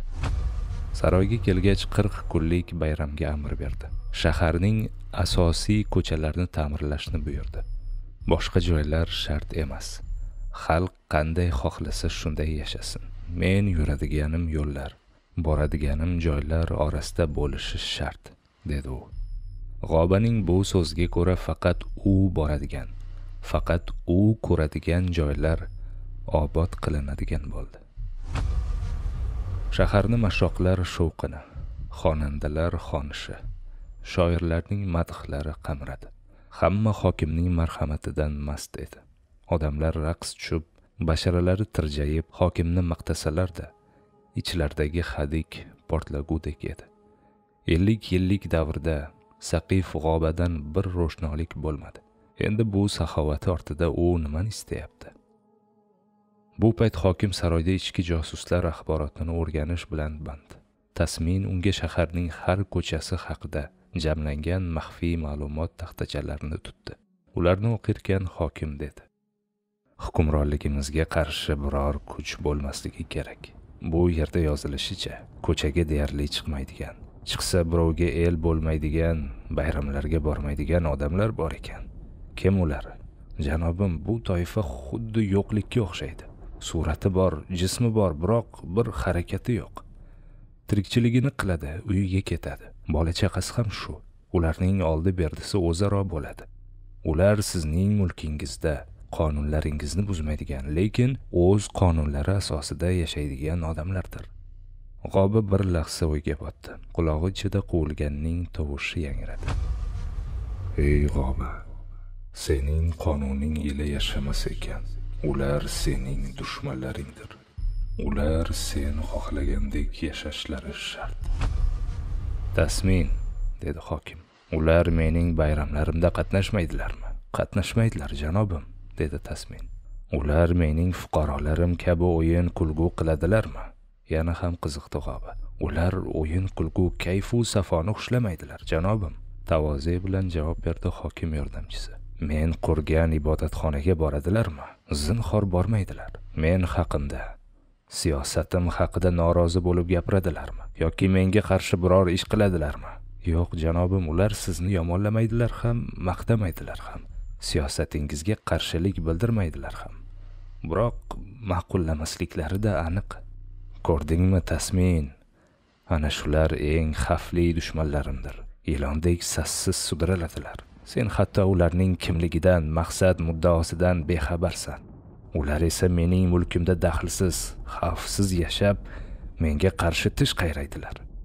Janobim bu gumonning biror dalili yo'q. U holda top. Ularni yaxshiroq nazorat qil. Men tomonda bo'lmagan odam mening yo'rig'imdan yurmagan kishi mening nog'oramga raqs tushmagan inson shuni bilki ey tasmin mening dushmanimdir. Anavi pismiqlarning hammasini qama. Buyuk reja amalga oshirish fursati behad yaqin qoldi. Amrimni eshit jolut hazratlarini xudo deb tan olishga biz tayyormiz. Urdun vodiysida bir ulkan ibodatxona quramiz. Qadim podshohlar bobilda osma bog' qildilar. Fir'avnlar esa o'zlari oilasi uchun ehrom qurdirdilar. Buyuk imoratlar hukmdorlar qudratiga bir ramzdir. Jolut ibodatxonasini qurish uchun shahardagi hamma zindonni bo'shat. Mahbuslarning hammasini ishlat. Bergan nonimni oqlasin ular. Qolaversa buyuk ish bilan gunohlaridan poklanishsin. Yangi qamaladigan pismiqlarni zindonda ushlab tur. Mahbuslar qurilishda o'lishi bor kasallanishi bor. Keyin o'rniga keltirasan. Ungacha bular kaltak yeb nima ish buyursang bajaraman deydigan bo'ladi. O'qdingmi? O'qidim janobim. Ta'zim qildi tasmin asirlar ichida alohida avaylab olib kelganimiz sharqlik muhandislarga yaxshi sharoit qilib ber. Ular urdun vodiysiga borib hammadan oldin joylashsinlar. Qurilish joyini belgilasinlar. Kerakli xomashyoni topish harakatida bo'lsinlar. Xo'p bo'ladi janobim. Shohona aravamni hozirlat. Ibodatxonaga boraman. Ibodatxonaga kirib g'oba ajablandi. Bu yer o'likxonadek sovuq edi. Ibodatgo'ylar ham ko'rinmasdi. Bir ikki xizmatkor qandaydir ma'bud haykallarni artib surtib yurardi. Hoy astinoz qani deb ulardan birini chaqirdi saqif g'oba. Xizmatkor yugurib kelib tiz cho'kdi. Ustozimiz uzoq vaqtdan buyon xonalardan chiqmayaptilar dedi. Hokim hayron bo'ldi. So'ng meni uning xonasiga boshla dedi. Xizmatkor sakrab o'rnidan turdi da oldinga tushib chopqillab yo'l ko'rsatib g'obani ibodatxonaning tagiga olib tushdi. Kohinning xonasini ko'rsatdi. Hokim xizmatkorga ketaver dedi da ichkari kirdi. Kohin yerda o'tirib tavrot o'qir edi. G'obani ko'rib bir seskandiyu lekin o'rnidan jilmadi. Kohin hazratlari meni kutib olib ehtirom ko'rsatmaysizmi? O'n yildan buyon ko'rishmadik dedi saqif qobi bu holdan g'ijinib. Seni ko'rmagan o'n yilim eng yaxshi yillarim edi dedi astinos. G'obaning ustidan bir chelak muzday suv quyib yuborilgandek bo'ldi. Nima nima deyapsan ey isqirt chol deb astinosning yoqasidan ushlab dast ko'tardi. Ey kofir g'obaning qo'lidan chiqishga tirishib hayqirdi astinos. Sen mendan tavrotni o'zgartirishni so'rading. Ammo alloh tavrot ila meni o'zgartirdi. Allohdan bo'lak iloh yo'q deb guvohlik beraman. Muso uning bandasi va elchisi deb guvohlik beraman. G'oba cho'chib ketdi. Astinosni qo'yib yuborib ortga chekindi. Esingni yeb qo'ydingmi? dedi belidagi qilichini qindan sug'urarkan. Mening esim joyida. Sen esingni yig' ey kofir. Seni bu dunyoda xorlik oxiratda olovli jahannam kutyapti. G'oba o'zini tuta olmadi. Qilichini bor kuchi bilan astinosning ko'ksiga sanchdi. Astinos esa negadir jilmaydi. Og'zidan qon otilarkan saqif g'oba eshitadigan holda allohdan bo'lak iloh yo'q dedi.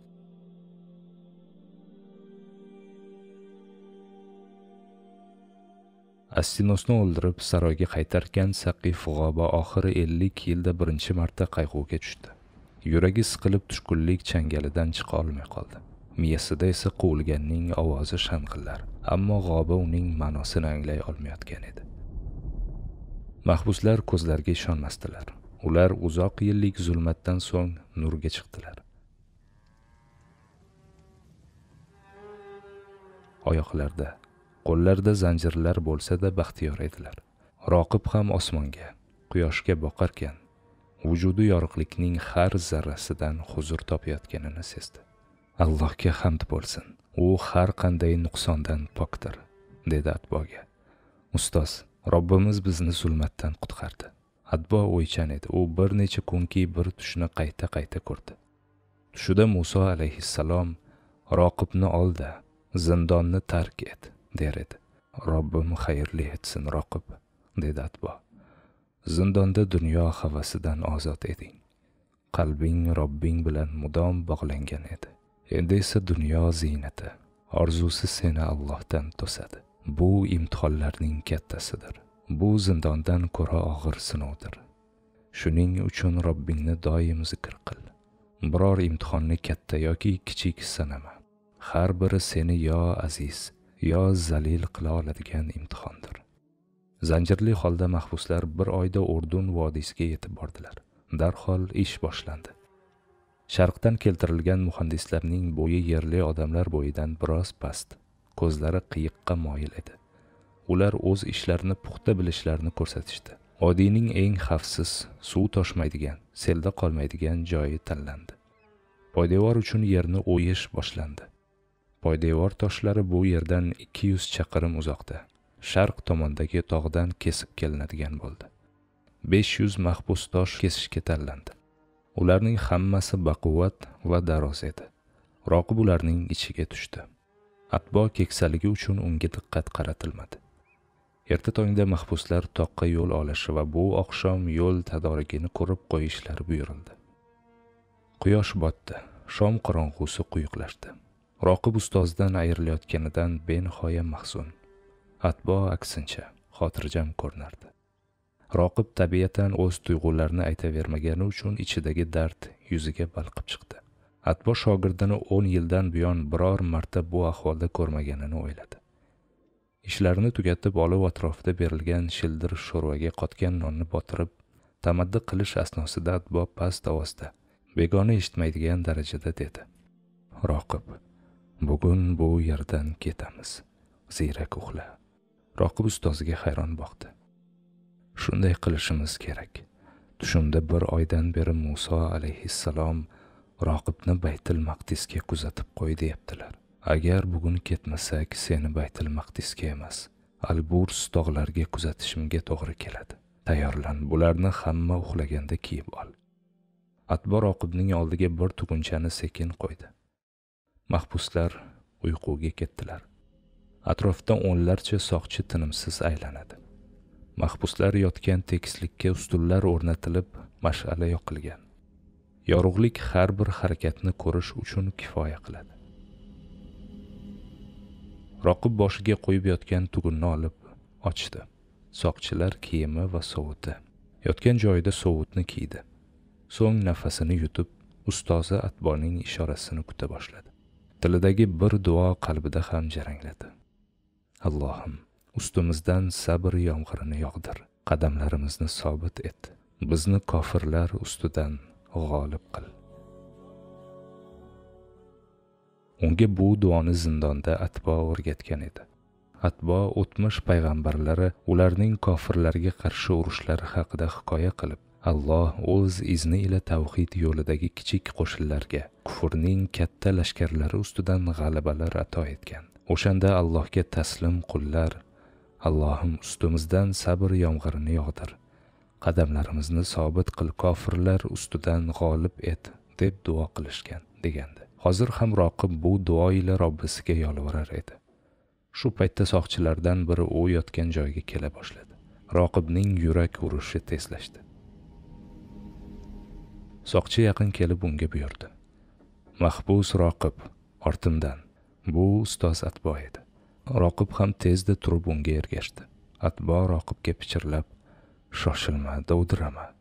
Xuddi soqchilardek mahbuslarni sanab yur dedi. So'ng qo'shimcha qildi. Anavi daraxt ortiga hojating qistab qolgandek bo'lib o't sal narida yerlangan ot turibdi. Minib daraga tush. O'sha yerda ko'rishamiz. Dara ichiga tushib roqib atrofga alangladi. Osmonda oy ko'rinmaydi. Yengil shabada esadi. Uzoqdan shig'irlab oqayotgan soy ovozi eshitilardi. Roqib atbo ham yetib keldi. Ketdik. Ikkovlari dara ichidan g'arb tomonga otni yeldirib ketishdi. Tongga yaqin daradan chiqishgach dasht boshlandi. Tuproq oq va qum aralash edi. Yantoq isiriq saksovul jing'il kabi butasmollar o'sib yotardi. Mashriq yorisha boshlaganda orqada otliqlar to'dasi ko'rindi. Ular ikki mahbusning yo'qolganini sezib otning tuyog'i izidan kelishayotgan edi. Ustoz va shogird otlarni yanada niqtashdi. Bir soatlarda quyosh chiqdi. Otliqlar juda olisda bo'lsa-da quvishdan to'xtash niyatlari yo'q edi. Atrof yaydoq bo'lib ko'zga ko'rinmay ketish mahol edi. Atbo to'xtadi. Roqib ham otning yuganini tortib ustoziga savolomuz qaradi. Menga muso alayhissalom roqibni kuzatib qo'y dedilar. Birga bor demadilar. Bolam baytul maqdis shu tarafda. Uni albatta allohning yordami va izni ila topib borasan. Men shu yerda qolaman. Mening safarim tugadi deb atbo otdan tushdi. Roqib ham yerga sakradi. Mening otimni o'zing bilan ol dedi atbo.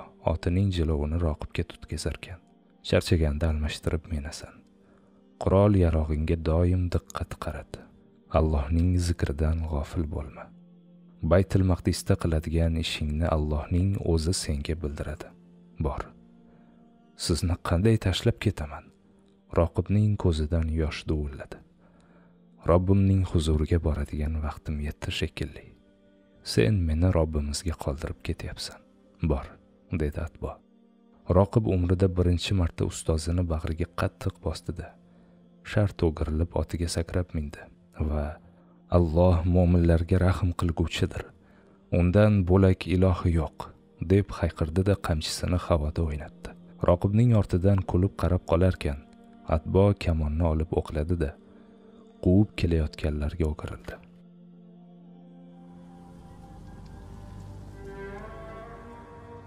Baytil maqdis xalqi shamoil alayhissalomning yo'liga ko'z tikmoqda. Va'da qilingan mo'jiza har kim uchun behad qiziq. Quyosh ikki nayza bo'yi ko'tarilganda yig'ilgan odamlar bir necha yuz mingga yetdi. Yoqub alayhissalomning kenja o'g'li binyamin avlodidan cho'pon tolutning podshohlikka tayinlangani haqidagi shov shuv bir kechadayoq hamma joyga tarqaldi. Tolutning podshohligi allohning bir mo'jiza belgisi orqali isbotlanishi xabari eng dangasa odamlarni ham bu yerga ohangrabo kabi tortdi. Shamuil alayhissalom tolut va ashoblari ila kirib keldi. Balandlikka ko'tarilib ey bani isroil dedi. Alloh tolutni sizlarga podshoh etib tanladi. Buning isbotini albatta allohning izni ila ko'rajaksiz. Shundan keyin shamuil alayhissalom ko'zlarini osmonga qaratib allohga hamd va tasbeh takbir o'qiy boshladi. Osmonni kuchli ovoz qamradi. Qarsillagan charsillagan tovushlar bir necha bor yangradi.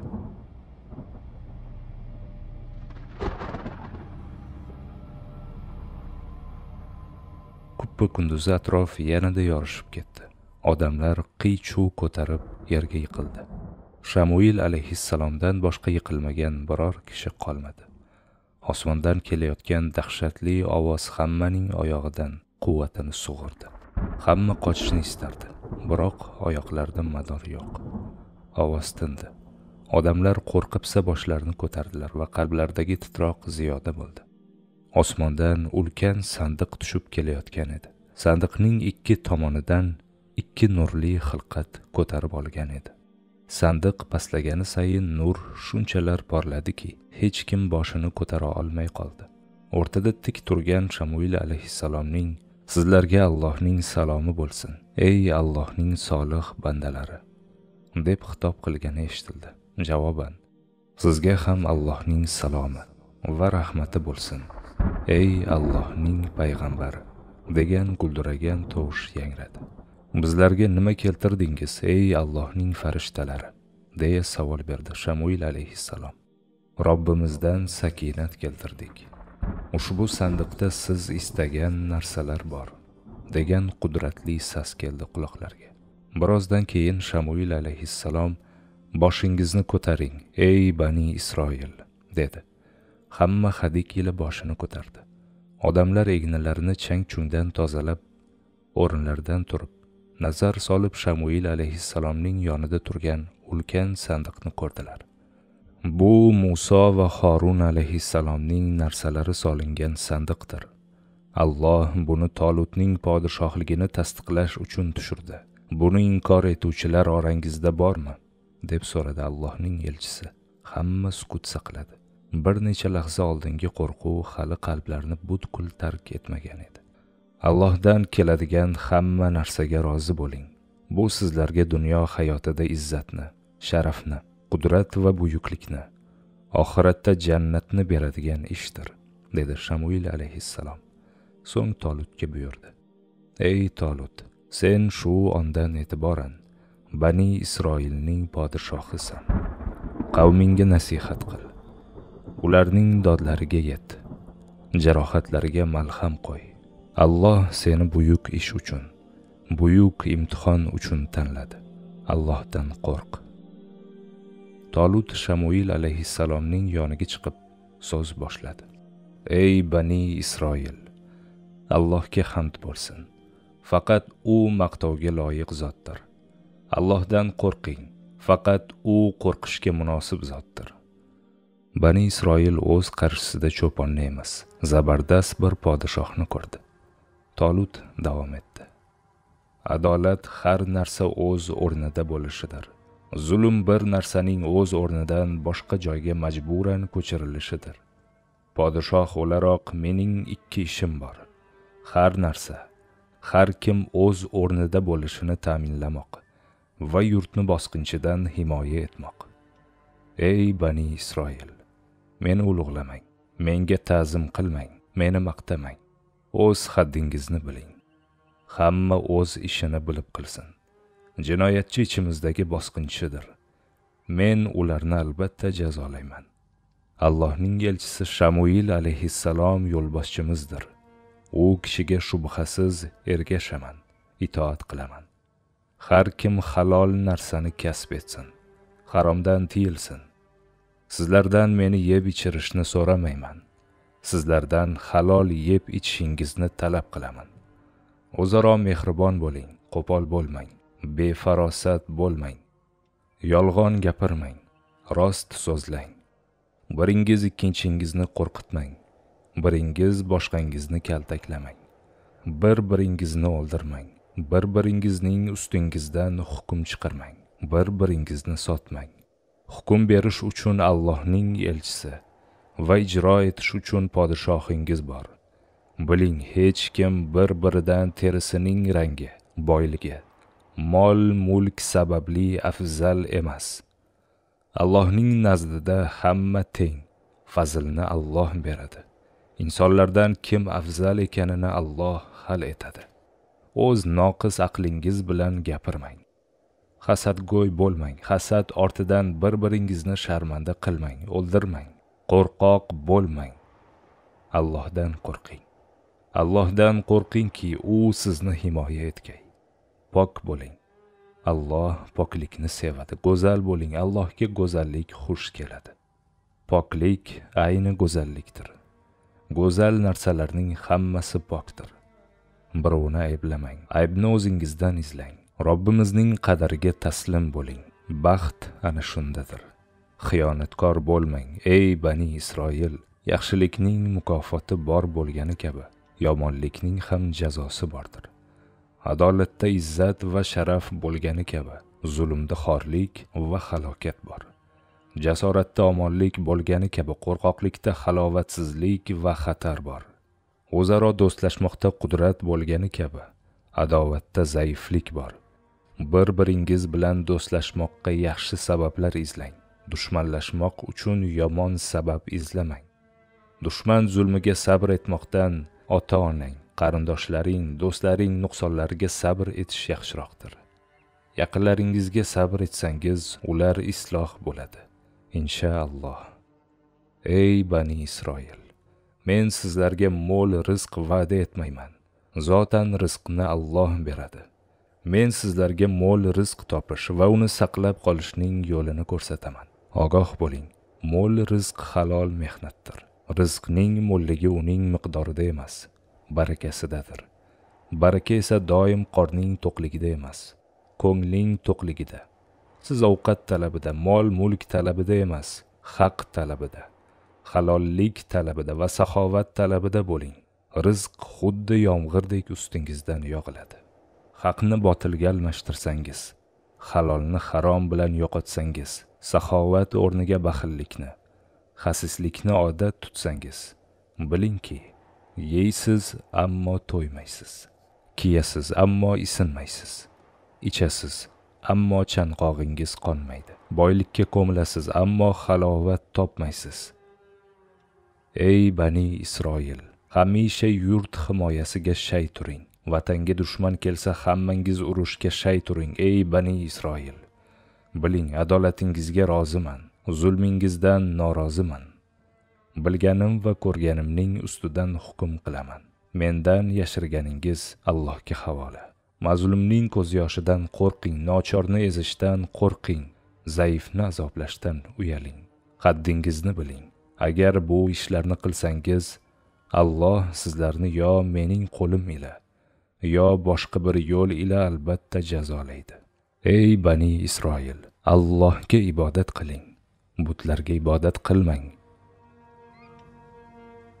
Mening nasihatim shu bu nasihatga amal qilsangiz alloh bizga fazlni ziyoda qiladi. Bu nasihatni nazarga ilmasangiz mensimasangiz sizning ahvolingiz og'ir. Demak qalbingiz g'aflat changalida halok bo'libdi. Kelajagingizda halokat kuting. Bu nasihatni qabul etsangiz yer yuzida izzat va sharaf xalqlar qavmlar ichida kuch qudrat obro' va yuksaklik topasiz. Oxiratda esa allohning izni va marhamati ila jannatga kirajaksiz bilingki jolut albatta baytil maqdisga keladi ammo kelmay turib uning ustiga biz boramiz. U bilan hisobli ishlarimiz bor. Tarqaling. Ertaga yana yig'ilib shu masalada so'zlashamiz inshaalloh bani isroil podshohning nutqidan mutassir bo'ldi. Ular qarshilarida bir podshohni ko'rib unda hokimiyat qudrati va adolat qat'iyatini his etdilar. O'zlarini mard hamiyatli himmatli va sobit seza boshladilar. Qalblarida podshohlarga bir muhabbat va itoat uyg'ondi. Yillarki davom etib kelayotgan sargardonlik beburdlik subutsizlik nihoya topgandek edi. Hech kim tinglamaydigan mazlum faryodining bir eshituvchisi kelgan edi. Hech kim rahm etmaydigan bechoralarning jarohatiga malham qo'yuvchi marhamatli podshoh qoshlarida salobatla turgandek edi. Egilgan boshlar ko'tarildi ezilgan qadlar rostlandi. Shu bilan barobar odamlar podshohning qanday tartibda ishlashini hali bilmasdilar. Biroq xalqning juda katta qismi alloh ato etgan podshohga taslim bo'lib uning amrlarini bajarishga tayyor edi. Tolut erta tongda baytil maqdis ko'chalaridan yurib shamuil alayhissalomning uyiga kelarkan shaharning har kungidan toza va pok ekanini bildi. Odamlar tongdan o'z uylarini ko'chalarni tozalashgan edi. Jolut bilan jang og'ir bo'ladi dedi tolut allohga hamd aytgach. Urushga jismonan baquvvat matonatli. Qurol ishlata oladigan. Qo'rqmas kishilar boradilar agar kimnidir urushdan qaytarsam bu uni qo'rqoq matonatsiz deganim emas. Uning xizmati baytil maqdis ichida ko'proq kerak deganimdir. Urushda lashkarni men boshqaraman. Har bir jangchi menga so'zsiz bo'ysunishi shart. Qol desam o'lim kelsa ham joyida qolsin. Qoch desam oltindan tog' ko'rsatsalar ham qochsin. Aks holda bizning lashkarimizdan manfaat yo'qdir. Ey odamlar meni eshiting. Urush cheksiz mashaqqatdir. Unda hordiq yo'q lazzat yo'q surur yo'q. U qatldir u charchoqdir. U halovatsizlikdir. Urushga avvalo yashashdan hayotdan umidni uzib keyin boriladi. Agar yashayman deb borsang sen sening xalqing dushmanga mag'lub bo'ladi. O'limga tik borsang u sendan chekinadi. Ya'ni sen o'lim qo'rquvini yengasan. Shuning uchun lashkarga kiradigan har odamni og'ir tayyorgarliklar kutyapti. Lashkar ichida issiq to'shak qaynoq ovqat yo'q. To'shaging toshli yer ovqating mashaqqatdir. Shu narsalarga rozi bo'lganlar baytil maqdisning sharqiy devorlari ostidagi maydonga to'plansin. Bir soat ichida men lashkar olish sinovini boshlayman. Shamuil alayhissalom bilan birga maydonga borgan tolut bo'lajak jangchilarni mahoratini tekshirishni boshladi. Lashkar uchun saralash bir oy davom etdi. Har kuni tolut saralashdan o'tganlarni bir bo'linma shaklida shahardan tashqariga o'zlarining ichidan bir odamni bosh qilib harbiy mashg'ulotlar uchun chiqarib yuboraverdi. Eng usta temirchilar harbiy qarorgohlarga o'z ustaxonalarini o'rnatib qurol yarog' yasashni boshladilar. Bani isroil katta jo'shqinlik ichida edi. Ularga tuganmas baraka yog'ilayotgandek edi. Odamlarning qo'li qo'liga tegmaydi. Bozorlar qaynaydi. Hamma jolut bilan jang haqida o'ylar. Butun qavm shuni oliy bir maqsad bilib birlashgan edi. Bir oyda hamma talabgorlar saralandi. Tolut sakson ming kishilik lashkarni bir necha bo'linmalarga ajratib baytil maqdisdan tashqariga joylashtirib bo'ldi. Jangchilar qilich kamon nayza oybolta xanjar va boshqa qurollar bilan mashq qilishga kirishdilar. Lashkarga urush va qoidalarni tushuntirish uchun tolut chodirdan chiqarkan ikki yosh yigit sinovdan o'tish uchun kelganini aytishdi. Tolut samuil alayhissalomga savol nazari ila qaradi. Shamuil alayhissalom ularni sina va lashkarga ol dedi. Chodir ichida ikki yosh yigit turgan edi. Ismlaringni aytinglar dedi tolut ularga. Ismim dovud ibn isho dedi jingalak sochli. Yuzi dumaloqdan kelgan biroz ozg'inrog'i. U yelkasiga bir xalta osib olgan edi. Men roqib ibn aslamman dedi oq sariqdan kelgan oltinrang sochi yelkasiga tushgan nisbatan gavdali va baquvvatrog'i. Ikkisidan ham bir xil ixlos va g'ayrat yog'ilardi. Lashkardan ikki kishini tanlaymiz. Kurash tushasizlar dedi podshoh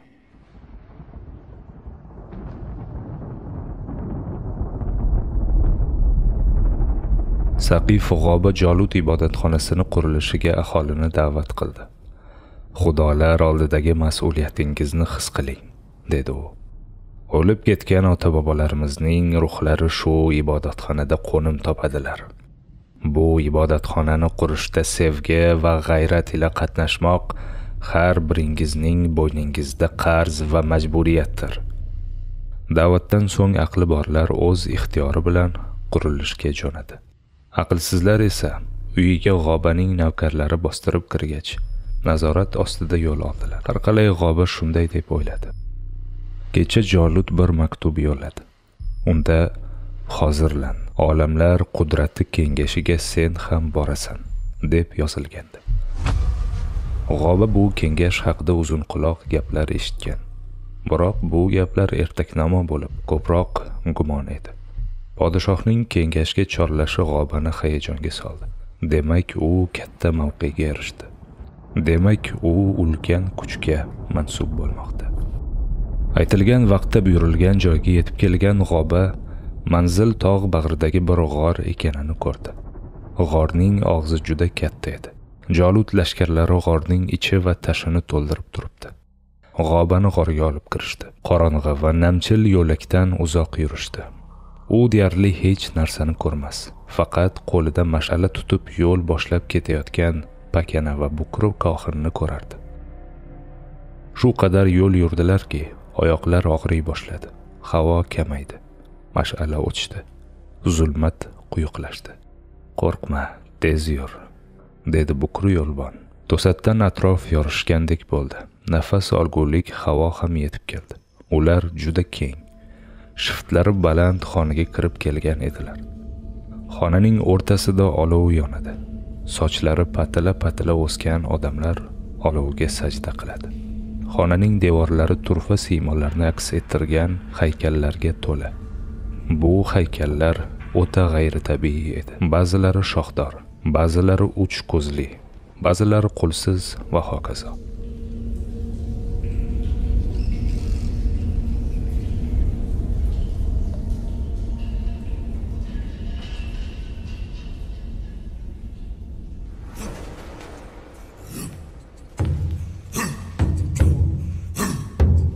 Tuyqus qiychuv ko'tarildi. Qandaydir childirma.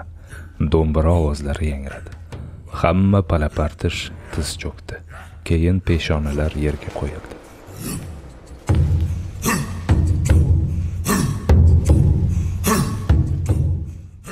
Boshingizni ko'taring degan amr bo'ldi. Hamma boshini ko'tardi. Jolut keksa va juda ham xunuk chol bilan suhbatlashib kelayotgan edi. Chol saksovulga o'xshardi. Yonoqlari turtib chiqqan boshi kal yakkam dukkam sochlari o'sib ketgan. Ko'sa oyoqlari qiyshiq va burishiq yapaloq va barmoqsiz edi. Biroq xuddi tovuqnikidek bir nechta tirnoqlari bor. Ular olov yonidan o'tib taxtga chiqishdi. Taxt keng bo'lib ikki kishini bemalol sig'dira olardi. Hamma jolut va hamrohining og'ziga tikildi. Bu zot mening ustozim jinlar va devlar saltanatining sultoni. U kishi menga bir umr hamroh bo'ldi. O'z lashkari ila menga hamisha yordam berdi dedi jolut chol tirjayib bosh silkidi. Xonada sanoqsiz jinlar devlar va shaytonlar paydo bo'ldi. G'oba ham qo'rqdi ham mamnun bo'ldi. Maqsadimiz yer yuzida cheksiz hukmronlik o'rnatishdir dedi jolut. Odamlarning hammasi bizga bo'ysunsin bizga ibodat qilsin. Bizning qonun bilan yashasin biroq bizga qarshilik qilib kelayotgan bir kuch bor. Bu o'zini allohning payg'ambari deb ataydigan odamlardir. Ular ishimizni doim chippakka chiqaradilar. Endi unday bo'lmaydi. Buni bizga shaytonlar sultoni aytadi dedi jolut chol hiringlab kuldi. Menga qurbonlik qani dedi.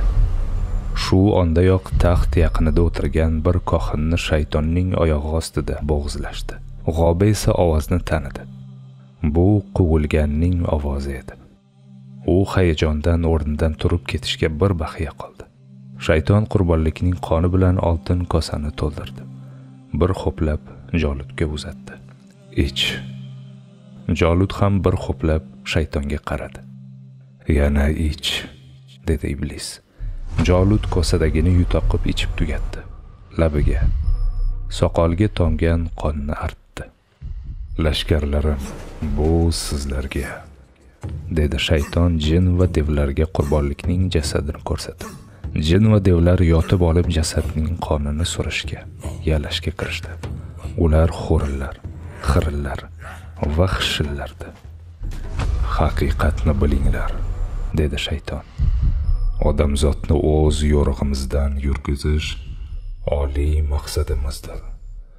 Bu ishdan aslo ortga qaytmayman. Menga yordam berganlarni xudo maqomiga ko'taraman. Dedi iblis. Yer yuzida unga hamma bo'ysunadi jolut shu sharafga erishdi. Odamlarni bo'ysundirish ham oson ham qiyin. Osonligi uni alday olamiz. Qiyinligi odamlar yakka allohga ibodat qilsalar ularni yengishda mashaqqatga uchraymiz. Hozirgacha menda yaxshi natijalar bor. Shunday deb shayton qo'ynidan papirusga o'xshab buklangan yozuvlarni olib o'qiy boshladi. Odamlarning ichini gumon bilan to'ldirdim. Ularga o'z akslarini go'zal ko'rsatib rasmlar chizdirdim. Bu rasmlarga ular ibodat qilishni boshladilar. Odamlar orasida faxshni yoydim.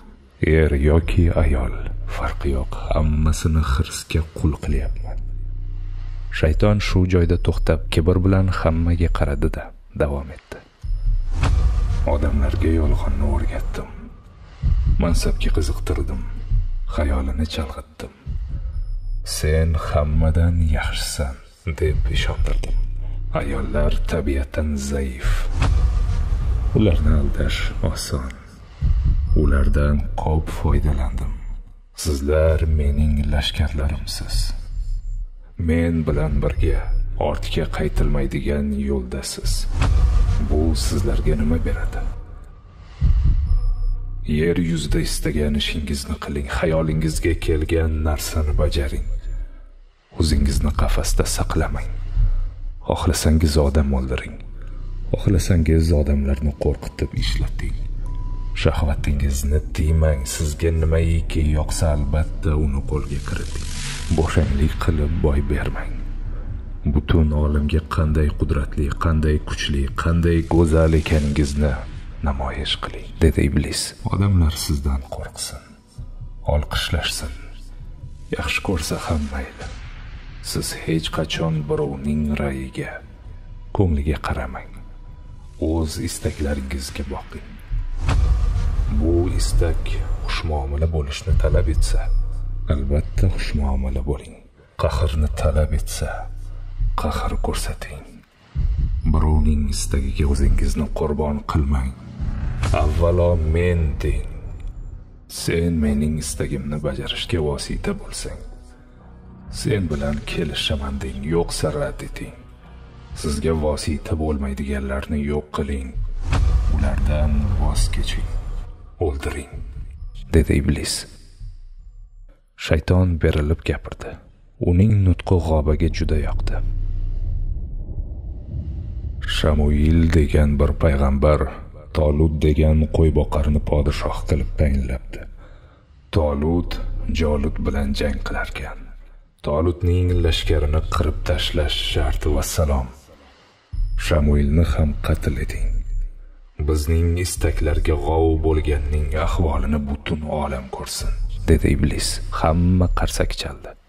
Shunday chapak chalindiki uning shamoli olovini qimirlatib yubordi. Shayton chapak ovozidan qarsak guldirosidan lazzatlandi va yana jo'shib davom etdi. Bizning yer yuzidagi hukmronligimizni odamzodni boshqarishimizni istamaydigan bitta kuch bor. Bu payg'ambarlardir. Ularning hammasi insoniyatni osmonga bog'lashga intiladilar. Osmondan xabar olib kelishadi. Biz payg'ambarlarga ular olib kelayotgan hamma narsaga dushmanmiz. Ular jo'natadigan hamma qonunni sindiring. Yo'q qiling. Odamzodning samo bilan bog'lanishiga yo'l qo'ymang dedi iblis. Shayton lashkari bir ovozdan baqirdi. Ha ha ha. Shunday dedi shayton mamnuniyatdan ko'zi qisilib. Odamlarni birdan bo'ysundira olmaysiz. Ularga ularning sevimli tarafidan keling. Farzandini sevsa farzandi bilan tahdid eting. Ayolini sevsa ayol bilan aldang. Jonini yaxshi ko'rsa jonini olish bilan qo'rqiting nima qilsangiz qiling. Insonni bo'ysundiring. Rostgo'y odamni rostgo'yligi bilan chalg'iting. Jasoratli odamni jasorati bilan o'zini boylang. Odamlarni kibr bilan zaharlang. Havolantiring va qalblarni o'lim qo'rquvi bilan to'ldiring. Shunda ularni bemalol o'z yo'lingizdan olib ketaverasiz dedi iblis. Ha ha ha deb chuvilladi lashkar. Sehr. Bizning eng yaxshi qurolimizdir. Sehr bilan aksar qalblarni halok etishimiz mumkin. Orangizda katta katta sehrgarlar bor folbinlar bor ularga biriktirilgan jinlar bor. Ular hamisha bizning xizmatimizda dedi iblis. Shayton yana olqishlar og'ushida huzurlandi. So'ng ibodat marosimi boshlandi. Kelganlarning barchasi shayton amriga ko'ra butlarni ulug'lashdi. Olovdan yordam so'radilar. Qon aralashgan sharoblarni ichdilar. Ushbu marosim g'obaga kuch bag'ishlagandek edi. Endi u o'zini cheksiz erk quchog'ida sezdi. Ibodatxona qurilishi va tolutga qarshi 200 ming kishilik qo'shin ta'minoti ishlariga sho'ng'ib ketdi. Jolut qo'shini urdun vodiysiga jamlandi. Harbiy mashqlar boshlandi. Shamuilning o'limi tolut lashkarining yer yuzidan yo'qotilishi bizga katta qudrat beradi dedi jolut saqif g'obi bilan lashkar ichida aylanarkan. Jinlar devlar biz tomonda. Bizda juda katta boylik urush tajribasi. Sanoqsiz qurol yarog' yuzlab hiylalar bor. Shayton hamisha maslahatga shay. Lashkarning istaganini beramiz. Ular bizning istaganimizni bajarishadi. Hukmronlik zinhor qo'limizdan ketmasin. Sen hamisha menga bo'ysun. Agar xayolingda boshqa o'y bo'lsa voz kech. Sen mendan kuchliroq bo'lishga intilgan oningda halok bo'lasan. Aslo bunday gumon qilmang hukmdorim dedi g'oba. Men sizning qulingizman. Siz meni tarbiyaladingiz. Yo'l ko'rsatdingiz kuch qudrat berdingiz.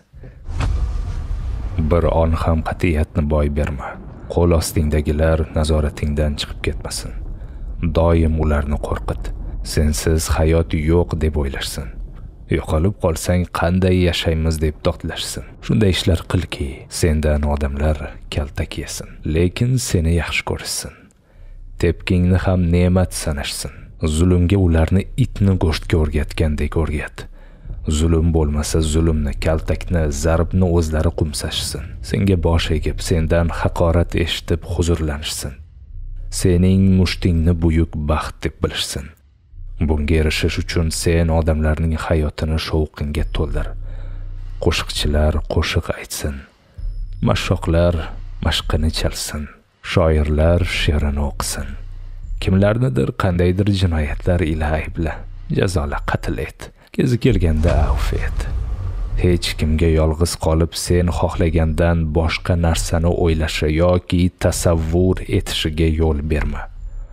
Odamlar sen istagan narsani o'ylashsin sen istagan narsani orzu qilishsin. Sen istagan narsani ko'rishsin va gapirishsin. Tushlarini ham sen xohlagandek ko'rishsin. Ularni shu qadar changalda qattiq ushla. Kimdir sen belgilagan hududdan chiqsa dushman telba majnun jinoyatchi deb sazoyi qil. Biror odam senga isyon qilish sening tasarrufingdan chiqishni xayoliga ham keltira olmasin. Uqdingmi g'oba deb so'radi jolud g'oba bu nasihatlardan to'lqinlanib ketdi. Uqdim uqdim hukmdorim. Dedi butun vujudi qaltirab. Yaxshi jolud shogirdidan qoniqdi. G'oba tiz cho'kib o'kirab yig'lab yubordi va joludning etagini o'pa boshladi. Yangi kelganlarni sinash uchun tolut ikki kishini chaqirdi. O'zini dovud ibn isho deb tanitgan yigit kurashga shaylanib yelkasidagi xaltani yerga qo'ydi. Xaltada og'irroq nimadir borligi bilindi. Shamuil alayhissalom aynan shu xaltaga diqqat bilan qarab qo'ydi. Dovud raqibini uzoq cho'zmasdan mag'lub qildi. Holbuki kurashga chiqqan odam o'z jamoasining kuchlilaridan edi. Ismini roqib deb aytgan yigitning ham qarshisida raqibi paydo bo'ldi. U ham kurashchiligi qilichbozligi bilan nom qozonganlardan edi. Ular bel olishdilar. Olishuv bir necha daqiqaga cho'zildi. Raqibi roqibning mahoratli ustozdan yaxshi ta'lim olganini yigitning himoya va hujumiga qarab tezda fahmladi. Roqib olisharkan qarshisidan tajribali va baquvvat jangchi chiqqanini sezdi. Raqibi bir qancha hujum uslublarini qo'lladi. Roqib o'zini yetarlicha himoya qildi. Muzoribida charchoq alomati paydo bo'lishi hamon hujumni kuchaytirdi va g'olib bo'ldi. Yangi kelgan ikki yigit o'zlarini lashkarga munosib ekanliklarini hammaning ko'z o'ngida isbotladi. Tolut ularni bo'linmalardan biriga biriktirdi. Yigitlar ketarkan shamuil alayhissalom ey dovud ibn isho bu yoqqa kel dedi. Dovud kelib salom berdi. Allohning elchisi so'radi xaltangdagi nima? Toshlar dedi dovud. Nega toshni ovora bo'lib ko'tarib yuribsan?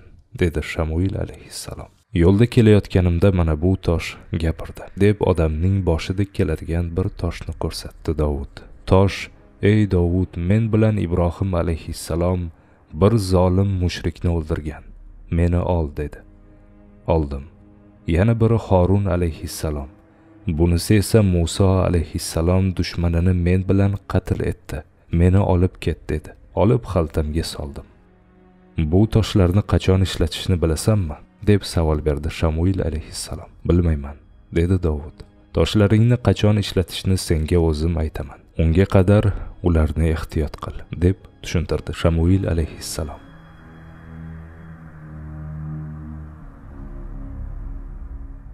Oradan uch kun o'tdi.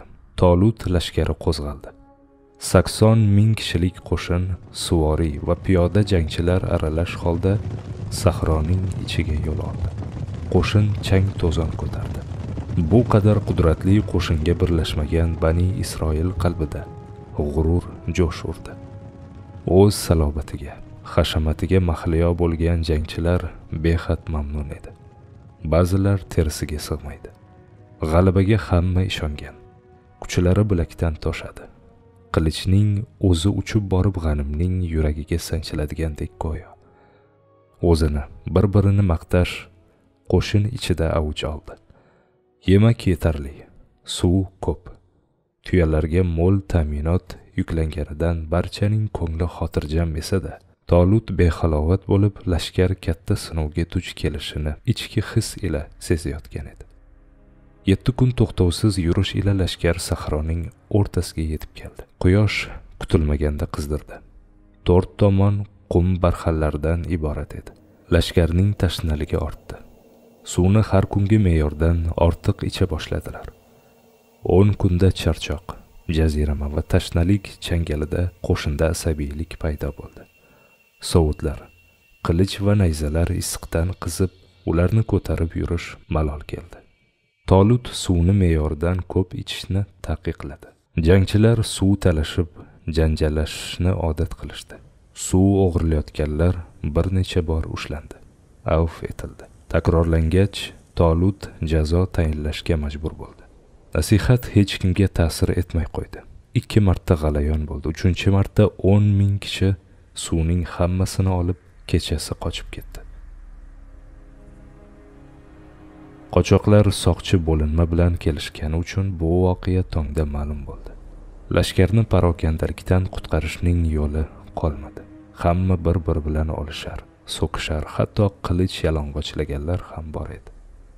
O'n o'n besh kun avvalgi ko'tarinkilikdan asar ham qolmadi. Lashkarning bir qismi qochoqlarni quvib yetishni talab qildi. Bir qismi ortga qaytishni so'radi. Tolut o'z atrofidagi o'n ming lashkar himoya choralarini ko'rishga majbur edi. Isyonkorlar soni ko'p.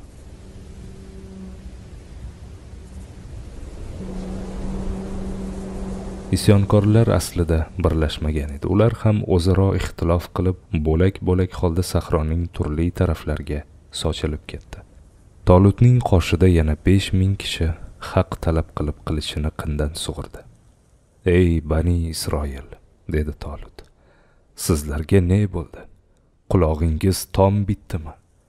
Nechun nasihatni eshitmaysiz?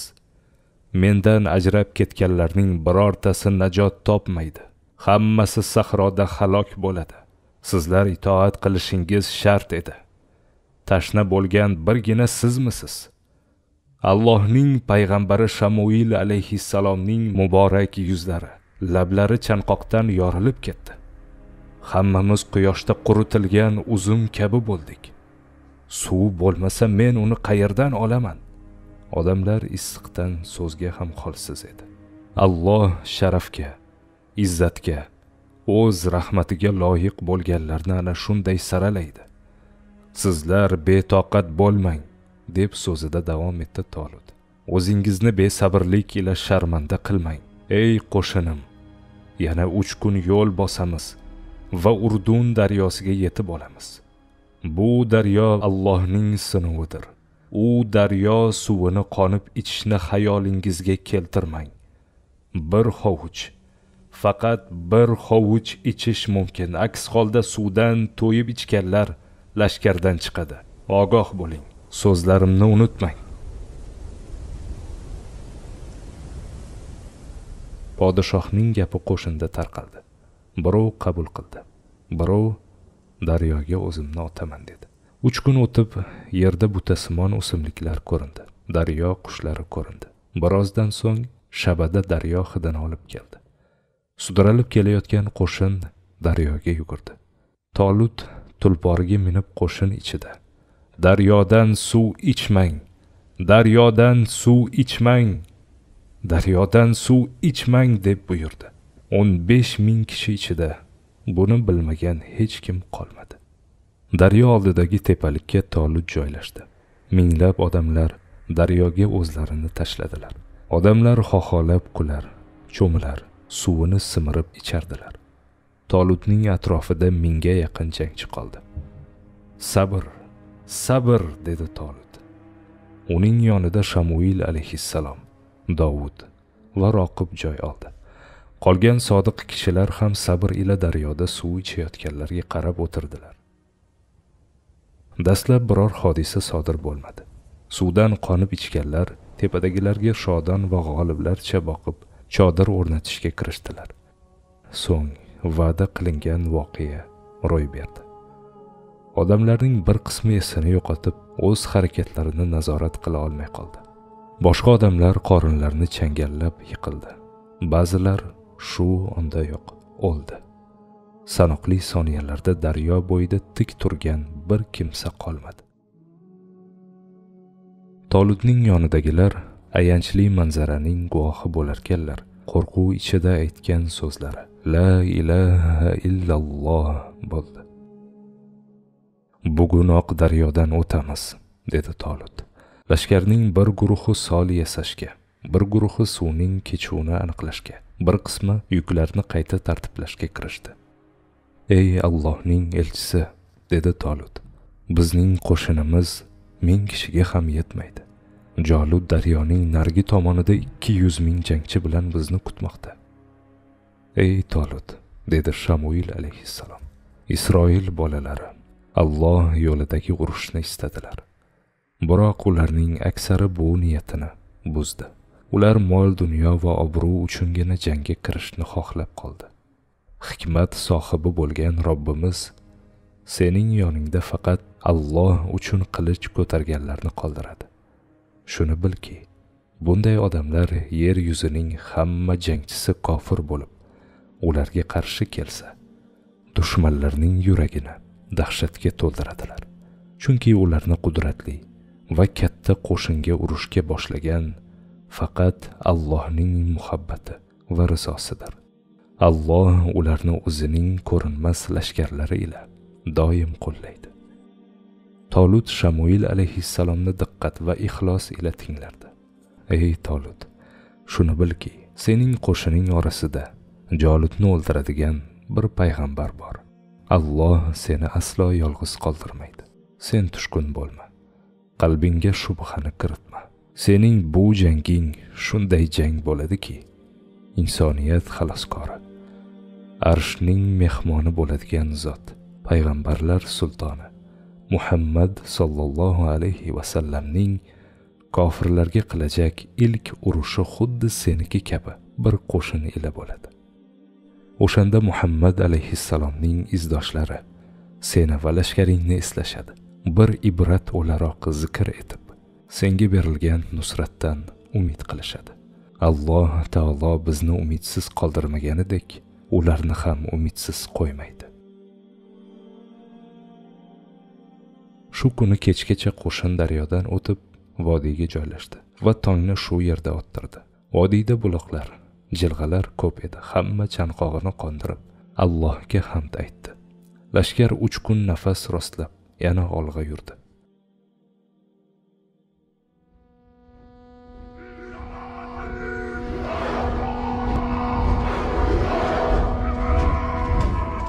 Vodiydan chiqdilar. Va mashriqni bulutdek qoplagan jolut qo'shinini ko'rdilar. Ikki lashkar ulkan tekislik ustida bo'lib oralarida ming chaqirim masofa bor edi. Jolut bu payt mashq bilan band edi. Keksa podshoh bir o'zi eng baquvvat va jangovar jangchisi bilan jang tayyorgarligini o'tkazayotgan edi.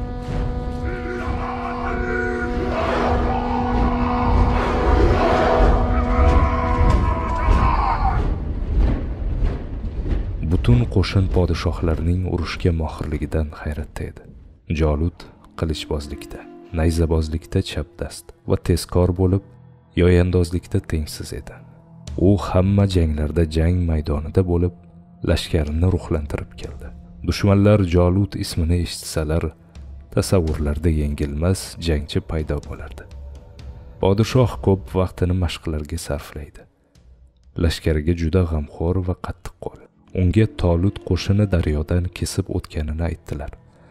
Jolut jangni to'xtatdi va maxsus mayoqqa chiqdi. Bir hovuch lashkar chodir tikayotgan edi. U kulgidan o'zini to'xtata olmay qoldi. Ey saqif g'oba ana ularni ko'r dedi qahqah otib. Necha yilki xizmatkor qul ayonlardan hech kim jolutning bu qadar kulganini ko'rmagan. Podshohning kulgisidan hadiksirab o'z dushmanlariga qaradilar. Ular juda ko'p qo'shinni ko'rdilar. Buni podshohga ayta olmadilar. Chunki jolut boshqa o'yda edi. U sakson ming kishilik lashkarni kutib o'ta puxta tayyorlandi. Tunlari uxlamay lashkarning hujum rejasini tuzdi. Suvoriylar hujumi kamonchilar hujumi qilichbozlar urushi va pistirma haqida fikrladi. Sakson yil taxtda o'tirib biror urushga bu qadar jiddiy qaramaganini o'zi yaxshi eslaydi. Shayton ham qarshingda yer yuzida eng katta dushmaning turibdi degan edi. Jolut shu jangni o'zining eng mashaqqatli jangi bo'lishidan qo'rqib oxirgi paytlar juda ko'p mashq qildi. Hozir esa uni xavotirga solgan qo'shinning bir hovuchligidan ham kuldi ham g'azablandi. Bu ahmoqlarning qarshisiga shuncha qo'shin tortib chiqqanini qara. Axir hammasini bir o'zim yengib qo'yaman-ku deb o'yladi. Tolut qo'shinida norozilik boshlandi. Olti yuzga yaqin odam urushmay taslim bo'lish yoki ortga qochishni istadi. Ulardan bir vakil tolutning oldiga keldi. Ey tolut dedi u biz senga osmondan sandiq tushmasdan avval ergashdik. Sahroda tashna qoldik lekin ergashdik. Daryoda suv ichma deding ichmadik. Endi esa sendan talabimiz bor. Tolut unga xotirjam boqib dedi. O'zingni sharmanda qiladigan talabni aytma.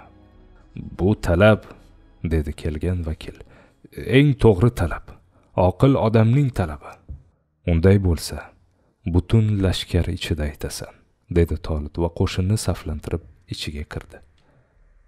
Ey bani isroil qo'shini dedi u mana bu odam o'z podshohidan nimadir talab qilishni istayotgan ekan. Men unga sharmandali narsani talab qilma dedim.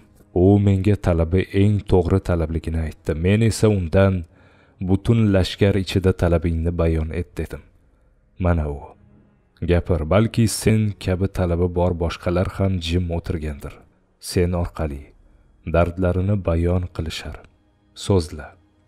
Talabgor aksari horg'in va umidsiz turgan lashkarga qarab oldi-da. Baland ovozda gap boshladi. Ey tolut sening Alloh tanlagan podshoh ekanligingga hammadan avval ishondik. Sahroda tashna bo'lsak-da yoningda qoldik. Daryodan suv ichmadik. Ya'ni hamisha sening itoatingda bo'ldik to'g'rimi? To'g'ri dedi tolut uning gapini tasdiqlab. Menga bo'ysunib zarar ko'rdingmi? Shikast yedingmi? Yo'q zarar ko'rmadik. Shikast yemadik omon qoldik. Shu paytga qadar sening aytganing bo'ldi. Endi bizning aytganimizni qil. Sen nimani istayapsan? so'radi tolut. Talabgor nafas rostlab oldi. Maqsadini aytdi. Biz jolutga qarshi urusha olmaymiz. Toqatimiz yetmaydi. Bizni olib ortga qayt. Jimlik ko'chdi tolut talabgorga qattiq tikildi va qo'shinga o'girildi. Shu narsani xohlayotganlar. Lashkardan chiqsin va mana bu tomonga saflaning. Bir necha daqiqada qo'shinning uchdan ikki qismi urushni istamasligini bildirib safdan chiqdi. Tolut shamuil alayhissalomga qaradi. Shamuil alayhissalom tuyasini niqtab o'rtaga chiqdi va allohga munosib maqtovni aytganidan so'ng so'z boshladi. Ey bani isroil!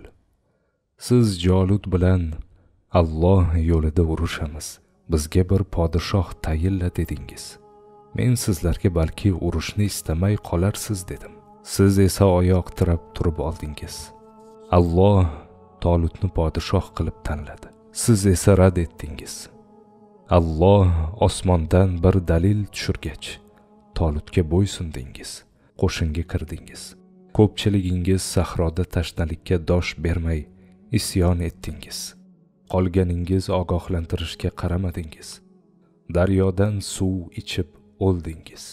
Endi esa jolutning qarshisida qo'rquvdan esingizni yo'qotib ortga qochamiz deysiz.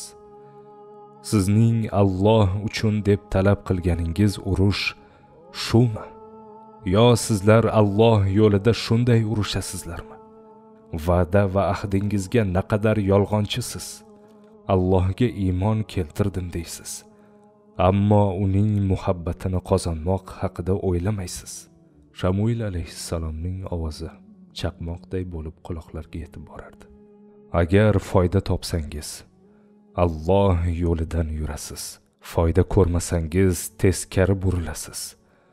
Joningiz omon qolsa biror xatar bo'lmasa xavfdan xoli bo'lsangiz alloh yo'lidaman deb ko'krak kerasiz. Joningizga xatar yetishi bilan ahdingizni unutib ortga burilib qochasiz.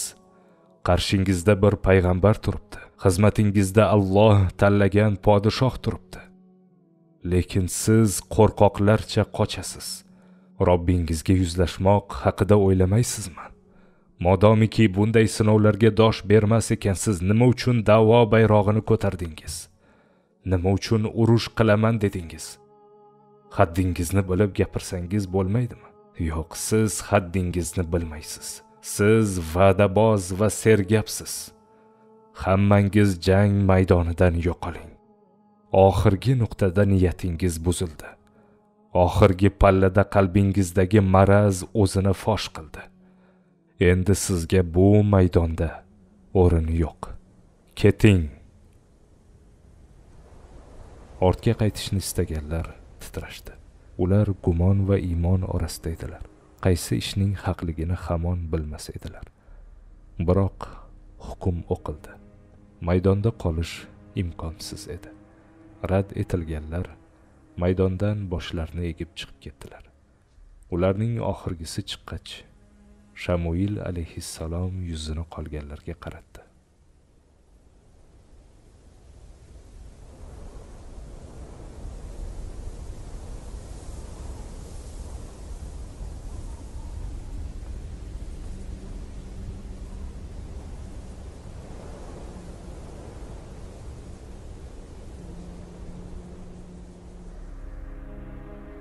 Ketadiganlar ketdi dedi shamuil alayhissalom.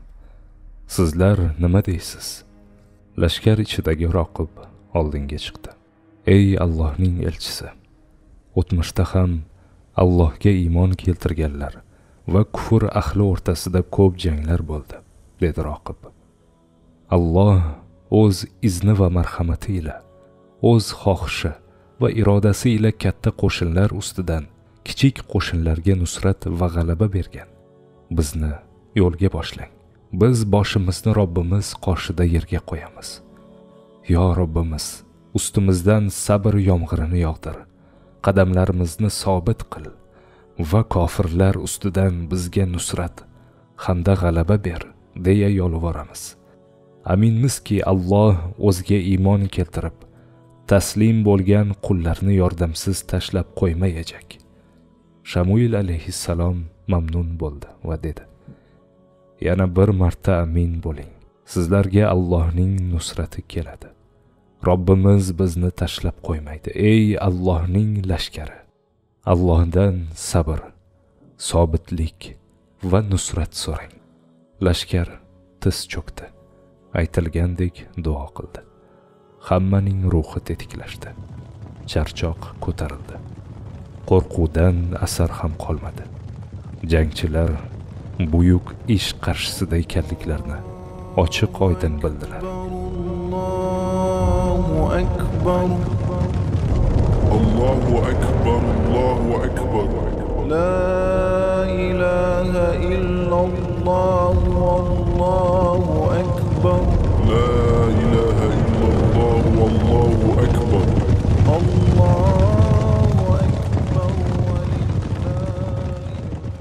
Shamuil alayhissalom dovud ibn ishoni topib ey dovud dedi yo'ldan topgan toshlaring qayerda?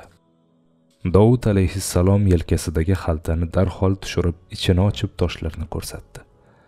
Ey dovud bil dedi shamuil alayhissalom shu toshlar bilan jolutni sen qatl etajaksan jolutga qarshi kim yakkama yakka urushga chiqadi deb so'ralsa ikkilanma va urushga chiq. Tolut qo'shini ertasi kuni tongda jolut qo'shini qarshisida saf tortdi.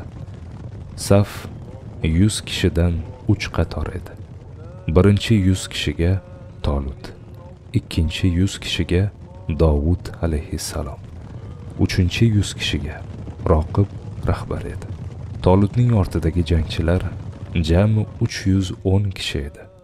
Ro'parada esa ikki yuz ming kishilik lashkar turar. Allohu akbaru kabira. Jolut o'zini baland qilib o'rnatgan taxtida sharob ichib o'tirardi. Ikki yuz ming odamim bir vaqtda o'qotsa ham bulardan bir kishi omon qolmaydi deb o'yladi jolut. Qaysi aql bilan shamuil va tolud mening lashkarim qarshisida saf tizdi. Bu qanday haqorat? Deb o'yladi jolud jolud bu ishi uchun tolutni qanday jazolash haqidagina xayol qildi. U bir narsadan g'ofil edi. U o'z lashkari ko'rib turgan narsani ko'rmadi. Alloh tolut qo'shinini joluddan boshqa hammaga benihoya ko'p va ulkan qilib ko'rsatdi. Jolut esa uch yuz kishini o'ttiz kishi deb ham hisoblamadi. O'rnidan turib taxtdan tushdi. Otini keltirishdi. Minarkan dedi. Ey qo'shinim bilingki bir o'zim anavi ahmoqlarni yengaman. Shu ondayoq saqif g'obi tiz cho'kib yer o'pdi va dedi. Podshohim podshohim izn bering. Biz hujum qilaylik. Ular qilichingizni qindan chiqarishingizga da e, arzimaydi. Jolud g'obaga qarab turdi da ko't dedi. Maydonga ot choptirib kirib tolut qo'shiniga baqirdi. Ey ahmoqlar qo'shini qaysi biring men bilan yakkama yakka jang qila olasan? Shamuil alayhissalom darhol tolutga dedi. U sening qo'lingda o'lmaydi. Lashkarga jolutni o'ldirgan odamga qizingni berib o'zingga voris deb e'lon qilishingni ayt. Tolut ot o'ynatib lashkarga yuzlandi. Ey jangchilar kim shu kofirni o'ldirsa? Yakkayu yagona qizimni unga berib o'zimdan so'ng taxtni qoldiraman. Chiqing. Qo'shindan dovud alayhissalom chiqib jolutni allohning izni ila men o'ldiraman dedi. U holda bor. Dovud alayhissalom xaltasidan bir dona toshni sopqoniga joylab jolutga qarab piyoda yurdi. Jolut o'ziga yugurib kelayotgan yoshgina jangchini ko'rib yanada g'azablandi. Nayzasining uchini unga mo'ljallab ot soldi. Ikki tomon nafasini yutib qarab turardi. Deyarli hamma jolutning nayzasi yosh jangchini o'ldirishini taxmin qildi. Lekin kutilmaganda dovud alayhissalom otgan mushtday tosh jolutning o'ng yelkasiga tegib uni otdan uchirib yubordi. Jolut o'zining yerda yotganini ko'rib bo'kirdi. Va otilib o'rnidan turdi. O'ng yelkasidagi og'riqqa qaramay yerdan nayzasini olib dovud alayhissalomga otish uchun tashlandi. Biroq yana bir mushtday tosh uning chap yelkasiga tegib suyagini sindirdi. Jolut ixrab tiz cho'kib qoldi va nayzasiga suyandi. Dovud alayhissalom endi naq kalladay keladigan toshni sopqonga joyladi. Bu tosh jolutning qoq peshonasiga borib tegdi. Va shayton joylashib olgan boshini tarvuzday yorib majaqlab yubordi. Qonga belangan jolut yuztuban yerga yiqildi. Allohu akbar. Allohu akbar. Allohu akbar. Tolut lashkarining takbir aytgan ovozi jang maydonini qo'porib yubordi go'yo. Maydondagi har bir zarra tuproq qum va chang ham allohu akbar deb takbir aytayotganday edi. Jolut lashkari qo'rquvdan ortga qarab qochdi. It egasini mushuk bekasini tanimay qoldi. Hamma qiy chuv ko'tardi. Biroq saqif g'oba aqlini yo'qotmadi. Biroz hayajonlansa-da o'zini bosib qo'l ostidagi shaxsiy ming kishilik bo'linmasi bilan tolut tomon yurdi. Tolut roqibga buyurdi. Hujumga o't va alloh nomi ila uni yanchib tashla. Roqib o'z lashkari bilan saqif g'obi ustiga o'qdek otildi. G'obaning lashkari o'zlariga kelayotgan qo'shinni ko'rib esdan og'ib qolgudek bo'lib ortga qocha boshladi. Jangda yolg'iz saqif g'oba qolib ketdi. Ana shu onda g'oba qo'rqdi. Biroq qarshisida unga qilich o'qtalib kelayotgan yosh jangchini tanigandek bo'ldi. Va eslab sen muassarning avlodimisan deb baqirdi. Roqib bir zarb ila g'obaning qo'lini uzdi. Ikkinchi zarb zolimning oyog'ini to'rt kesib tashladi. G'oba gapirishga holi qolmay qonga belanib yiqilarkan tepasida shayton paydo bo'ldi. O'rningdan tur yiqilma dedi. Uning ovozi g'obaga kuch bergandek bo'ldi. Bir amallab boshini ko'targan edi. Roqibning qilichi uni chopdi. Ustabidning kallasi yerga dumalab tuproqqa qorildi. Boshidan ayrilgan g'oba uni dahshatli odamlar olovga sudrashayotganini his etib dodladi. Allohu akbar. Shunda u qochib ketayotgan shaytonni ko'rib qoldi. Hoy menga yordam ber. Meni qutqar. Meni shu yo'lga sen boshlading dedi. Shayton esa unga zaharxanda qarab seni hech narsaga majburlamadim. Hammasini o'zing qilding. Jahannamda kuyib kul bo'l deya ko'zdan g'oyib bo'ldi.